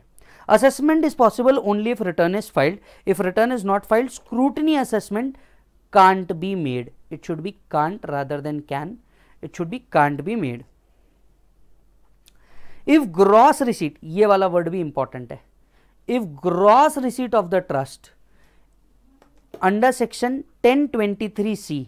is more than 20% of total receipt AO shall not grant exemption क्या है जरा ध्यान से सुनिए trust जो होता है trust की जो बिजनेस इनकम होती है अगर ये income 20 percent of total income से ऊपर जाती है तो फिर ट्रस्ट जो है वो एलिजिबल नहीं होता जो एग्जामेशन उसको मिलना चाहिए उसके लिए ऐसे केसेस में जो भी एजुकेशनल इंस्टीट्यूट है टेन ट्वेंटी सी का बेनिफिट ले रहे हैं अगर इनकी income twenty percent of total receipt से ऊपर जाती है बिजनेस इनकम तो फिर ए ओ नहीं देगा ऐसे केसेस में ए क्या करेगा सेंट्रल गवर्नमेंट को रिकमेंड करेगा और सेंट्रल गवर्नमेंट फिर नोटिफिकेशन पास करेगी If AO is satisfied that activity of university, college, institution referred in section 35 are not being carried out in accordance with all or any of the condition subject to which approval is given, he may recommend, he may recommend central government to withdraw the approval given under section 35 before recommending, the AO will have to give a reasonable opportunity of showing cause against the purpose withdrawal of the college or university. तो जो भी institution है central government क्या direct withdraw कर देगा नहीं AO सबसे पहले अपॉर्चुनिटी ऑफ बीइंग हर्ट देगा और अगर वो सेटिस्फाइड नहीं है तो ही वो सेंट्रल गवर्नमेंट को रिकमेंड करेगा सेंट्रल गवर्नमेंट एक बार खुद का भी एनालिसिस करती है कि हाँ सच में विड्रॉ कर देना चाहिए क्या और फाइनली विड्रॉ कर देती है by notification in the official gazette central government may withdraw इस पे एमसीक्यू आता है हु विल विड्रॉ एओ और central government central government the central government may withdraw the approval and forward a copy to the concern institution no exemption under section ten twenty three C eleven twelve by AO for the previous year in which income of the trust exceed twenty percent of total receipt whether or not approval has been cancelled देखिए इस पूरे section को वापस से एक बार अच्छे से understand करते हैं तीन पार्ट में तोड़ते हैं 143 को पहला नॉर्मल इनकम दूसरा सेक्शन 10 वाले एग्जाम्शन तीसरा ट्रस्ट की टोटल 20 परसेंट वाला पार्ट इन तीन वर्ड को हम अलग अलग कर देते हैं सबसे पहला 143.3 क्या कहता है 143.3 कहता है कि एस का सबसे पहले चेक करेंगे that income is not understated tax is not under underpaid and losses not excessively claimed ये तीन चीज़ करने के बाद ये तीन चीज़ करने के बाद क्या किया जाता है उसका फाइनल पेबल या रिफंडेबल अमाउंट को निकाला जाता है पेबल या रिफंडेबल अमाउंट को क्या किया जाता है निकाला जाता है दूसरा सेक्शन टेन वाले जो भी एसोसिएशन है जो one nine one thirty nine four C में रिटर्न भर रहे हैं इनका जब भी असेसमेंट होगा सेक्शन टेन का एग्जामेशन देने के बाद ही इनका असेसमेंट किया जाएगा लेकिन कोई भी एग्जामेशन देने से पहले यह देखना होगा कि उसको जो कॉन्ट्रावेंशन है कोई कॉन्ट्रावेंशन तो नहीं किया या फिर उसका अप्रूवल विड्रॉ तो नहीं हुआ तीसरी चीज़ ठीक उसी तरीके से सेक्शन 35 में जिन जिन कॉलेज यूनिवर्सिटी को अप्रूवल मिला है उनका भी अप्रूवल अगर उनने कंडीशन सेटिस्फाई नहीं किया होगा तो एओ रेकमेंड करेगा सेंट्रल गवर्नमेंट को कि बॉस आप क्या कर दीजिए एग्जामेशन विड्रॉ कर दीजिए फर्दर एक और बात ट्रस्ट की इनकम 20 परसेंट के ऊपर अगर चले जाती है तो यहां पे उसका विड्रॉल नहीं होता पर उसको सिर्फ जो एग्जामेशन है वो नहीं मिलता तो अगर उसकी इनकम ट्वेंटी परसेंट से ऊपर चले गई है business income of any trust association जो सेक्शन इलेवन ट्वेल्व या टेन ट्वेंटी थ्री सी के अंदर में क्या ले रहा होगा बेनिफिट ले रहा होगा उसकी business income twenty percent of total income से ज़्यादा चले गई होगी तो एओ फिर वो एग्जामेशन प्रोवाइड ही नहीं करेगा डायरेक्ट असेसमेंट कर देगा विदाउट प्रोवाइडिंग दी एग्जामेशन भले ही उसका अप्रूवल विड्रॉ हुआ हो या उसका अप्रूवल विड्रॉ नहीं हुआ हो गेटिंग इट और नॉट फिर से सुन लीजिए नॉर्मल टेन वाले एग्जामेशन एंड ट्रस्ट वाले एग्जामेशन नॉर्मल के केस में इनकम कंप्यूट करेगा लॉस कंप्यूट करेगा टैक्स पेबल या रिफंड निकाल देगा जो 139 फोर सी में रिटर्न भरते हैं उनका क्या करेगा एग्जामेशन के साथ ही कैलकुलेशन करेगा लेकिन दो चीज़ें देखेगा एक कॉन्ट्रावेंशन तो नहीं हुआ दूसरा उनका अप्रूवल विड्रॉ तो नहीं हुआ तीसरा आता है जो ten twenty three C eleven and twelve educational institute college और यूनिवर्सिटी इनके केस में क्या किया जाएगा अगेन सेम चीज़ चेक की जाएगी कि कॉन्ट्रावेंशन तो नहीं हुआ है विड्रॉल अप्रूवल तो नहीं हुआ है एक और चीज़ चेक की जाएगी अगर इनकी बिजनेस इनकम टोटल इनकम के 20 परसेंट से ज़्यादा है let's say business income is 25 lakh total income is 100 lakh the business income exceed 20 percent of total income ऐसे केसेस में उनको क्या नहीं दिया जाएगा एग्जामिशन नहीं दिया जाता और एओ विदाउट वेटिंग कि उसका अप्रूवल है या अप्रूवल नहीं है वो सीधा सीधा एडिशन कर देगा आपकी इनकम में because one of those condition is not satisfied जिसके बेसिस पर आपको क्या मिलता है एग्जामिशन मिलता है सेम चीज़ हम लोग रिकॉल करेंगे एक चैप्टर आएगा मॉड्यूल थ्री में taxation of trust which is one of the important topic मैं आपको फिर से यहाँ पे लेकर के आऊँगा जाऊंगा बताने के लिए कि हमने ऐसा कुछ पढ़ा था judicial updates Shelly products Supreme Court का एक केस है ओल्ड केस बट रिलेवेंट अभी भी है केस क्या था हुआ ये कि एओ ने एओ के पावर के ऊपर डिस्कशन हुआ डिस्कशन था कि असेसी का रिटर्न इनकम जो बन रहा था that was five lakh rupees जब एओ ने असेसमेंट किया तो उसको कुछ क्या मिल रहे थे डिडक्शंस बेनिफिट एग्जामेशन मिल रहे थे जिसके कारण इसका जो असेसमेंट हुआ वो रिटर्न इनकम से भी कम हुआ लेट से फोर लाख बराबर है असेसी ने खुद होकर फाइव लाख डिक्लेयर किया था एओ ने जब असेसमेंट किया तो कुछ डिडक्शन एग्जामेशन मिलने के बाद उसकी इनकम क्या हो गई चार लाख रुपए हो गई तो एक बहुत इंपॉर्टेंट सवाल खड़ा हुआ कि क्या एओ उतना भी कंसिडर कर सकता है क्या मतलब क्या एओ वो इनकम कंसिडर कर सकता है जो एस ने खुद होके डिक्लेयर किया उससे भी कम कर सकता है इस बात पे सवाल खड़ा हुआ तो जब एओ से पूछा गया कि भैया बताइए आप खुद असेसी पांच लाख रुपए अपनी इनकम बता रहे हैं अब आप क्यों कम कर रहे हैं सर देखिए आप ना डबल डबल बातें करते हैं एक तरफ आप बोलते हैं कि AO not merely as a tax gatherer अगर कोई एग्जामेशन डिडक्शन एस को मिलना है तो वो मिलना ही चाहिए हमें देना ही है और अब आप कहते हैं कि यू नो रिटर्न इनकम से कम कैसे हो सकता है मैं इस बात को समझ नहीं पा रहा हूं और दूसरी बात जब हम वन थ्री की बात कर रहे हैं तो हम यहां पर अपनी इनकम कम भी कर सकते हैं उल्टा रिफंड भी ला सकते हैं तो फिर क्या गलत है अगर मैंने किया एस को बेनिफिट मिल रहा है हम दे रहे हैं बेनिफिट खत्म हो गया काम अरे हाँ प्रभु पर जब वो खुद होके पांच लाख देने को तैयार है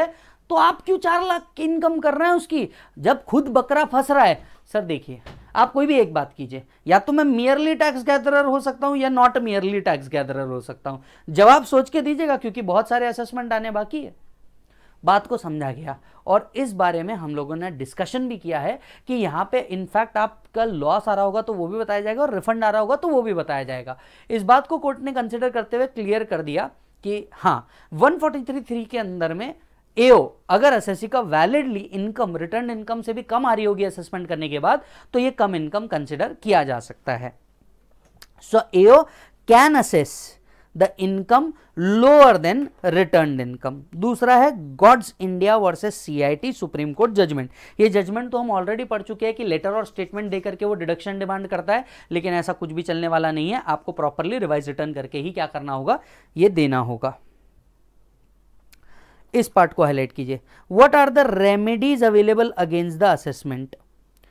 आप अपील कर सकते हैं हाँ आप रेक्टिफिकेशन कर सकते हैं हाँ इनफैक्ट आप रिविजन भी करवा सकते हैं हाँ अगर आपको असेसमेंट पसंद नहीं आया तो आपके पास तीनों रास्ते ओपन है अर अर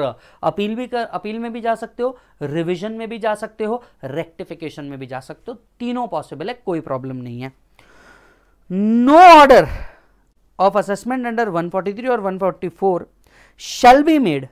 after the expiry of यहां आ चुका है ट्वेल्व मंथ्स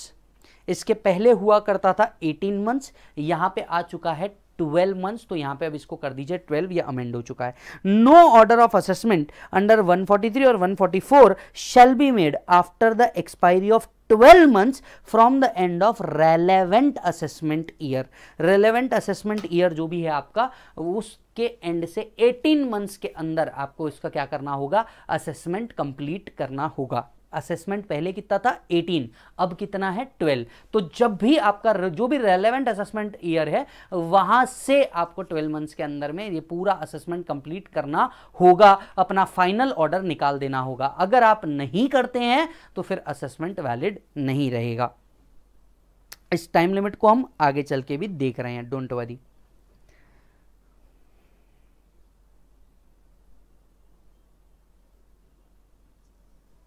आइए कुछ लिखने वाले पार्ट पे आ जाते हैं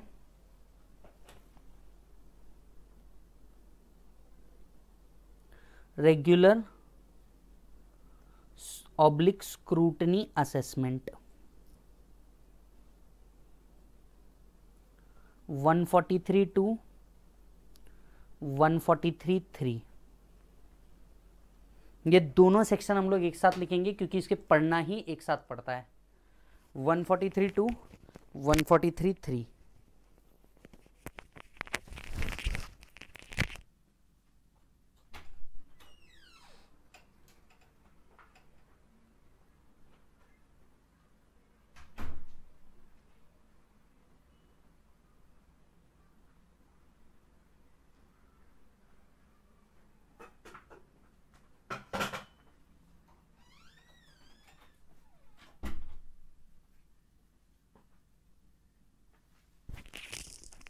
done sir please check 143 two क्या है बेटा नोटिस लिखो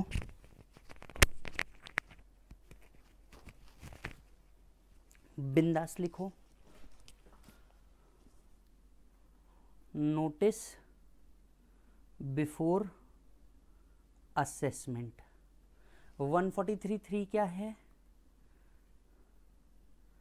रेगुलर असेसमेंट बराबर है सबसे पहले ये where return of income is filed under section 139 और 142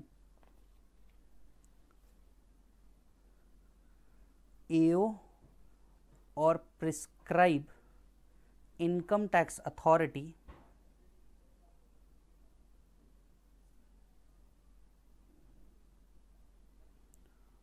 to consider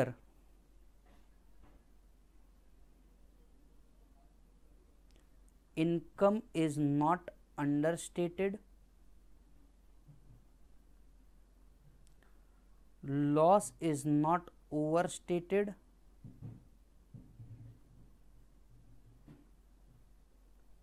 tax is not underpaid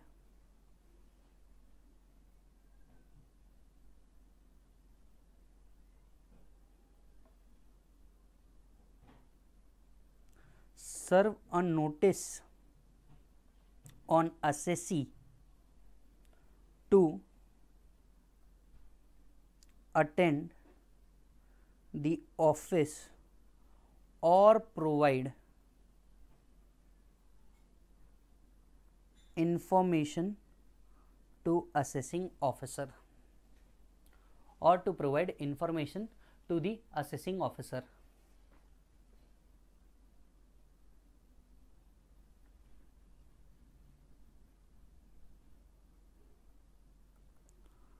notice must be served within 6 months from the end of financial year in which ROI is filed.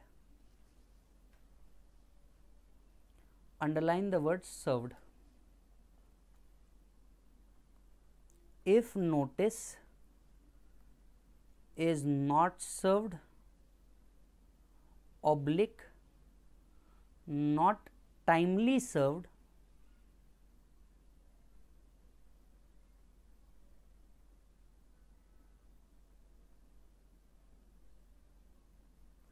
assessment is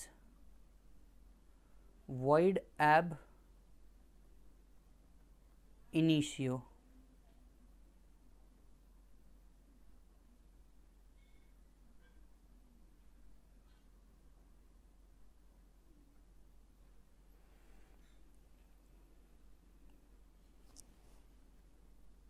example.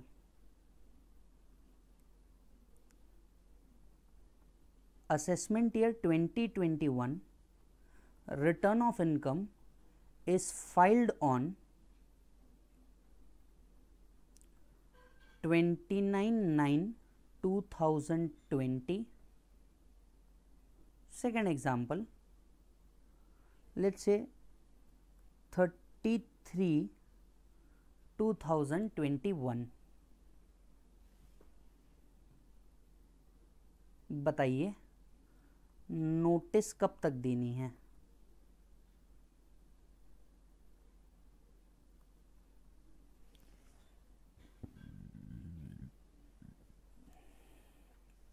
आप खुद decide कीजिए बेटा six month count करने हैं कहां से जिस फाइनेंशियल ईयर एंड से आपका रिटर्न भरा है अब इस केस में अगर देखा जाए तो आपका फाइनेंशियल ईयर एंड हो रहा है इकतीस तीन 2021 को यहाँ से कितने मंथ्स जोड़ लीजिए सिक्स मंथ्स जोड़ लीजिए ये सोनो कितना हो जाएगा ये हो जाएगा थर्टी सितंबर 2021 यहाँ तक के नोटिस इशू हो जाना चाहिए दोनों भी केस आप देखोगे तो बाय डिफ़ॉल्ट में आपका जो ईयर एंड आ रहा है फाइनेंशियल ईयर एंड आ रहा है वो फाइनेंशियल ईयर एंड आपका बनता है थाउजेंड सितंबर 2021 तो थाउजेंड सितंबर 2021 के हिसाब से अगर हम लोग देखा जाए तो uh, यहाँ आपका थर्टीथ सितंबर आने वाला है अच्छा if notice is received on let's say 2nd October 2021 it is void. इस डेट के बाद कभी भी फिर आपको मिले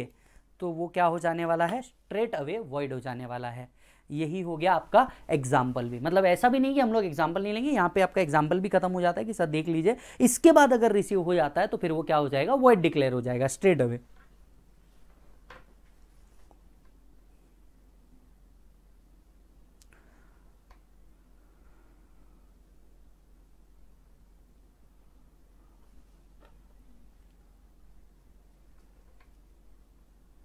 is that done आइए चलते हैं 143 सबसेक्शन थ्री की ओर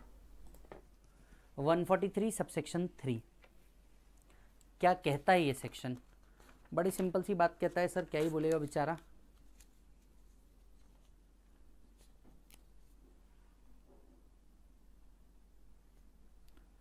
assessing officer shall take up the regular assessment and compute amount payable or refund due to assessee निकालेंगे जो भी अमाउंट पेबल आ रही होगी या रिफंड ड्यू आ रही होगी किसको असेसी को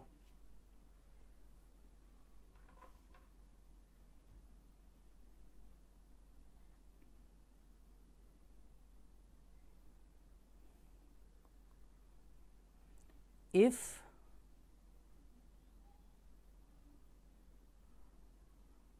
assessee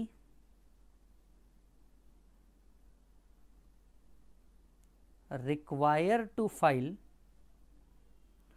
return of income under section 139 4c then AO will do the assessment after giving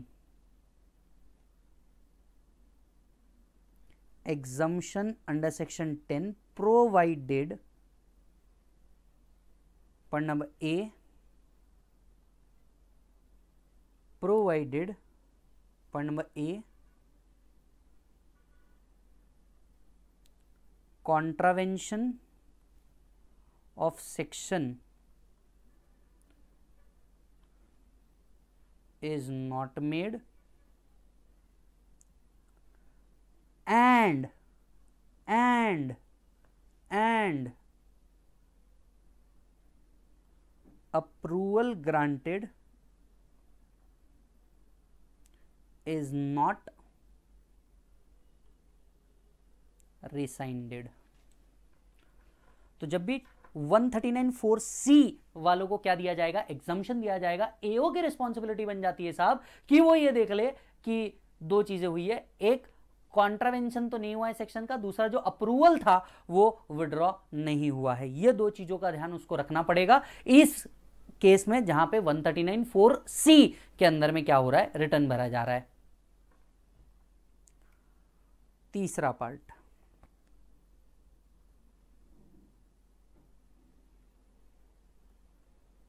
where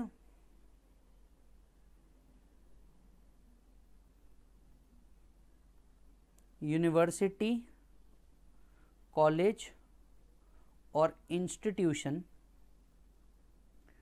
covered under section 35 is not satisfying the conditions for exemption AO will recommend the central government to withdraw the approval after OBH opportunity of being heard.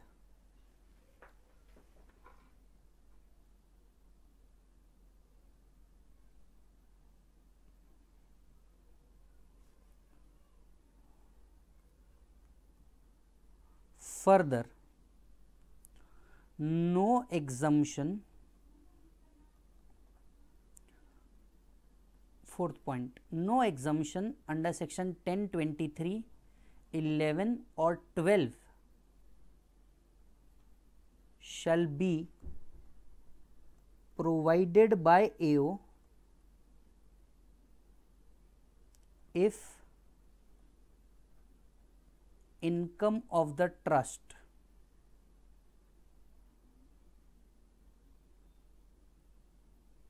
from business activity exceed 20 percent of total receipt of the trust. ये जो trust और section 35 वाले point है हम लोग PGBP and taxation of trust में फिर से देखने वाले हैं सर तब आपको मैं याद दिलाऊंगा सर ऐसा कुछ चीज़ हम लोगों ने यहाँ पे देखी थी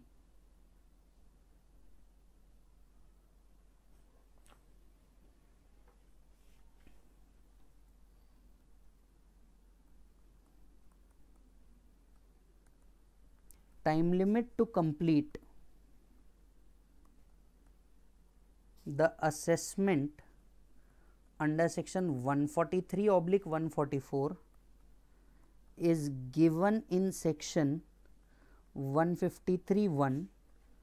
bracket में लिख के रखिए 12 months from the relevant assessment year that is रे 12 months from the relevant assessment year that is री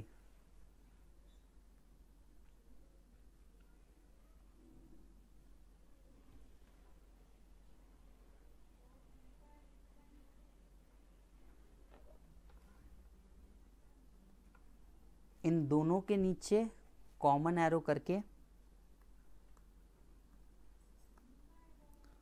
remedies against 143.3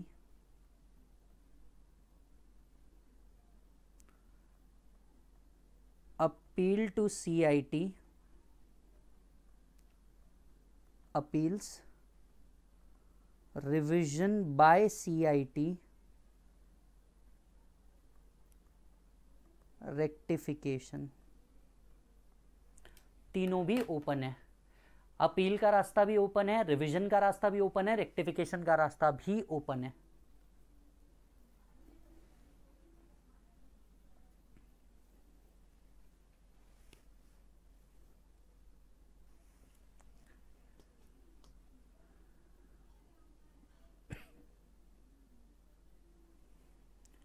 एक और चीज लिखिए इसका मतलब आपको नेक्स्ट सेक्शन में समझ में आएगा forty three three does not require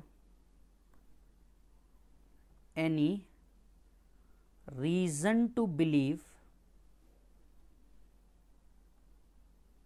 as required in section 144, 147, 153 A 143 three के अंदर में रीजन टू बिलीव नहीं लगता ये चीज एक लिख के रखिएगा कि यहां पे रीजन टू बिलीव नहीं लगने वाला है जैसा कि लगता है 143 में तो नहीं लगता 144 में लगता है 147 में लगता है 153 ए के अंदर में लगता है तो यहां लगने वाला है बाकी किसी भी जगह पे लगने वाला नहीं है इस बात को आपको याद रखना होगा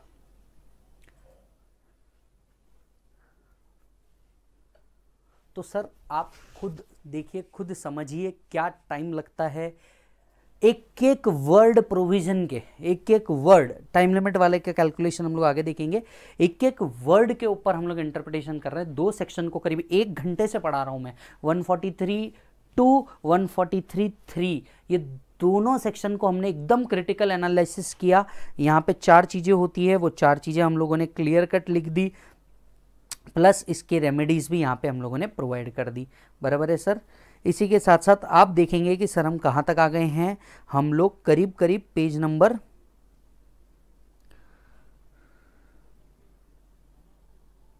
two eighty five बचा है याद रखिएगा करीब करीब सिक्सटीन पेजेस तक आ चुके हैं असेसमेंट के करीब करीब सोलह पेजेस हम लोग खत्म कर चुके हैं इस चैप्टर के जहां पे हम लोग कई सेक्शंस के साथ साथ डील करे जा रहे हैं आज का का होमवर्क बाबू बड़ा ज़बरदस्त रहने वाला है राइटिंग के साथ साथ आपको आज पढ़ाई भी करनी है क्योंकि आपको कल का सेक्शन तभी समझ में आएंगे कल जो हम पढ़ने वाले हैं वो आपको तभी समझ में आने वाले हैं अगर आज आप ईमानदारी से इन सेक्शन को पढ़ के आएंगे तो आपको कल के सेक्शन समझ में आएंगे और कल का सेक्शन बड़े बड़े बड़े इंपॉर्टेंट है साहब बड़े इंपॉर्टेंट है लिटरली सॉरी मतलब ऐसा समझ लो असेसमेंट का पूरा क्रग्स आपको वहीं पे मिलने वाला है राइट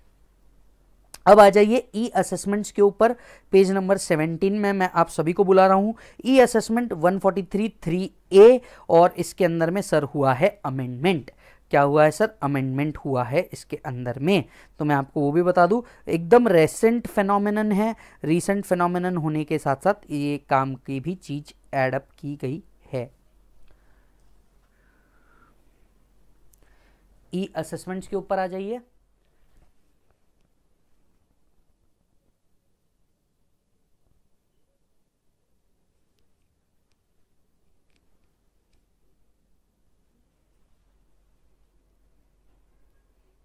चलिए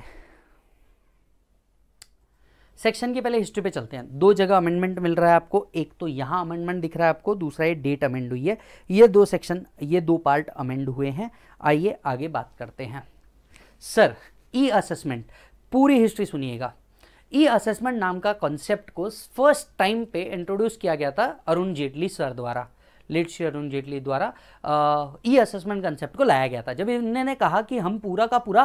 फेसलेस असेसमेंट कर देंगे आज असेसमेंट जब भी होती है तो कैसा होता है बेटा कि आप जाते हैं एओ को फेस टू फेस मिलते हैं अब डिपार्टमेंट को खुद भी समझ रहा था क्योंकि डिपार्टमेंट को भी पता था कि इसके अंदर में यू नो ब्राइव वाला थोड़ा सा कंसेप्ट होता है कहीं ना कहीं यू you नो know, कुछ ब्रीचेज होते हैं कुछ लूपोल्स होते हैं और कहीं ना कहीं किसी तरीके से you know bribing other system है दूसरे साथ साथ में हम लोग टेक्नोलॉजी के थ्रू भी आगे बढ़ रहे थे अब ई असेसमेंट लाने का एक और रीज़न क्या था मैं आपको वो बता देता हूं पहला था जो बराई वाला एंगल था जो मैंने आपको बताया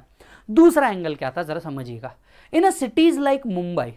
Pune you know Bangalore Chennai Hyderabad Guwahati and so on and so forth जितनी भी बड़ी सिटीज़ है इंडिया की अब यहां पे मैं आपको बताता हूं प्रॉब्लम क्या होता था प्रॉब्लम इज़ कि यहाँ के जो ऑफिसर्स थे ये ओवर ऑक्यूपाइड बैठे हुए हैं ओवर ऑक्यूपाइड मतलब एक ऑफिसर के ऊपर यू नो 20-20, 30-30 लोग सभी की इनकम है और कितों का असेसमेंट वो लोग करेंगे at the same time income tax department तो पूरे इंडिया के अंदर में है यहां के लोग ओवर ऑक्यूपाइड है और जो छोटे सिटीज़ है tier two cities tier three cities जो है या गांव है यहां पर जो इनकम टैक्स डिपार्टमेंट है यहाँ के ऑफिसर्स टेक्निकली खाली क्योंकि आपको भी पता है ओरिजिनल लोग जो है गांव में हैं और उनके पास बहुत अच्छा खासा पैसा है कई लोगों को तो आप जानते होंगे जिनके पास बहुत अच्छा खासा पैसा है लेकिन वो इनकम टैक्स भी भरते होंगे क्या इस पर आपको भी शक है ये सुनो अब ऐसे केसेस में होता क्या था कि इनकम टैक्स डिपार्टमेंट ऑफिसर्स जो होते थे ये सिटी में आने को डरते थे क्योंकि काम का लोड एकदम बढ़ जाता था और यही जो गाँव वाले लोग हैं ये खाली बैठे हैं यस और नो फिर at the same time Jammu Kashmir के लोग वहाँ पे बर्फ़ होती है और वहाँ पे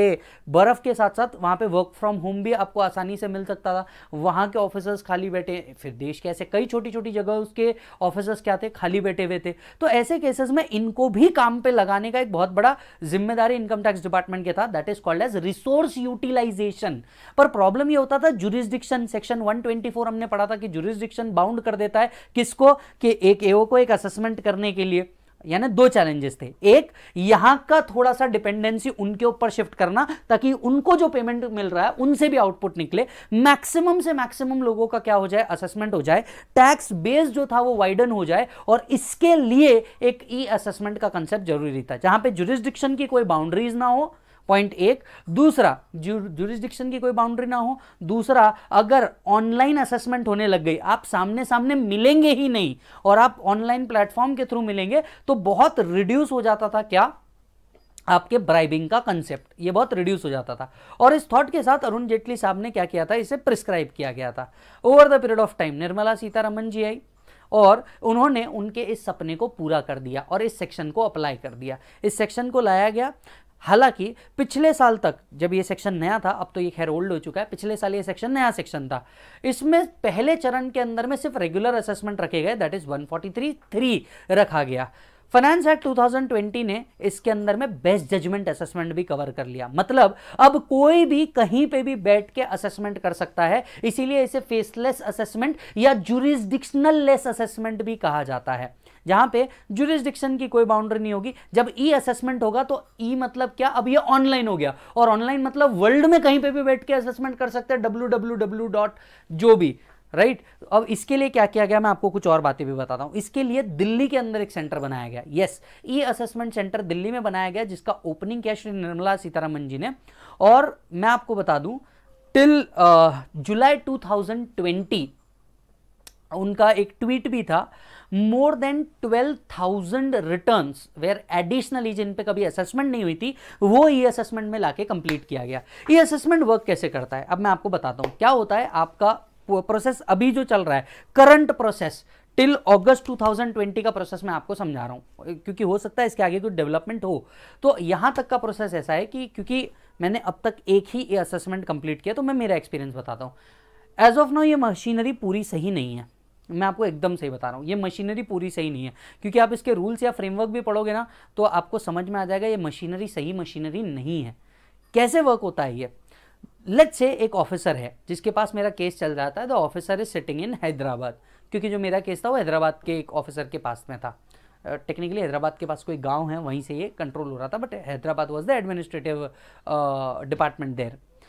तो वहाँ का बंदा क्या करेगा आपको ईमेल के थ्रू और साथ साथ में एक मैसेज के थ्रू आपसे कुछ डिटेल्स मंगवाएगा असेसमेंट करने के लिए ये असेसमेंट्स के लिए आपको जो भी डॉक्यूमेंट या इन्फॉर्मेशन वो मंगा रहे हैं वो आपको पीडीएफ फॉर्म में जिप करके इन्हें क्या करनी पड़ती है अपलोड करनी पड़ती है इनके पास देनी पड़ती है उसके बेसिस पे ये और कुछ क्लैरिफिकेशन मांगते हैं तो आपको पूरा राइटअप देना पड़ता है इसीलिए आपका ड्राफ्टिंग स्किल्स भी बहुत अच्छा होना चाहिए अभी से तो पूरा का पूरा ड्राफ्ट देना पड़ता है एक एक चीज़ उनको एक्सप्लेन करनी पड़ती है और सारा का सारा एक्सप्लेनेशन उनको लिख करके बाकायदा जो अब आप बोलते थे अब आप पूरा का पूरा एक्सप्लेनेशन लिखेंगे कहीं ना कहीं फीलिंग्स होती है कई आई कॉन्टैक्ट होते हैं कई चीज़ें होती है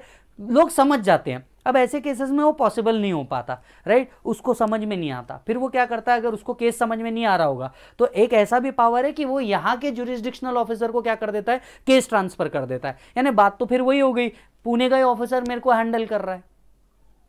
समझ में आ रही है बात तो ऐसी कई चीज़ें होती है अभी भी ये पूरी तरीके से फुल प्रूफ नहीं है but still I don't know how मतलब मैं नाराज़ हूँ इस पॉइंट से कि उनने बेस्ट जजमेंट असेसमेंट को भी 144 के अंदर में इंक्लूड कर दिया तो अब सिर्फ रेगुलर असेसमेंट ही नहीं बेस्ट जजमेंट असेसमेंट भी ई असेसमेंट के थ्रू होना शुरू हो चुकी है गेटिंग इट और नॉट ये हुआ पहला अमेंडमेंट इसके लिए सेंट्रल गवर्नमेंट नोटिफिकेशन निकालेगा ऑब्जेक्टिव बड़ा क्लियर था यूटिलाइजेशन ऑफ रिसोर्सेस करना कहीं ना कहीं ब्राइबिंग कम करना तीसरा जो अपने ट्रांसपेरेंसी आनी चाहिए कि आपने अगर रिटर्न भरा है ये सही है कि नहीं इसमें इंफॉर्मेशन सही दी है कि नहीं इस बात को क्लियर करने के लिए भी लगेगा so one forty three three A assessment की ओर ध्यान देते हैं central government may make a scheme ये स्कीम अभी भी बन रही है हालांकि इसके ऊपर एक सर्कुलर है जो हम देखेंगे by notification in the official gazette for the purpose of making assessment of total income और loss under one forty oblique 144 यानी अब बेस्ट जजमेंट असेसमेंट भी ई असेसमेंट हो सकता है हालांकि ये हमेशा से ही वैसे भी ई असेसमेंट में मेरे हिसाब से तो इसको पहले ही ला लेना चाहिए था क्योंकि 144 मतलब असेसी इंफॉर्मेशन नहीं दे रहा है वो सामने नहीं आ रहा है तो बहुत अच्छा लॉजिकल पॉइंट था टू इम्पार्ट ऑब्जेक्टिव क्या था ऑब्जेक्टिव क्या था ग्रेटर एफिशिएंसी इनके लोग जितने ज्यादा एफिशिएंट रहेंगे टैक्स कलेक्शन उतना अच्छे से हो जाएगा ट्रांसपरेंसी कि बॉस हर ऑफिसर सही काम कर रहा है कोई ब्राइब में काम नहीं कर रहा अकाउंटेबिलिटी कि जिसको जितनी रिस्पॉन्सिबिलिटी है वो उतना ही टैक्स पे कर रहा है या नहीं सीधे शब्दों में कहना जाए तो अब टैक्स भेद बहुत ज़्यादा वाइड हो गया है और इसीलिए आप देखेंगे बजट 2020 के अंदर में भी टैक्स कलेक्शन इंक्रीज हुआ है so greater efficiency transparency accountability by eliminating the interface between AO and S क्योंकि यहां पर क्या होता था ब्राइब एलिमिनेशन वाला काम हो गया दूसरा optimum utilisation of resources through economies of scale and functional specialisation functional specialisation मतलब क्या याद होगा तो आपको मैंने आपको चैप्टर नंबर वन के अंदर में बताया था कि जो ऑफिसर्स होते हैं वो एक पर्टिकुलर कैटेगरी के अंदर में स्पेशलाइज होते हैं अब क्या किया जाएगा जैसे लेट से मुंबई के एक ऑफिसर है जो रियल एस्टेट असेसमेंट के अंदर में बहुत ज़्यादा अच्छे हैं अब क्या किया जाएगा कोई पुणे का अगर रियल एस्टेट बिगी पकड़ा गया सीधा केस उनको ट्रांसफर किया जाएगा कि फंक्शनल स्पेशलाइजेशन के बेसिस पे आप इसका असेसमेंट करो और टैक्स पेबल निकालो इस इसने इनकम टैक्स के विंग्स बहुत ज्यादा फैला दिए मैं आपको ये बता सकता हूं introducing a team based assessment with dynamic jurisdictional ये टीम बेस्ड असेसमेंट क्या है मान लीजिए एक एओ है उसको कोई रजिस्टर स्टॉक या कोई चीज़ वेरीफाई करना है अब हैदराबाद वाले उसको कोई स्टॉक वेरीफाई करना है अब स्टॉक वेरीफिकेशन मैं तो यहाँ से सिर्फ डिक्लेरेशन दे सकता हूँ वो यहाँ पे उठ के आएगा नहीं मैं यहाँ से जाऊँगा नहीं मेरा स्टॉक लेकर के तो टीम बेस्ड असेसमेंट कैसे होगा वो यहाँ के ए को क्या करेगा नोटिफाई करेगा बोलेगा सर सिर्फ एक दिन का विजिट मार लो इस ऑफिसर के यहाँ ये ये दुकान है यहाँ यहाँ चल जाइए इस ऑफिसर के साथ और जाकर के बस स्टॉक का क्लैरिफिकेशन ले लीजिए इस तरीके का स्टॉक क्लैरिफिकेशन या वो आपके पास आएगा उससे एक साइन डिक्लेरेशन एडमिशन ले लीजिए तो इस तरीके का कोई टीम बेस्ड वर्क इन्होंने क्या कर दिया है शुरू कर दिया है by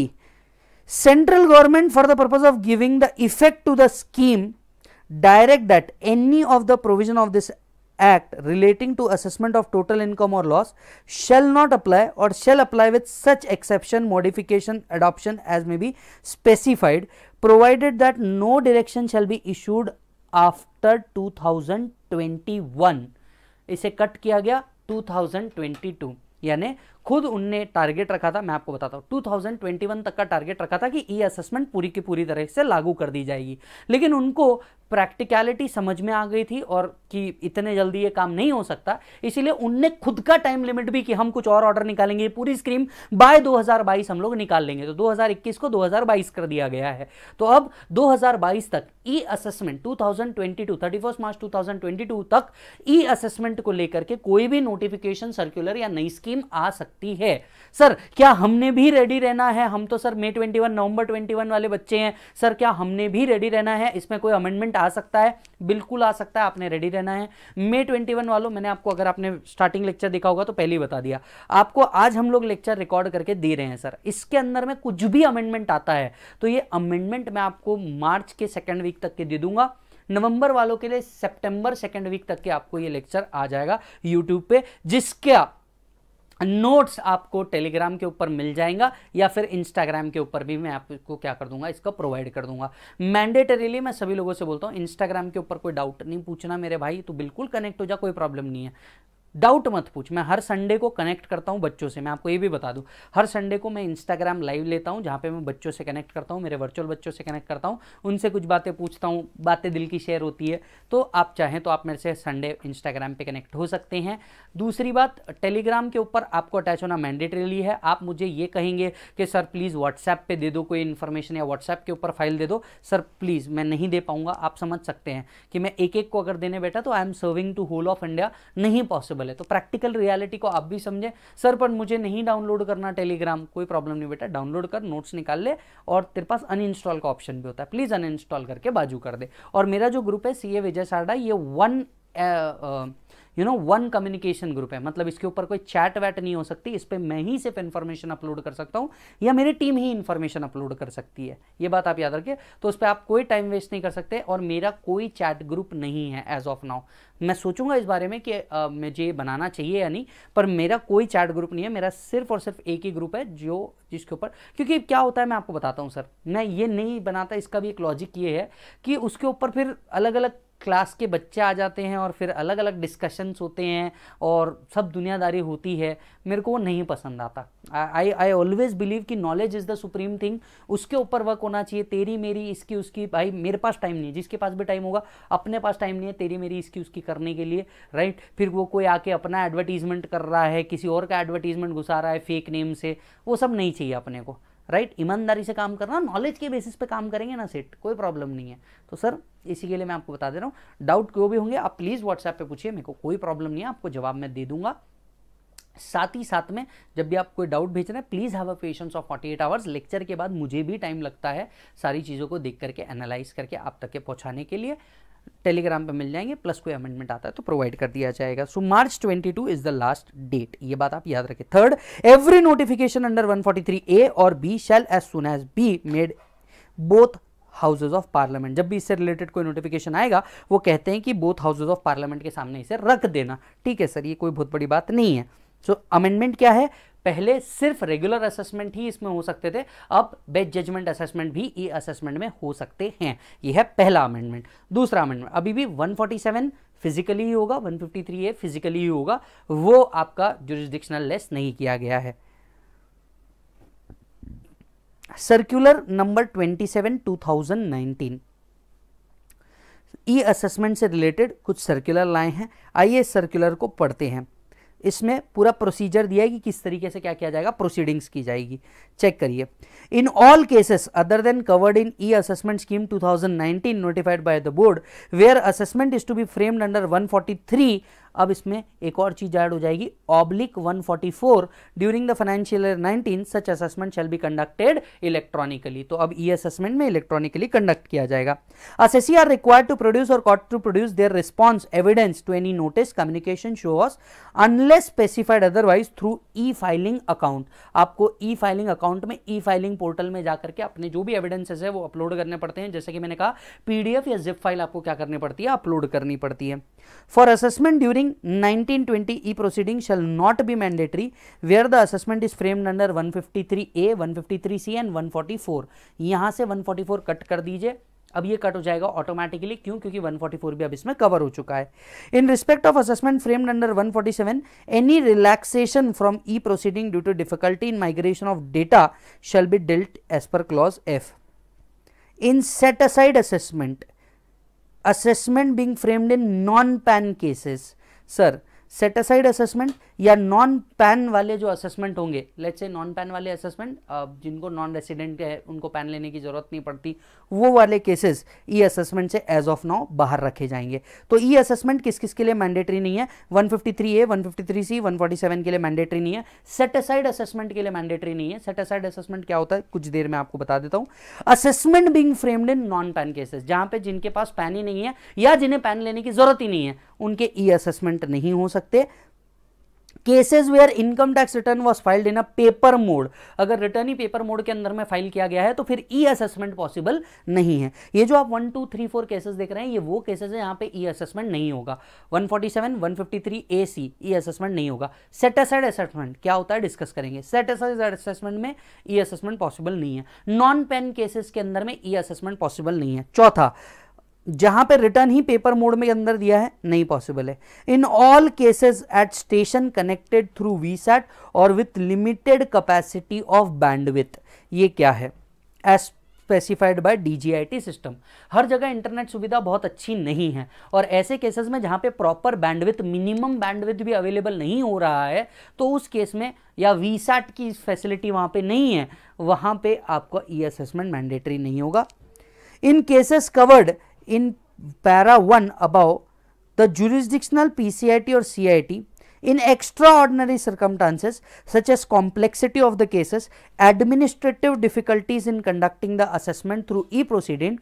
can permit the conduct of assessment proceeding through conventional mode कुछ केसेस में अगर आपको लगता है कि इसका ई असेसमेंट नहीं होना चाहिए और इसका normal conventional mode face to face होना चाहिए तो आपको जाके पीसीसीआईटी से अप्रूवल लेनी पड़ेगी पीसी या सीआईटी से अप्रूवल लेनी पड़ेगी it is hereby further directed that PCIT is required to provide such relaxation only in extraordinary circumstances ये भी बोल दिया कि पीसीआईटी जब देगा ये रिलैक्सेशन तो बहुत ही एक्स्ट्रा ऑर्डनरी सर्कमस्टांस आंसर्स में ये देना है नहीं तो देने की जरूरत नहीं है in cases where assessment proceeding are being carried out through e proceeding personal hearing attendance may take place in following situation ध्यान से सुनिए यहां पे पर्सनल अटेंडेंस की भी डिमांड की जा सकती है इन केसेस में where books of accounts has to be examine क्या किया जाएगा हैदराबाद वाला पुणे वाले को डिटेल्स भेजेगा आपको पुणे में पर्सनली जाना है वहां अटेंड होकर के उसका एक्सप्लेनेशन देना है where AO invoke the provision of 131 131 क्या है समन आपको अगर समन दिया होगा तो इन पर्सन आपको वहां पे स्पेसिफिकली जाना ही पड़ेगा भले ही ये असेसमेंट क्यों ना हो second where examination of witness is required मान लीजिए अगर विटनेस का एग्जामिनेशन लगता है ये विटनेस का एग्जामिनेशन क्या होता है मैं आपको बता दूं कई बार ऐसा होता है कि क्रेडिटर्स जो होते हैं उनको कन्फर्मेशन के लिए डिपार्टमेंट में बुलाया जाता है तो ऐसे केसेस में जब विटनेस का ये चाहिए होता है सपोर्ट चाहिए होता है तो फिर उस केस में फिजिकल अटेंडेंस रिक्वायर की जा सकती है where a show notice contemplating any adverse view is issued by AO and assessee request through e filing account for personal hearing हो सकता है कि कोई एडवर्स व्यू ना आ जाए इस पर्टिकुलर चीज़ के ऊपर तो कई बार वहां पे जब आप ई e पोर्टल में जाते हो तो वहां पे पर्सनल हियरिंग का स्पेसिफिक रिक्वेस्ट होता है तो पर्सनल हियरिंग आप क्लिक कीजिए तब भी आपको ये दिया जा सकता है However, details pertaining to above shall also be uploaded on ITBA subsequently. What is ITBA? ITBA is the system which जिसके ऊपर आपको क्या करना पड़ता है ये अपलोड करना पड़ता है हालांकि सर ये सर्कुलर याद रखना है क्या बिल्कुल याद रखने की ज़रूरत नहीं है सिर्फ एक बार याद रखिए ये वाला पार्ट आपको याद रखना है कि सर किन किन केसेस में ई असेसमेंट नहीं होने वाला है बाकी इस केस में एकदम लॉजिकल है कि आपको क्या किया जा सकता है कन्वेंशनल मोड ऑफ हियरिंग दी जा सकती है for computing PGBP as method of accounting is relevant capital gain sorry central government shall notify ICDS ten notified to be followed by all assessee other than individual और HUF who is not required to get his account audited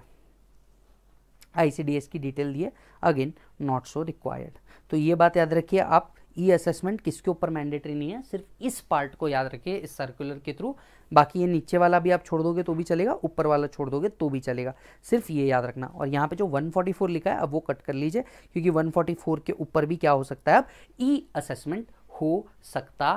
है is that done Prabhu हा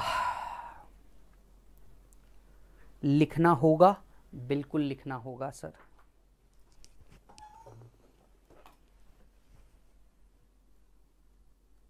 one forty three three A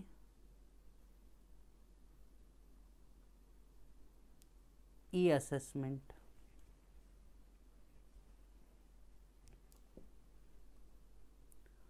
central government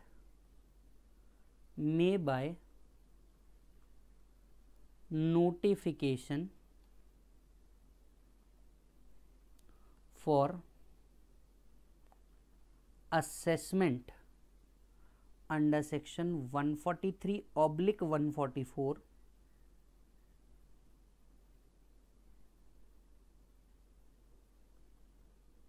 provide for e assessment to impart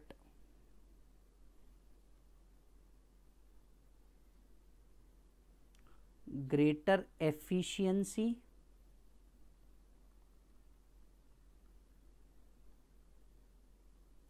transparency, accountability,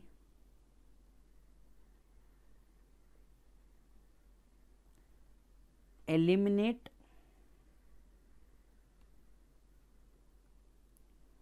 interface with AO,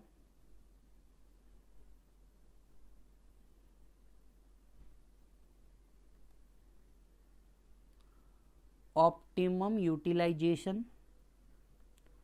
of resources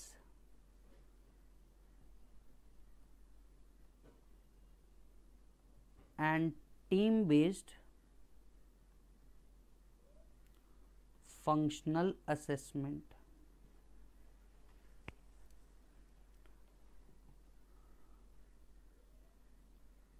No direction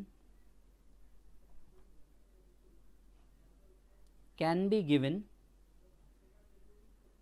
after thirty one three two thousand twenty two ख़त्म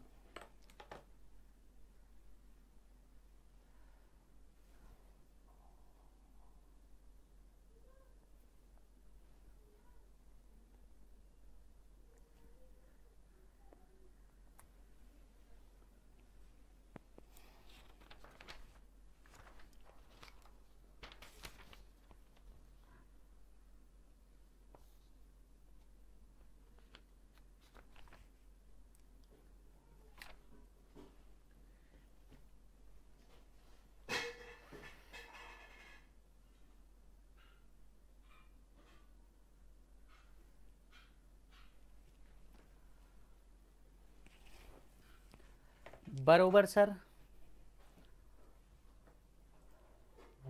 yes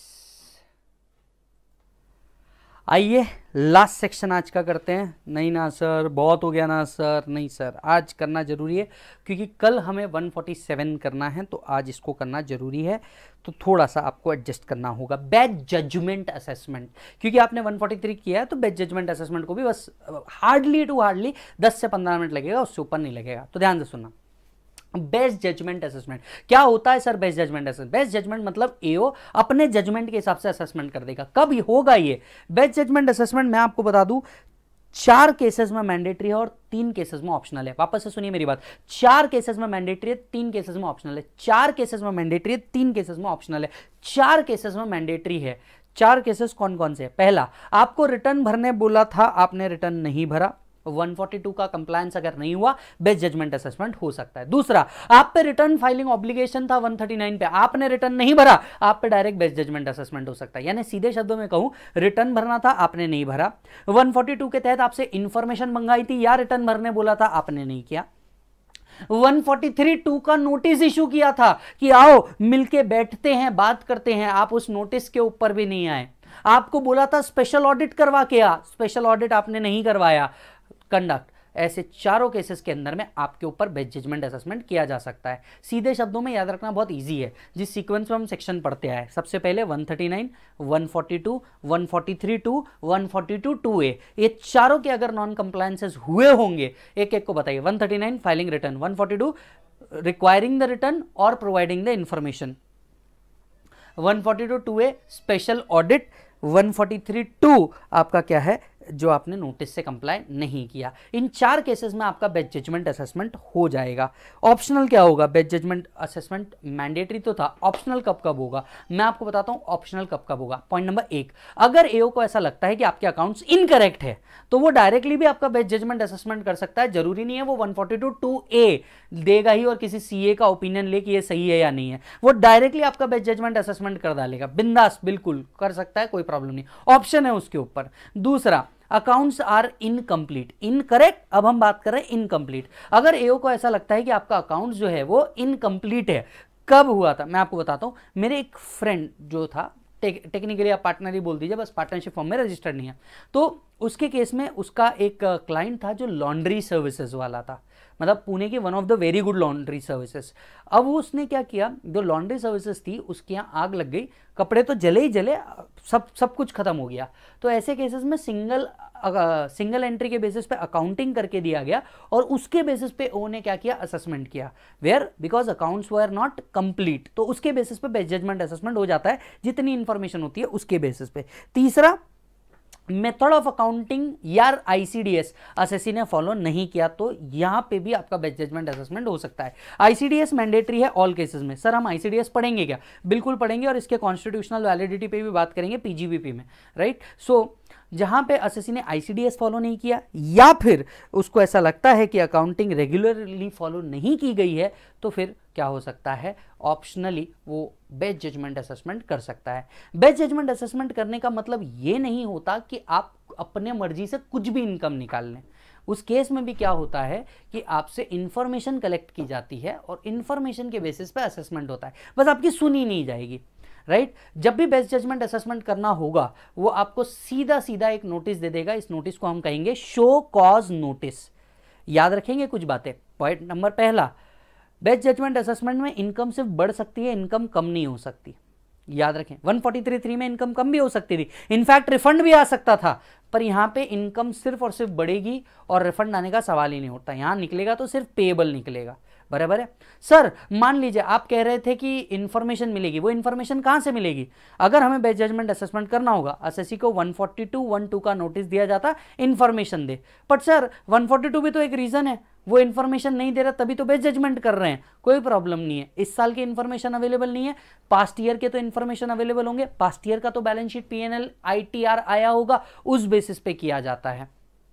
sir वो भी नहीं है हमारे पास तो एक और power है आप जाते हो इनकम टैक्स डिपार्टमेंट क्या करता है 133 के आप सेक्शंस में पढ़ेंगे आप जाएंगे उनके यहाँ से बुक्स ऑफ अकाउंट्स लेकर के आएंगे और उसके बेसिस पे असेसमेंट कर सकेंगे ये भी पॉसिबल है वो भी होता है तो उनको इन्फॉर्मेशन चाहिए तो वो किसी भी तरीके से निकाल सकते हैं इस बात को आपको समझना होगा अच्छा जी सर सर क्या वन फोर्टी फोर के बाद आपको क्या आता है जब उसने पूरा बेस्ट जजमेंट असेसमेंट कर लिया आपका टैक्स पेएबल निकल गया वो आपको एक ऑर्डर देगा टैक्स पेबिलिटी का ऑर्डर रहेगा ये सर इस ऑर्डर के खिलाफ मैं कुछ कर सकता हूँ क्या रेमेडी अवेलेबल है क्या रेमेडी तो वैसे भी अवेलेबल है ना बेटा क्या अपील रिवीजन रेक्टिफिकेशन आपको नहीं समझ में आ रहा आप हायर अथॉरिटीज़ के पास जाइए कि सर आपके जो एम्प्लॉय है या आपके जो लोग हैं असेसिंग ऑफिसर्स है इनने हमारा बेस्ट जजमेंट असेसमेंट कर दिया there was a valid reason हमने इनको क्यों प्रोवाइड प्रोवाइड नहीं किया हमारे घर पर किसी की डेथ हो गई थी बच्ची की शादी थी एक्सेट्रा एक्सेट्रा एक्सेट्रा थोड़ा सा रोना गाना करना है और चीज़ें शायद लाइन पर आ सकती है अच्छा जी सर सर एक बहुत ही ज़बरदस्त क्वेश्चन है क्वेश्चन सुनिए क्या 143 के बाद 144 हो सकता है यह एक सवाल है जो मैं मेरे प्रैक्टिकल एक्सपीरियंस से आपसे पूछना चाह रहा हूं क्या 143 के बाद 144 पॉसिबल है क्या हा या हा पहले आपका रेगुलर असेसमेंट कर दिया उसके बाद आपका बेस्ट जजमेंट असेसमेंट कर दिया पॉसिबल है क्या आंसर इज नो उस पर्टिकुलर ईयर के लिए तो नो हाँ अलग अलग ईयर के लिए ऐसा हो सकता है कि इस साल आपका 143 किया हो नेक्स्ट ईयर आपसे इन्फॉर्मेशन मंगाई नहीं दिया उस साल बेस्ट जजमेंट असेसमेंट कर दिया ये हो सकता है पर एक ही असेसमेंट के बाद 143 के बाद उसी साल के लिए क्या 144 हो सकता है आंसर इज नो तो सर क्या 144 के बाद 143 हो सकता है आंसर इज नो कोई भी एक ही असेसमेंट होगा आप पे या तो रेगुलर असेसमेंट होगा या तो बेस्ट जजमेंट असेसमेंट होगा दोनों एक साथ नहीं हो सकते अच्छा तो सर बेस्ट जजमेंट के बाद एक और बार बेस्ट जजमेंट असेसमेंट हो सकता है लेट से 144 एक बार किया बाद में ए को और कुछ ध्यान में आया उसने वापस से 144 ओपन किया नहीं हो सकता 143 के बाद 144 पॉसिबल नहीं 144 के बाद 143 पॉसिबल नहीं 143 के बाद 143 या 144 के बाद 144 वो भी पॉसिबल नहीं सर तो फिर अगर बाद में कुछ निकल गया तो 147 रीअसेसमेंट इनकम एस्केपिंग असेसमेंट वहाँ करेंगे यहाँ कुछ नहीं होने वाला या तो आप एक ही राह पकड़ लो 143 पकड़ लो या 144 पकड़ लो दोनों एक साथ नहीं हो सकता और दोनों के बाद भी और सेम ईयर के लिए कुछ भी नहीं हो सकता फिर अगर कुछ होना है उस ईयर के लिए तो फिर 147 होगा 144 नहीं होगा मैंडेटरी ध्यान से सुनिए कब कब केसेस पढ़िए यहाँ पर लिखा है fail to make a return as required under one fail to comply with the terms of notice under one fail to do the special audit under one forty two two A और fail to comply with one forty three two I think I hope and I believe ये सारे section अगर मैं इनका explanation नहीं भी दूं तो भी तुमको अब तक इनके नाम याद हो चुके होंगे और बस यही है तुम्हारा स्मार्ट डिसीजन मैंडेटरी किन किन केसेस में if you fail to make the return fail to comply with the notice fail to get special audit और fail to comply with one forty three two optional कहां कहां accounts are incorrect accounts are incomplete method of accounting are not properly followed or icds is not followed by the assessee तो इस case में optional है AO after taking into account all material fact which he can gather empower to make the assessment of total income और loss total income और loss income कम नहीं हो सकती जितनी है उतनी कंफर्म करेगा कम नहीं कर सकता यहाँ पे याद रखिएगा to the best of his judgement determine the sum payable refund due word नहीं है ध्यान से देख सकते हैं आप एक एक वर्ड का इंटरप्रिटेशन है यहाँ पे रिफंड ड्यू वर्ड वर्ड नहीं लिखा है पेएबल जबकि 143 में हमने रिफंड ड्यू वर्ड भी लिखा हुआ है on the basis of on the basis of such assessment. Opportunity of being heard shall not be given in case 142.11 has been issued to the assessee. याद रखिए अगर assessee को ऑलरेडी 142.11 के तहत बोला था कि रिटर्न भर फिर भी उसने रिटर्न नहीं भरा हम डायरेक्ट जजमेंट असेसमेंट कर देंगे कोई अपॉर्चुनिटी ऑफ बीइंग हर्ड देने की जरूरत नहीं है के not make best judgement assessment on ad hoc basis he must have a evidence जैसा कि मैंने कहा उसको इन्फॉर्मेशन तो लेनी पड़ेगी ऐसा नहीं है बेस्ट जजमेंट का मतलब अपने मन से कुछ भी कर दिया अब इन्फॉर्मेशन कहां से आएगी एक एसएससी से खुद डिमांड कर लो 142 12 में वो दे देगा दूसरा ये भी नहीं हो पाया तो आप पास्ट ईयर का डेटा उठा करके इन्फॉर्मेशन ले लो ये भी नहीं हो पाया तो आप 133 पावर टू कॉल इन्फॉर्मेशन उसके थ्रू कर लो कोई प्रॉब्लम नहीं है समन इश्यू कर लो 131 के अंदर में कोई प्रॉब्लम नहीं है वहां से ला लो पर एविडेंस के बेसिस पे ही इनकम कंप्यूट होगी no order of assessment shall be made after expiry of twelve months eighteen cut कीजिए यहाँ पे ट्वेल्व कीजिए ये अमेंडमेंट हो चुका है ये चीज़ वन में लिखी हुई है क्योंकि दोनों का time limit one fifty one में लिखा है चाहे वन फोर्टी वन का हो या वन वन फोर्टी फोर का हो so no order of assessment shall be made after expiry of twelve months from the end of relevant assessment year from the end of relevant assessment year no refund can be issued by AO under this particular section यहाँ पे कोई refund आ सकता नहीं sir क्या practically best judgement assessment होते हैं बहुत कम बहुत कम क्योंकि क्या होता है सर जैसे ही नोटिस आता है एस वैसी कंप्लाई कर देता है तो बेस्ट जजमेंट असेसमेंट तक की नौबत एक्चुअली नहीं आती एकदम फैक्चुअल पोजीशन में आपको बता रहा हूँ बेस्ट जजमेंट असेसमेंट की नौबत आती ही नहीं वहाँ तक के मैटर पहुँचता ही नहीं बहुत कम केसेस बेस्ट जजमेंट असेसमेंट के अंदर जाते हैं नहीं तो बेस्ट जजमेंट असेसमेंट के अंदर में वो केसेस नहीं जाते ये एकदम फैक्चुअल पॉइंट है जो मैं आपको बता रहा हूँ इज दैट डन चलिए सर सो ये भी हम लोगों ने आज कंप्लीट कर लिया यहाँ तक पेज नंबर 19 हम लोगों ने कंप्लीट कर लिया आज के आपके कुछ होमवर्क है जो मैंडेटरीली आपको पढ़ने हैं पहला होमवर्क आपका क्या है मस्ट रीड आज के जितने सेक्शन हुए वो सारे आपको मैंडेटरीली रीड करने हैं जैसे 142 टू ए आपको रीड करना है 140 पीछे के चैप्टर्स नहीं बोल रहा हूँ 143 फोर्टी थ्री वन रीड करना है 142 ए आपको रीड करना है 143 फोर्टी थ्री टू रीड करना है 143 फोर्टी थ्री रीड करना है 144 रीड करना है बाकी वो 280 वाले सीरीज बिल्कुल रीड मत करना ये सेक्शन मैंडेटरीली पढ़ के आना पेन ड्राइव गूगल ड्राइव जहां वर्चुअल सेंटर्स जहां पे भी आप देख रहे हैं ये लेक्चर पढ़े बिना आप आगे के लेक्चर पे नहीं बढ़ेंगे ये मेरा सीरियस ओपिनियन है आप सभी को बिल्कुल आगे नहीं बढ़ना जब तक ये पढ़ ना लो और मान लो तुरंत ही इसके बाद वापस लेक्चर देखने वाले होंगे क्योंकि मजा आ रहा है डीटी के अंदर में तो चलो एक और लेक्चर देख लेते हैं बिल्कुल देखो एक घंटे का ब्रेक लो एक घंटे वापस पूरा बेरैक्ट पढ़ने का यहां से नोट से और उसके बाद ही आगे करने का नहीं तो करने का नहीं मैं पहली बता रहा हूं बराबर है आगे का समझना है तो ये जरूरी है कल के सेक्शन समझने के लिए ये सारी चीज़ें जरूरी है आप लोगों के लिए ये बात याद रखिएगा ठीक है मालिक इसके साथ साथ ये पढ़ने के साथ साथ कुछ रिटर्न होमवर्क अब मैं आपको दूंगा ये रिटर्न होमवर्क भी आपको करने होंगे क्योंकि पढ़ने के बाद ही जब आप पढ़ लोगे पढ़ने के बाद इन क्वेश्चन को आपको सॉल्व करना है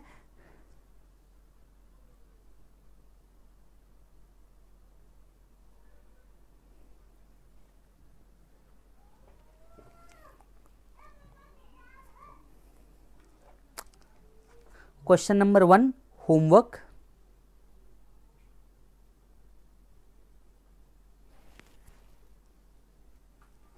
question number four homework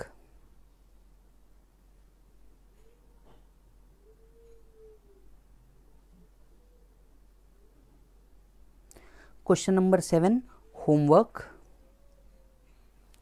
question number eight homework ये चार होमवर्क मैं आपको दे रहा हूं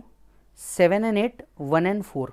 ये चार होमवर्क मैंडेटरीली ट्राई कीजिए सॉल्व करने का और रफ पेपर के ऊपर लिखिए अगर आप सच में बहुत अच्छा स्कोर करना चाहते हैं एग्जामिशन स्कोर करना चाहते हैं तो लिखो गलत होगा उससे ऊपर कुछ नहीं होगा पेज वेस्ट करना अटेम्प्ट वेस्ट करने से ज़्यादा कभी भी बेटर है पेज वेस्ट कर लेने का अटेम्प्ट वेस्ट करने से ज़्यादा बेटर है येस वो नो और लिखो कल आके तो वैसे भी हर होमवर्क जो मैं आपको देता हूँ वो मैं यहाँ पर आपके साथ सॉल्व करूँगा तो ये तो बिलिया हमारा प्रण है ही हम बिल्कुल करेंगे ही राइट सो so, आज का लेक्चर मैं आपका यहीं पे रोकता हूँ